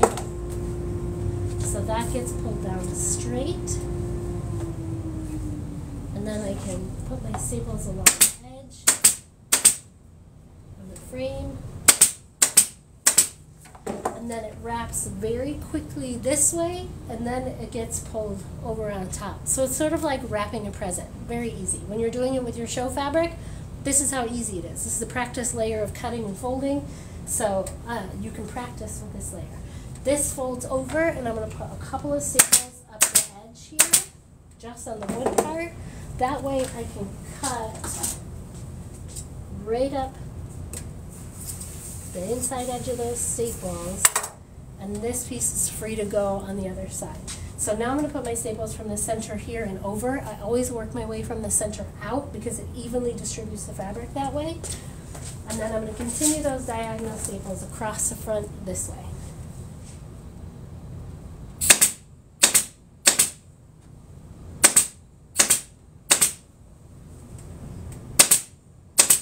I really want to make sure that this line stays straight all the way across. A lot of people tend to pull too hard on the corners, which can make it look sad and go down. So make sure you're keeping that same amount of tension on the sides. And then here, I just want a couple of straight staples up the edge to hold that in place. And then this can get trimmed off straight to the edge. I can run my scissors along the bottom of the frame this way that. None of this batting material should go into these channels because that's going to clog up those channels and make it difficult to make this area look clean. So now I can just come back through here. I'm just putting my scissors on the bottom of my frame and I'm running it up the frame as a guide. So none of this material wraps underneath because that'll make it look lumpy and make it look make it hard to clean that area up with your trim. So that looks good. So now we can basically we're to do the same thing to the arms now. A little bit different. So let's take a look at this one, what this one looks like. A lot of extra material here.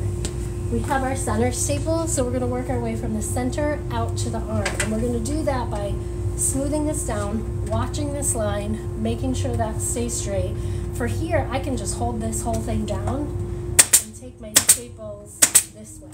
So I'm running my staples diagonally along this edge of my frame and I am running them in a straight line to keep that area nice and flat.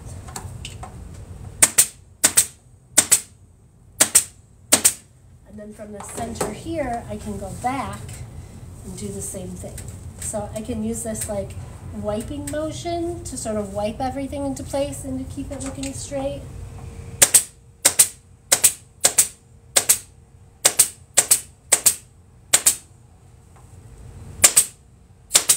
Should, none of this material should overlap itself. If it's wrinkling and overlapping itself, it's going to make it look really messy and sloppy under your fabric. So this should be nice and smooth.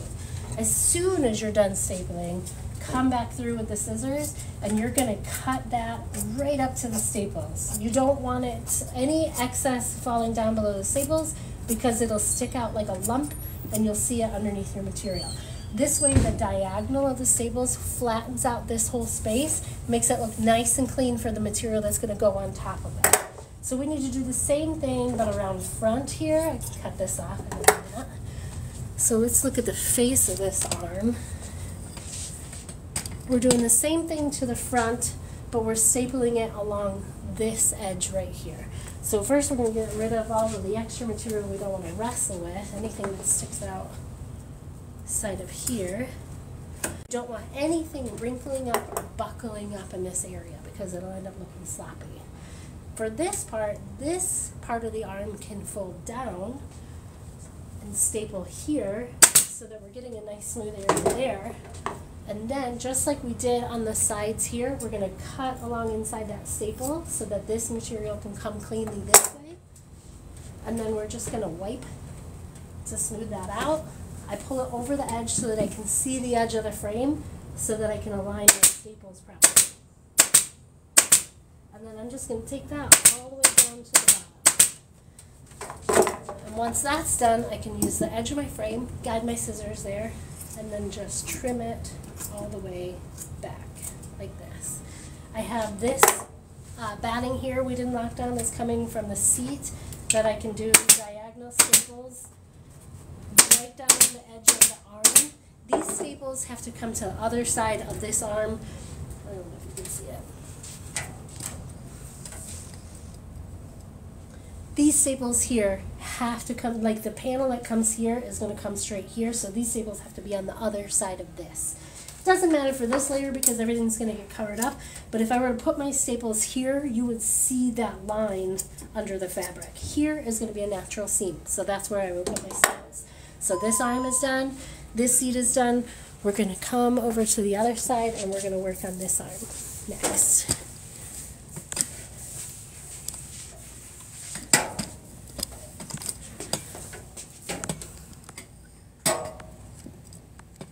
Let's do it that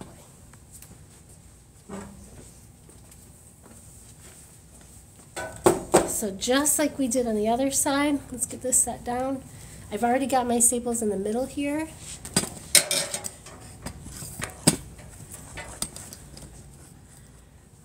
I already have them stapled in the middle here. I'm going to work from my middle out this way and the middle back that way. I'll probably do the back first. I want to make sure that I'm smoothing this out at the same tension that this was smoothed out so that this line looks nice and straight. And to do that, I can just sort of pull that material down a little bit at a time. I like to grab it in the middle between here and here. I like to grab it in the middle there. And then I can use my hand as a smoothing motion to sort of get everything over there well. At no point should you have a cluster of this material overlapping itself because that is going to make it look real lumpy and sloppy. So from this center point onto the other end, I'm going to do the same thing.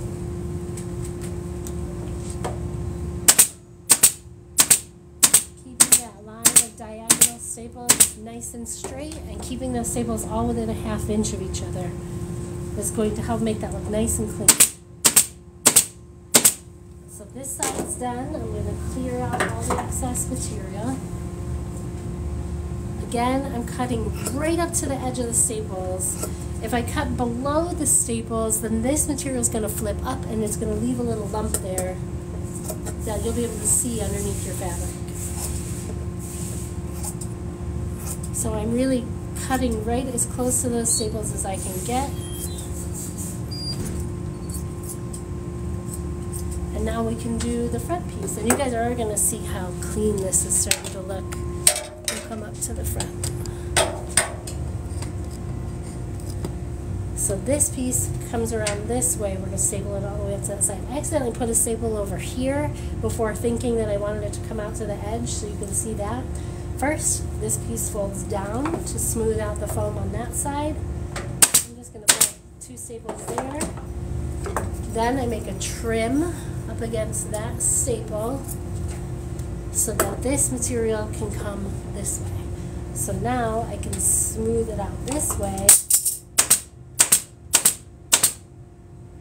and put diagonal staples all the way in. Get this pulled down.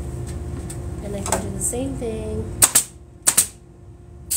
from the bottom. So now all of this material can get trimmed up.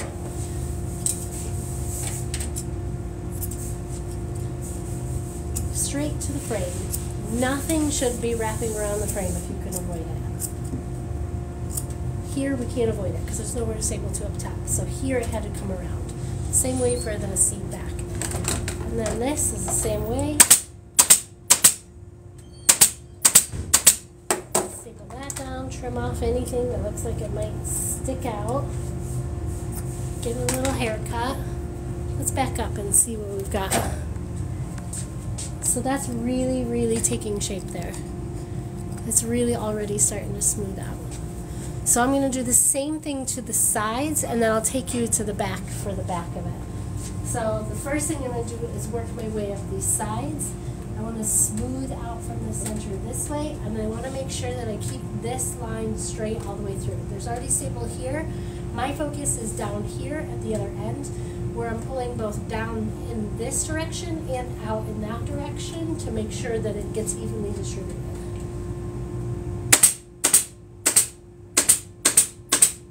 Same diagonal staples on this side to keep everything flat, only this material was wrapping all the way to the back. So now I'm going to work my way from the center to the top. And do this, actually, before I do that, I'm going to work on this corner because it's a rounded corner. So I'm going to pull right at the corner first and make one staple.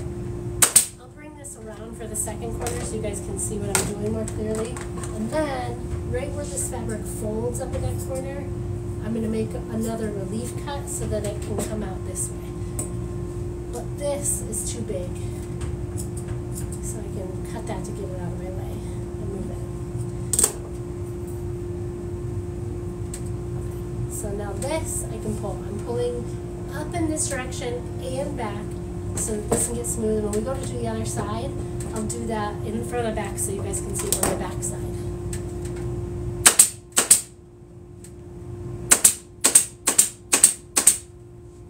Looks good. And then trim all of the batting back to the staples.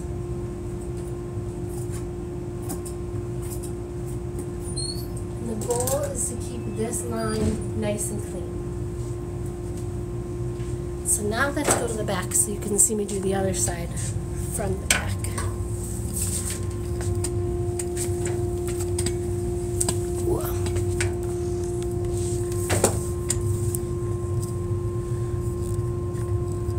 There we go. We have a little bit of extra material up here that we can probably tear away. It's just in the front so we have it stapled in the center and the back. Next staple is going to come down here. So I'm pulling down and back this way to smooth it out.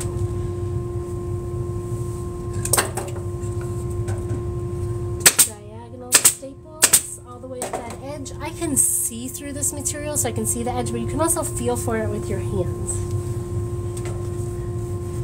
And the idea is to keep this line nice and straight. So you can smooth it this direction.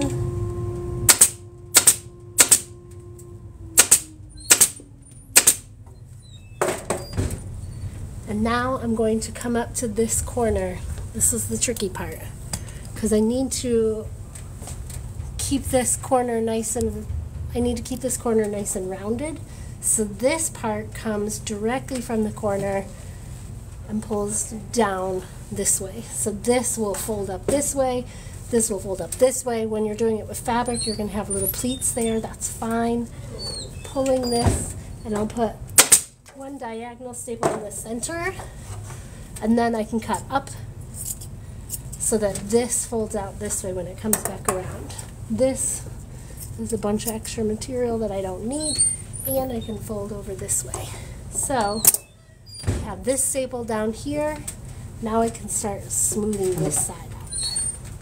So I'm going to work my way from the center up so I can make sure that I keep that line nice and straight.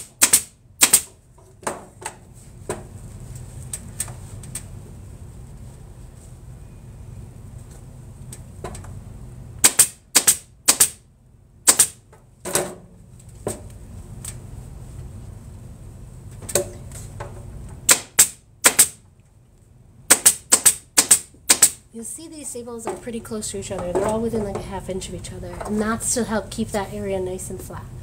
This will get cut off directly next to those staples so that nothing sticks up. I might even be able to get closer than this. It's like giving it a little haircut. You don't want any bulkiness sticking up and you want to remove every excess layer that you can before it gets covered up with another layer. Because it gets more difficult to remove when you're removing like three or four layers of material. Of various materials. Oh, it looks like I missed a corner. And now this is all free to come down. But this is the tricky part because this has got to get nice and smoothed out. Deb, Debbie's here. Deb made it. Hi, Deb. She misses it all the time. I'm going back through to look at the comments just to see what you guys got before I get crazy. And Andrew, hello Andrew, Happy New Year. Good to see you. I always love when you join these lives. Hi Deb, thanks for joining. Okay, so we are about to do the top half of this chair now. I'm trying to get this tall enough so you guys can see the shape that it's got to create. This is as tall as I can go. So maybe that'll be good. I already have it locked down in the center because this is concave and I had to lock down the center to keep that curve. And I've already got everything spread out to the sides.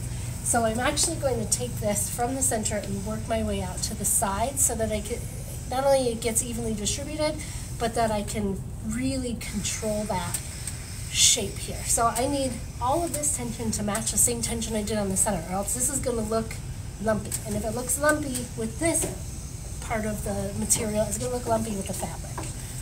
So I'm just doing this like a couple inches at a time to make sure that I can smooth that really good. This batting is not going to be able to take a lot of friction or play because it is fragile and it will tear apart. So you have to be really about how to manipulate it to make sure that it stays intact. Now, if you don't get all the pressure down with this layer, your fabric layer will pull it down well for you too. But this is the sculpting layer of your project. So you do want to make sure that you're creating a nice clean shape with this layer. That looks good. So now I can take it from this direction and go back. This line looks nice and straight. You guys might see that shape a little bit easier when we come through this way. So this, I'm patting down the shape to get it the same tension and just working my way from the center back.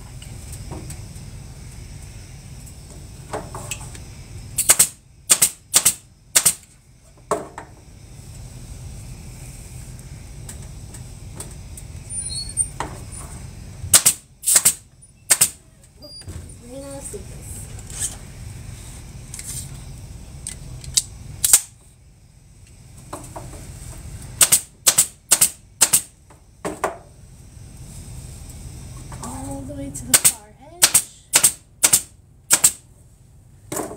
That looks good. That's a nice clean shape. That's what we're looking for. So now I can take off all of this excess material and that is all we can do for today, you guys. Pretty good. We have to get this painted before we get the fabric on it because I don't want to get paint on the fabric. I do not like painting after fabric. So let me take you for a stroll around the chair. You can see what we did. Hi Kim, Happy New Year.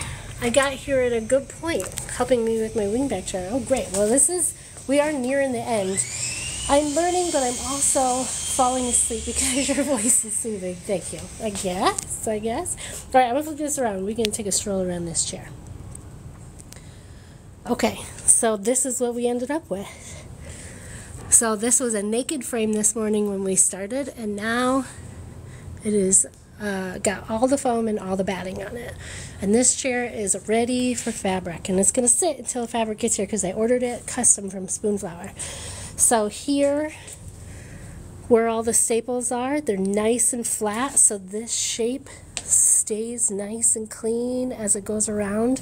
We have minimal material wrapping around the frame to the back side because this area needs to stay clean when we put the fabric on there. These areas are all cut clear of extra material. We have where these two panels overlap are feathered right here so that you can't see that transition once you get the fabric on. It really did turn out very nice. And then that shape at the top of the chair is nice and clean too. This looks really good. I'm very happy with how this turned out. So we have got a lot of likes here. I think we can get a lot more. I'm going to stick around to answer a couple questions. But what I would like you guys to do, if you're here, if you're learning something, if you enjoyed hanging out with me here today, what I would like you to do is tap the screen as violently as possible for as long as you possibly can for the next couple of minutes. When you tap the screen, a little meter is going to pop up over here, a little pink heart. Tap, tap, tap, tap, tap until it gets all the way to the very end. When it gets to the end, it's going to throw you a party. When you do that, it tosses my content out to the For You page and shows it to people who maybe have never seen it before, where they can find out that I teach upholstery workshops, both in person mm-hmm. and virtual. I have virtual upholstery camps. My husband is sending me kisses on text message because I think he's watching. So when you are tapping the like button in this, if you're not asking questions or you're not sharing it, it's sending my stuff out. It's giving me engagement. It's telling people that it's relevant to the kind of stuff that you want to learn and it helps people find me. So I'm going to tell you a little bit about me while you guys are tapping violently at the screen. Let me just get my stuff verified to continue. Oh.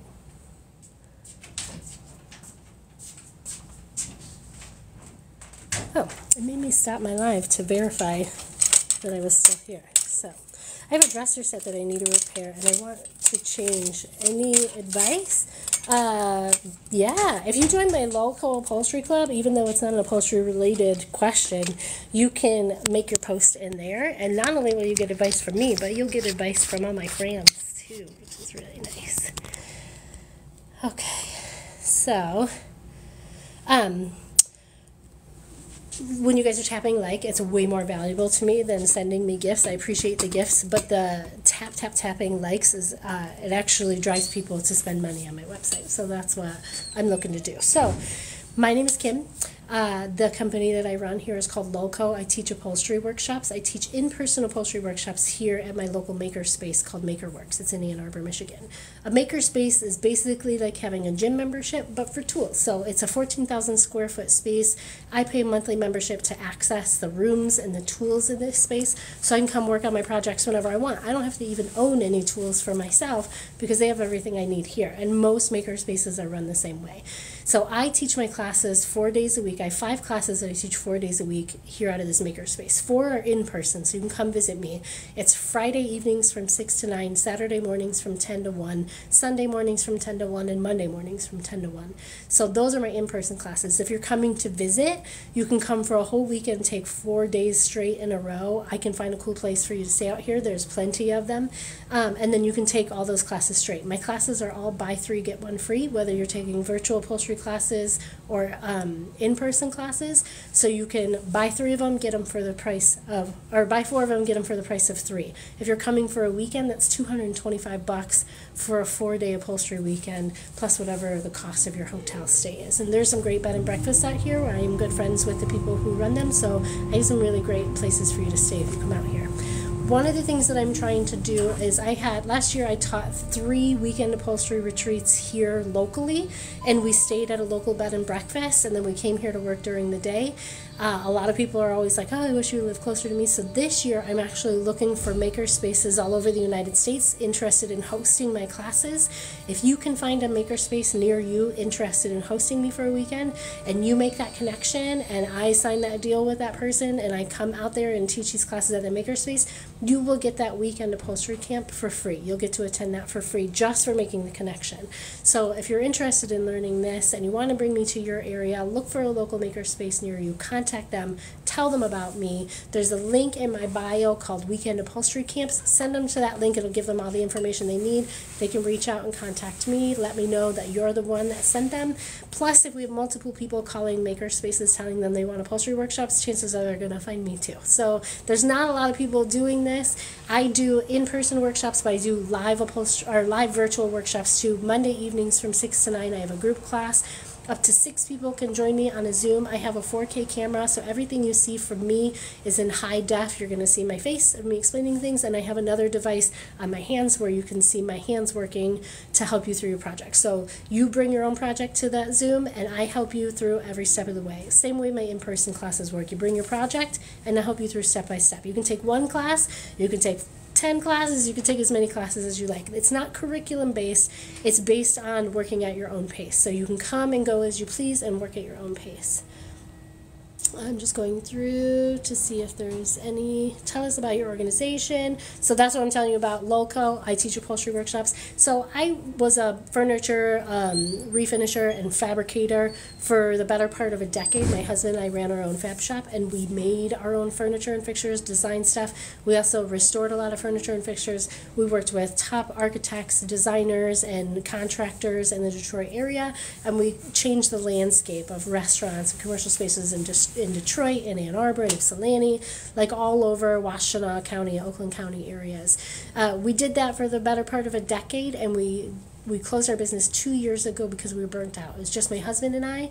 We were working seven days a week, 15 hour days, and it was just too difficult to keep going after that long. We couldn't hire anybody because nobody knew how to do what it was we do, and there's no formal training for upholstery.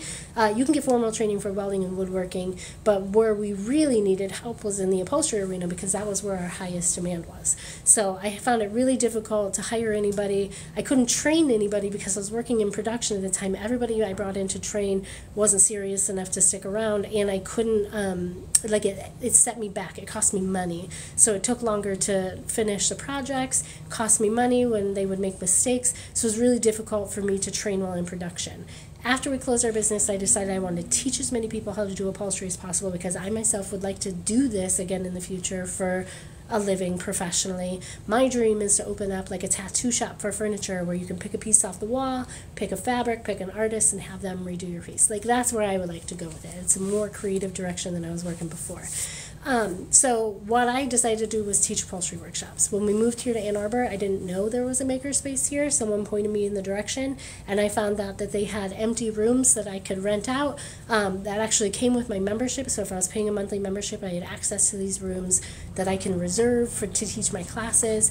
I can reserve these rooms to work on my projects. I can use the wood shop. I can use the metal shop. I can use any of the tools that they have here to work on stuff. If I'd have known a place like this existed when I started my business, I never would have got into a brick and mortar.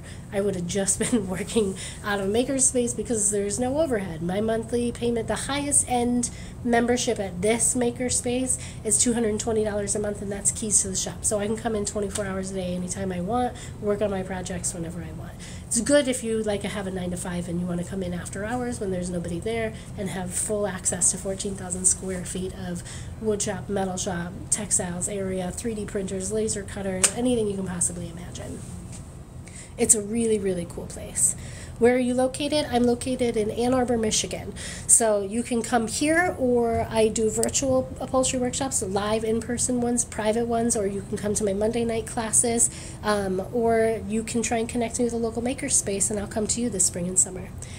I would love to connect you to my makerspace. Jillian, I would love for you to do that. My name is Kim, so you can shoot them to the direction of the link in my bio that says weekend upholstery camps.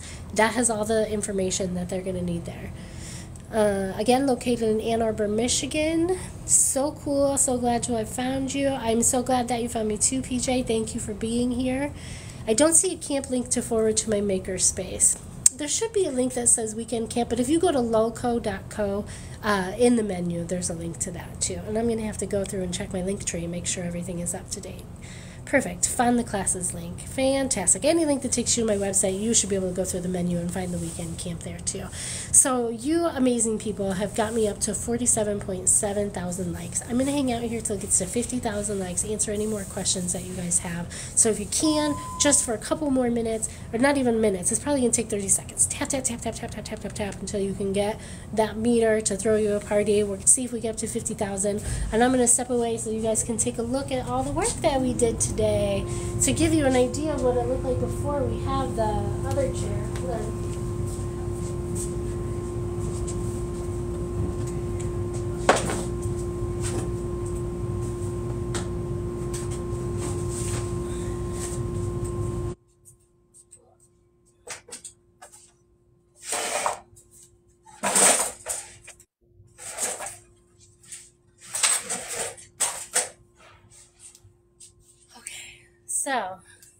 This is where we started today.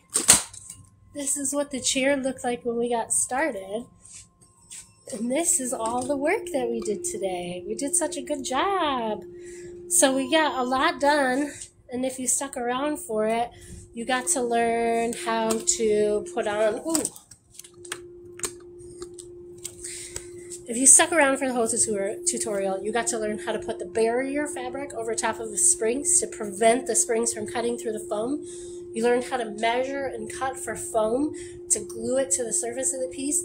We learned how to trim that off with an electric bread knife so that we could make it look nice and sculpted. Then we learned how to measure and cut the batting, which is the same way we're going to do the fabric, and how to wrap and staple that around the piece. So we did learn a lot today. We're almost to 50,000 likes. We got just a couple of seconds left. You guys can do it. I really believe in you. Just tap, tap, tap, tap, tap, tap, tap, tap, tap. If there's any other questions, go ahead and put them in um, the comments. Again, my name is Kim. I teach upholstery workshops in person and uh, virtual. Debster says, Kim, what weight is the batting? So this batting is actually from Joann Fabrics because I ran out of batting uh, from one of my classes. So the batting that I typically use is called Light Bond and it's three quarter inches thick. This batting is a half inch thick. It's not as heavy duty, so it's like thinner and it falls apart faster, but it's perfect for what it is we're using.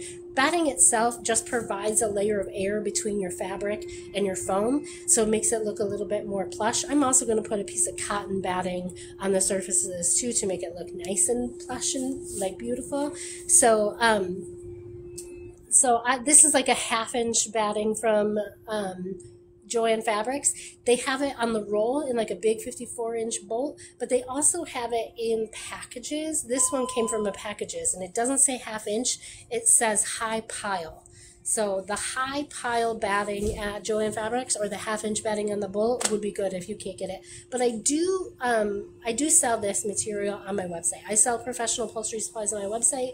You can get foam, you can get batting, you can get jute, you can get staples, you can get tools, you can get buttons, you can get decorative nail heads, threads, everything you need. You get it from my professional upholstery supplier at a little bit of a discount, and anything, any order over $100 is free shipping. So it is at a discount in their professional upholstery supplies, and you don't need a business or an EIN number to order. You order it just like you're ordering anything off the internet.